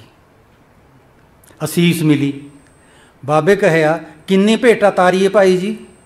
ਫਰੰਦੇ ਕਹਿਆ, ਜੀ ਦੀਦਾਰ, ਇਸ ਦੀ ਭੇਟਾ ਦੀਦਾਰ ਹੈ, ਸੋ ਨਸੀਬ ਹੋਏ ਗਈ ਹੈ। ਅਸਾਂ ਨੂੰ ਆਪ ਦੀ ਅਸੀਸ ਮਿਲੀ ਤਨ ਹੋਏ। ਭਾਈ ਮਰਦਾਨਾ ਜੀ ਦੇ ਹੱਥਾਂ ਵਿੱਚ ਰਬਾਬ ਫੜਾਉਂਦਿਆਂ ਬਾਬੇ ਕਹਿਆ, ਭਾਈ ਜੀ ਤੁਸਾਂ ਨੂੰ ਤਾਰ ਦਾ ਗੁਣ ਬਖਸ਼ਿਆ। ਪਹਿਲਾ ਵਾਕ ਇਹ ਹੈ, ਤੁਸਾਂ ਕੋ ਤਾਰ ਦਾ ਗੁਣ ਬਖਸ਼ਿਆ। ਦੂਜਾ ਵਾਕ, ਇਸ ਨੂੰ ਵੇਚਣਾ ਨਹੀਂ। ਤੀਜਾ ਵਾਕ ਦਾਰਾਏ ਸਵਾਲੀ ਨੂੰ ਖਾਲੀ ਨਹੀਂ ਮੋੜਨਾ। ਤੀਜਾ ਵਾਕ ਸੁਣ ਕੇ ਭਾਈ ਮਰਦਾਨਾ ਹੱਸ ਪਏ, ਅਸਾਂ ਕੰਗਾਲਾਂ ਪਾਸ ਕੌਣ ਆਏਗਾ ਬਾਬਾ ਸਵਾਲੀ? ਬਾਬੇ ਕਹਿਆ, ਜੋ ਦੌਲਤ ਤੂੰ ਸਾਨੂੰ ਨਸੀਬ ਹੋਈ, ਜਹਾਨ ਤਰਸੇਗਾ ਤਿਸ ਤਾਈਂ। ਤੁਸਾਂ ਜਿੱਡਾ ਅਮੀਰ ਸੰਸਾਰ ਵਿੱਚ ਕੋਈ ਨਹੀਂ ਭਾਈ ਜੀ। ਗੱਲਾਂ ਸ਼ੁਰੂ ਤੋਂ ਹੀ ਹੁਣ ਤੱਕ ਦਰਵਾਜ਼ਾ ਦੌਲਤ ਤੱਕ ਧਨ ਦੀ ਧਨ ਦੀਆਂ ਬਾਰਿਸ਼ਾਂ ਹੋ ਰਹੀਆਂ ਨੇ ਦੌਲਤ ਦੀਆਂ। ਹੈ ਨਾ ਚਮਤਕਾਰ? ਭਾਈ ਮਰਦਾਨਾ ਜੀ ਮਹਾਰਾਜ ਦੇ ਸਿੱਖ ਸਨ, ਇਹ ਤਾਂ ਆਪਾਂ ਨੂੰ ਸਾਰਿਆਂ ਨੂੰ ਹੀ ਪਤਾ ਹੈ। ਲੇਕਿਨ ਦੋਸਤ ਵੀ ਤਾਂ ਸਨ। ਦੋਸਤੀ ਦਾ ਜ਼ਿਕਰ ਹੈ ਜਿਹੜਾ ਉਹ ਮੈਂ ਘੱਟ ਪੜਿਆ ਕਿਤਾਬਾਂ 'ਚ, ਜਨਮ ਸਾਖੀਆਂ 'ਚ ਪੜਿਆ ਦੋ ਘਟਨਾਵਾਂ ਸੁਣਾਉਣਾ ਤੁਹਾਨੂੰ ਪਤਾ ਲੱਗ ਜਾਏਗਾ ਦੋਸਤੀ ਦਾ। ਜਦ ਬਾਬਾ ਬੰਦਗੀ ਕਰਨ ਲੱਗਦਾ ਪੰਜ ਕਰਮ ਦੂਰ ਖਲੋ ਕੇ ਭਾਈ ਮਰਦਾਨਾ ਸਖਤ ਪਹਿਰਾ ਦਿੰਦਾ ਤਾਂ ਕਿ ਤਿਨਾਂ ਦੀ ਬੰਦਗੀ ਵਿੱਚ ਕੋਈ ਪਸ਼ੂ, ਪੰਛੀ ਜਾਂ ਮਨੁੱਖ ਵਿਗਨ ਨਾ ਪਾਏ। ਅਰ ਜਦ ਬਾਬਾ ਗਾਉਣ ਲੱਗਦਾ, ਉਠਾਏ ਕੇ ਰਬਾਬ, ਇੰਨਾ ਨਜ਼ਦੀਕ ਬੈਠਦਾ ਕਿ ਗੋਡੇ ਨਾਲ ਗੋਡਾ ਖੈਂਦਾ ਇਹ ਦ੍ਰਿਸ਼ ਦੋਸਤੀ ਦਾ। ਇਹ ਹਜ਼ਾਰ ਪੰਨਿਆਂ ਦੀ ਕਿਤਾਬ 'ਚ ਨਹੀਂ ਆਪਾਂ ਨੂੰ ਮਿਲੂਗਾ। ਜਦ ਬਾਬਾ ਬੰਦਗੀ ਕਰਦਾ, ਸਖਤ ਪੈਰਾ ਦਿੰਦਾ, ਤਾਂ ਕਿ ਪਸ਼ੂ, ਪੰਛੀ ਜਾਂ ਮਨੁੱਖ ਤੇ ਇਹਨਾਂ ਦੀ ਬੰਦਗੀ ਵਿੱਚ ਵਿਗਨ ਨਾ ਪਾਏ। ਔਰ ਜਦ ਬਾਬਾ ਗਾਉਣ ਲੱਗਦਾ, ਉਠਾਏ ਕੇ ਰਬਾਬ, ਇੰਨਾ ਨਜ਼ਦੀਕ ਆ ਕੇ ਬੈਠਦਾ ਕਿ ਗੋਡੇ ਨਾਲ ਗੋਡਾ ਖੈਂਦਾ ਦੂਸਰੀ ਘਟਨਾ, ਜਾ ਰਹੇ ਨੇ। ਕਨਾਤਾਂ ਛਾਇਆਮਾਨ ਲੱਗੇ ਹੋਏ ਨੇ। ਖਾਣਿਆਂ ਦੀਆਂ ਮਹਿਕਾਂ ਆ ਰਹੀਆਂ ਨੇ। ਕਿਤੇ ਕੋਈ ਭੋਜਨ ਵਰਤਾ ਰਹੇ, ਲੰਗਰ ਲੱਗੇ ਹੋਏ ਨੇ। ਰਸਤਿਆਂ 'ਚ ਸੇਵਾਦਾਰ ਖਿਲਾ ਰਹੇ ਨੇ ਕਿ ਮੁਸਾਫਰਾਂ ਨੂੰ ਕਹੋ, ਫਕੀਰਾਂ ਨੂੰ ਕਹੋ ਮਿੰਨਤਾਂ ਕਰੋ, ਲੰਗਰ ਛੱਕ ਕੇ ਜਾਣ। ਮਹਾਰਾਜ ਨੂੰ ਮਿਲੇ, ਜੀ ਬਾਬਾ ਜੀ, ਭੋਜਨ ਕਰਕੇ ਜਾਓ। ਬਾਬੇ ਕਹਿਆ ਅੱਠ ਪਹਿਰ ਵਿੱਚ ਇੱਕ ਵਾਰ ਭੋਜਨ ਕਰਦੇ ਹਾਂ ਭਾਈ ਜੀ, ਸੋ ਕਰ ਲਿਆ ਹੈ। ਮਰਦਾਨੇ ਕਹਿਆ ਜੀ ਆਗਿਆ ਹੋਏ ਬਾਬਾ, ਮੈਂ ਭੋਜਨ ਕਰਾਵਾਂ? ਬਾਬੇ ਕਹਿਆ ਭਾਈ ਜੀ, ਤੁਸਾਂ ਨੂੰ ਕਿਛ ਹਕੀਕਤ ਪਤਾ ਹੈ ਇਸ ਲੰਗਰ ਦੀ? ਮਰਦਾਨੇ ਕਹਿਆ, ਜੀ ਹਕੀਕਤ ਕਿਤੇ ਦੌੜੀ ਤਾਂ ਜਾਂਦੀ ਨਹੀਂ। ਤੁਸਾਂ ਪਾਸ ਰਹੀ ਸੀ, ਤੁਸਾਂ ਪਾਸ ਹੀ ਰਹੇਗੀ। ਪਹਿਲਾਂ ਭੋਜਨ ਕਰਦੇ ਆ, ਫਿਰ ਹਕੀਕਤ ਵੀ ਦੇਖ ਲਾਂਗੇ। ਉਹ ਆਪਣੇ ਵਰਗੀ ਸਨ ਭਾਈ ਮਰਦਾਨਾ। ਭੋਜਨ ਪ੍ਰਸ਼ਾਦੇ ਪਹਿਲਾਂ, ਹਕੀਕਤ ਨਹੀਂ ਦਿਸਦੀ ਉਦੋਂ ਤੱਕ, ਜਦੋਂ ਤੱਕ ਲੰਗਰ ਨਹੀਂ ਛਕਦੇ। ਤੋ ਆਖਰੀ ਦ੍ਰਿਸ਼ ਸੁਣਾ ਕੇ ਤੁਹਾਨੂੰ, ਫਿਰ ਸਮਾਪਤੀ ਕਰਦੇ ਹਾਂ ਕਿਉਂਕਿ ਟਾਈਮ ਆਪਣਾ ਨੇੜੇ ਲੱਗ ਗਿਆ। ਆਪਾਂ ਨੂੰ ਇੱਕ ਘੰਟਾ ਮਿਲਿਆ ਸੀ ਹਰਦੇਵ ਸਿੰਘ ਹੋਰਾਂ ਦੀ ਬਦੌਲਤ। ਵਾਈਸ ਚਾਂਸ ਸਾਹਿਬ ਵੀ ਆਏ। ਮਾਣ ਚ ਵਾਧਾ ਹੋਇਆ। ਇੱਥੋਂ ਦੇ ਅਧਿਆਪਕ ਆਏ, ਬਾਹਰਲੇ ਥਾਵਾਂ ਦੇ ਅਧਿਆਪਕ ਆਏ, ਸਾਰਿਆਂ ਨੇ ਮੁਨਾਸਬ ਸਾਂਝਾ ਗੁਰਮਤ ਟ੍ਰੇਨਿੰਗ ਕੈਂਪ 'ਚ ਹਿੱਸਾ ਲਈਏ। ਮੈਂ ਤੁਹਾਡਾ ਸ਼ੁਕਰਗੁਜ਼ਾਰ ਸ਼ੁਕਰਗੁਜ਼ਾਰ ਹਾਂ। ਭਾਈ ਮਰਦਾਨਾ ਜੀ ਤੇ ਮਹਾਰਾਜ, ਕੁਰਮ ਦਰਿਆ ਦੇ ਕਿਨਾਰੇ ਕਿਨਾਰੇ ਤੁਰੇ ਆ ਰਹੇ ਸਨ। ਪਾਕਿਸਤਾਨ ਤੇ ਅਫਗਾਨਿਸਤਾਨ ਦੀ ਹੱਦ ਦੇ ਵਿਚਕਾਰ ਅੱਜ ਵੀ ਇਹ ਦਰਿਆ ਵਗਦਾ ਹੈ। ਭਾਈ ਮਰਦਾਨੇ ਕਹਿਆ, ਬਾਬਾ, ਥਕਾਨ ਹੋਏ ਗਈ ਹੈ, ਆਰਾਮ ਕਰੀਏ ਕੁਝ ਬਾਬੇ ਕਹਿਆ, ਚਲੋ, ਉਸ ਦਰਖਤ ਹੇਠਾਂ ਆਰਾਮ ਕਰਦੇ ਮਹਾਰਾਜ ਬੈਠ ਗਏ, ਭਾਈ ਮਰਦਾਨਾ ਜੀ ਬੈਠੇ, ਫਿਰ ਲੇਟ ਗਏ। ਬਾਬਾ ਜੀ ਨੇੜੇ ਗਏ, ਮੱਥੇ ਤੇ ਹੱਥ ਰੱਖਿਆ, ਬੁਖਾਰ ਸੀ। ਹੋਰ ਨਜ਼ਦੀਕ ਸਰਕ ਕੇ ਗਏ, ਭਾਈ ਮਰਦਾਨਾ ਜੀ ਦਾ ਸੀਸ ਆਪਣੀ ਗੋਦ 'ਚ ਲੈ ਲਿਆ ਹੱਥ ਮੱਥੇ ਤੇ। ਬਾਬੇ ਕਹਿਆ, ਭਾਈ ਜੀ, ਤੁਸੀਂ ਤਾਂ ਹੁਣ ਅਸਾਂ ਪਾਸੋਂ ਜਾਣ ਲੱਗੇ ਹੋ। ਤੁਸਾਂ ਦਾ, ਤੁਸਾਂ ਦੀਆਂ ਅੰਤਮ ਰਸਮਾਂ ਕਿਵੇਂ ਕਰੀਏ? ਦਫਨ ਕਰੀਏ ਕਿ ਅਗਨ ਭੇਟ? ਕੋਈ ਉੱਤਰ ਨਹੀਂ। ਤੁਸਾਂ ਦੀ ਯਾਦਗਾਰ ਵਿੱਚ ਕੀ ਉਸਾਰੀਏ? ਮਸਜਿਦ? ਕੋਈ ਉੱਤਰ ਨਹੀਂ। ਅਸਾਂ ਨਾਲ ਤਾ ਉਮਰ ਗੁਜ਼ਾਰੀ, ਫਿਰ ਕੋਈ ਧਰਮਸਾਲ ਉਸਾਰ ਦਿੰਦੇ ਹਾਂ। ਮਰਦਾਨੇ ਕਹਿਆ, ਬਾਬਾ, ਜਾਣਦਾ ਹਾਂ ਤੁਸਾਂ ਨੂੰ। ਕਰਮਾਂ ਵਾਲਾ ਹਾਂ ਜੋ ਹੱਡ ਮਾਸ ਦੀ ਕੈਦ ਵਿੱਚੋਂ ਨਿਕਲ ਕੇ ਤੁਸਾਂ ਦੀ ਗੋਦ ਵਿੱਚ ਬੈਠਾ, ਇਸ ਸੰਸਾਰ ਚੋਂ ਵਿਦਾ ਹੋਵਾਂਗਾ। ਜਾਣਦਾ ਹਾਂ ਤੁਸਾਂ ਨੂੰ, ਆਪਣੇ ਹੱਥੀਂ ਵਿਦਾ ਕਰਕੇ ਇੱਟਾਂ, ਗਾਰੇ ਅਤੇ ਚੂਨੇ ਵਿੱਚ ਮੈਨੂੰ ਕੈਦ ਤੁਸੀਂ ਨਹੀਂ ਕਰੋਗੇ। ਬਾਬੇ ਕਹਿਆ, ਤਾਂ ਵੀ ਭਾਈ ਜੀ, ਖਾਲੀ ਨਹੀਂ ਜਾਣ ਦੇਾਂਗੇ ਇਸ ਧਰਤੀ ਉੱਪਰਲੀ ਕੋਈ ਵਸਤੂ, ਇਸ ਧਰਤੀ ਤੋਂ ਪਾਰ ਦੀ ਕੋਈ ਵਸਤੂ ਜੋ ਮੰਗੋਗੇ, ਸੋ ਦੇਾਂਗਾ ਮਰਦਾਨੇ ਕਹਿਆ, ਬਾਬਾ, ਤੂੰ ਖੁਦਾਏ ਦਾ ਕੀਰਤਨੀਆ ਮੈਂ ਤੇਰਾ ਕੀਰਤਨੀਆ ਬਾਬਾ, ਤੈਂ ਖੁਦਾਏ ਦੇਖਿਆ, ਤੈਂ ਖੁਦਾਏ ਪਾਇਆ, ਅਰ ਤੇਰਾ ਕਹਿਆ, ਖੁਦਾਈ ਮੰਨਦੀ ਹੈ। ਬਾਬਾ, ਮੈਂ ਤੈਨੂੰ ਦੇਖਿਆ, ਮੈਂ ਤੈਨੂੰ ਪਾਇਆ, ਅਰ ਮੇਰਾ ਕਹਿਆ ਤੂੰ ਮੰਨਦਾ ਹੈ। ਤੁਧ ਅੱਗੇ ਅਸਾਂ ਦੀ ਬੇਨਤੀ ਹੈ ਅੱਜ ਇੱਕ। ਅਸਾਂ ਨੂੰ ਵਿਛੋੜਨਾ ਨਹੀਂ ਆਪਣੇ ਨਾਲੋਂ, ਨਾ ਇੱਥੇ, ਨਾ ਉੱਥੇ। ਬਾਬੇ ਕਹਿਆ, ਭਾਈ ਜੀ, ਤੁਧ ਉੱਪਰ ਅਸਾਂ ਦੀ ਖਰੀ ਖੁਸ਼ੀ ਹੈ, ਜਿੱਥੇ ਤੇਰਾ ਵਾਸਾ, ਤਿੱਥੇ ਮੇਰਾ ਵਾਸਾ। ਅੰਤਮ ਰਸਮਾਂ ਕਰਕੇ ਉਠਾਈ ਰਬਾਬ, ਉਦਾਸੀਆਂ ਸਮਾਪਤ। ਤਲਵੰਡੀ ਪਿੰਡ ਦਾ ਰੁਖ ਕੀਤਾ। ਜਿੰਨਾ ਚਿਰ ਭਾਈ ਮਰਦਾਨਾ ਜੀ ਮੰਨੇ ਨਹੀਂ ਸਨ, ਉਦਾਸੀਆਂ ਸ਼ੁਰੂ ਨਹੀਂ ਹੋਈਆਂ ਸੀ। ਮਨਾ ਕੇ ਉਹਨਾਂ ਨੂੰ ਨਾਲ ਲੈ ਗਏ। ਜਦੋਂ ਭਾਈ ਮਰਦਾਨਾ ਜੀ ਨਾ ਰਹੇ, ਉਦਾਸੀਆਂ ਸਮਾਪਤ। ਭਾਈ ਮਰਦਾਨਾ ਜੀ ਦਾ ਸਾਥ ਹੈ ਜਿਹੜਾ, ਉਹ ਉਦਾਸੀਆਂ ਦਾ ਸਾਥ ਹੈ, ਯਾਤਰਾਵਾਂ ਦਾ ਸਾਥ ਹੈ। ਉੱਥੋਂ ਫਿਰ ਆਪਣੀ ਮੰਜ਼ਲ ਤਲਵੰਡੀ ਪਿੰਡ ਵੱਲ ਨੂੰ ਰੁਖ ਕੀਤਾ। ਨਾ ਭਾਈ ਮਰਦਾਨਾ ਜੀ ਦੇ ਘਰ ਗਏ, ਨਾ ਆਪਣੇ ਘਰ। ਪਿੰਡ ਦੇ ਵਿਚਕਾਰ ਖੂਹ ਸੀ। ਖੂਹ ਦੀ ਮਣ ਤੇ ਬੈਠ ਗਏ, ਕਿਨਾਰੇ ਤੇ। ਪਿੰਡ ਪਤਾ ਲੱਗਦਾ ਗਿਆ, ਸੰਗਤ ਦਰਸ਼ਨ ਵਾਸਤੇ ਆਉਂਦੀ ਗਈ, ਦਰੀਆਂ ਚਾਦਰਾਂ ਵਿਛਦੀਆਂ ਗਈਆਂ। ਮਹਾਰਾਜ ਸੁਸ਼ੋਭਤ। ਭਾਈ ਮਰਦਾਨਾ ਜੀ ਦੇ ਘਰ ਪਤਾ ਲੱਗਿਆ, ਆ ਗਏ। ਵੱਡਾ ਬੇਟਾ ਸ਼ਾਹਜ਼ਾਦ, ਭਾਈ ਸ਼ਾਹਜ਼ਾਦ ਆਇਆ। ਮਹਾਰਾਜ ਦੇ ਚਰਨ ਛੂਹੇ, ਅਸੀਸ ਲਈ ਸੰਗਤ ਵਿੱਚ ਬੈਠਿਆ।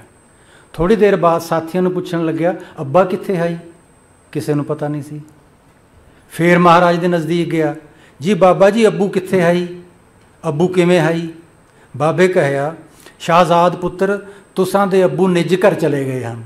ਫੇਰ ਘਰ ਸ਼ਬਦ ਆ ਗਿਆ।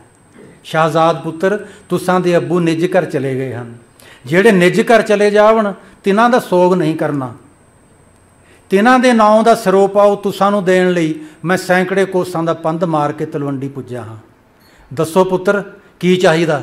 ਦੇਵਾਂਗਾ ਸ਼ਾਹਜ਼ਾਦ ਕਹਿਆ ਬਾਬਾ, ਸਾਰੀ ਦੁਨੀਆ ਵਿੱਚ ਘੁੰਮਦੇ ਫਿਰਦੇ ਤਾਲੀਮ ਵੰਡਦੇ ਰਹੇ, ਵਿਦਿਆ ਵੰਡਦੇ ਰਹੇ, ਤਲਵੰਡੀ ਪਿੰਡ ਤੁਸੀਂ ਰਹੇ ਹੀ ਨਹੀਂ, ਸੰਸਾਰ ਵਿਦਵਾਨ ਹੋ ਗਿਆ, ਅਕਲਵੰਦ ਹੋ ਗਿਆ। ਅਸੀਂ ਤਲਵੰਡੀ ਪਿੰਡ ਦੇ ਲੋਕ ਤੁਸਾਂ ਦੀ ਗੈਰ ਹਾਜ਼ਰੀ ਵਿੱਚ ਅਨਪੜ੍ਹ ਦੇ ਅਨਪੜ੍ਹ, ਜਾਹਲ ਦੇ ਜਾਹਲ।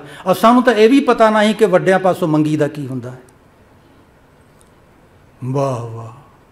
ਬਾਬੇ ਕਹਿਆ, ਤਾਂ ਵੀ ਅਸਾਂ ਦਾ ਵੀ ਫੈਸਲਾ ਹੈ ਸ਼ਾਹਜ਼ਾਦ ਪੁੱਤਰ, ਤੁਸਾਂ ਦੇ ਅੱਬੂ ਨੂੰ ਖਾਲੀ ਨਹੀਂ ਜਾਣ ਦਿੱਤਾ, ਤੁਸਾਂ ਨੂੰ ਖਾਲੀ ਨਹੀਂ ਰਹਿਣ ਦੇਣਾ। ਸ਼ਾਹਜ਼ਾਦ ਕਹਿਆ, ਜੇ ਮਿਹਰਬਾਨ ਹੋਏ ਹੋ ਬਾਬਾ, ਫਿਰ ਉਹ ਦਿਓ ਨਾ ਜੋ ਅੱਬੂ ਨੂੰ ਦਿੱਤਾ ਸਾਈ। ਕੀ ਮੰਗਿਆ ਸੀ? ਇਹ ਨਹੀਂ ਪੁੱਛਿਆ। ਕੀ ਦਿੱਤਾ ਸੀ? ਇਹ ਨਹੀਂ ਪੁੱਛਿਆ। ਵੱਡਿਆਂ ਨੇ ਵੱਡਿਆਂ ਨੂੰ ਛੋਟੀ ਚੀਜ਼ ਥੋੜਾ ਦਿੱਤੀ ਹੈ। ਬਸ ਇੰਨਾ ਪਤਾ ਹੈ ਕਿ ਮਹਾਪੁਰਖ ਨੇ ਬਹੁਤ ਵੱਡੇ ਜਿਹੜੀ ਵੱਡੀ ਚੀਜ਼ ਭਾਈ ਮਰਦਾਨਾ ਜੀ ਨੂੰ ਦਿੱਤੀ, ਉਹ ਜੇ ਸਾਨੂੰ ਮਿਲ ਜੇ, ਹੋਰ ਕੀ ਚਾਹੀਦਾ? ਫਿਰ ਉਹ ਦਿਓ ਨਾ ਜੋ ਅੱਬੂ ਨੂੰ ਦਿੱਤਾ ਸਾਈ, ਉਠਾ ਕੇ ਰਬਾਬ ਭਾਈ ਸ਼ਾਹਜ਼ਾਦ ਦੇ ਹੱਥਾਂ 'ਚ ਰੱਖੀ। ਕੀਰਤਨ ਸ਼ੁਰੂ ਹੋਇਆ। ਸਾਖੀਕਾਰ ਦਾ ਬੋਲ ਹੈ, ਭਾਈ ਮਰਦਾਨਾ ਜੀ ਦੀ ਯਾਦ ਵਿੱਚ ਤਲਵੰਡੀ ਪਿੰਡ ਦੇ ਵਾਸੀਆਂ ਨੇ ਕੀਰਤਨ ਦੇ ਦਰਿਆ ਅੰਦਰ ਦੇਰ ਤੱਕ ਤੀਰਥ ਇਸ਼ਨਾਨ ਕੀਤਾ। ਰਿਪੀਟ ਦਾ ਸੈਂਟੈਂਸ ਭਾਈ ਮਰਦਾਨਾ ਜੀ ਦੀ ਯਾਦ ਵਿੱਚ ਕੀਰਤਨ ਦੇ ਦਰਿਆ ਅੰਦਰ ਤਲਵੰਡੀ ਪਿੰਡ ਦੇ ਵਾਸੀਆਂ ਨੇ ਦੇਰ ਤੱਕ ਤੀਰਥ ਇਸ਼ਨਾਨ ਕੀਤਾ। ਸਾਖੀਕਾਰ ਭਾਈ ਸ਼ਾਹਜ਼ਾਦ ਜੀ ਦੇ ਵਿਹਾਰ ਤੋਂ ਇੰਨਾ ਪ੍ਰਸੰਨ ਕਿ ਦੋ ਵਾਕ ਲਿਖੇ ਨੇ। ਪਹਿਲਾ ਵਾਕ, ਕਰਮ ਕਾ ਬਲੀ ਭਾਈ ਸ਼ਾਹਜ਼ਾਦ ਫੁੱਲ ਸਟਾਪ ਸਾਡਾ ਪਿਆਰਾ ਸ਼ਾਹਜ਼ਾਦਾ ਭਾਈ ਸ਼ਾਹਜ਼ਾਦ ਖਾਨ ਫੁੱਲ ਸਟਾਪ ਵਾਹਿਗੁਰੂ ਜੀ ਕਾ ਖਾਲਸਾ, ਵਾਹਿਗੁਰੂ ਜੀ ਕੀ ਫਤਿਹ।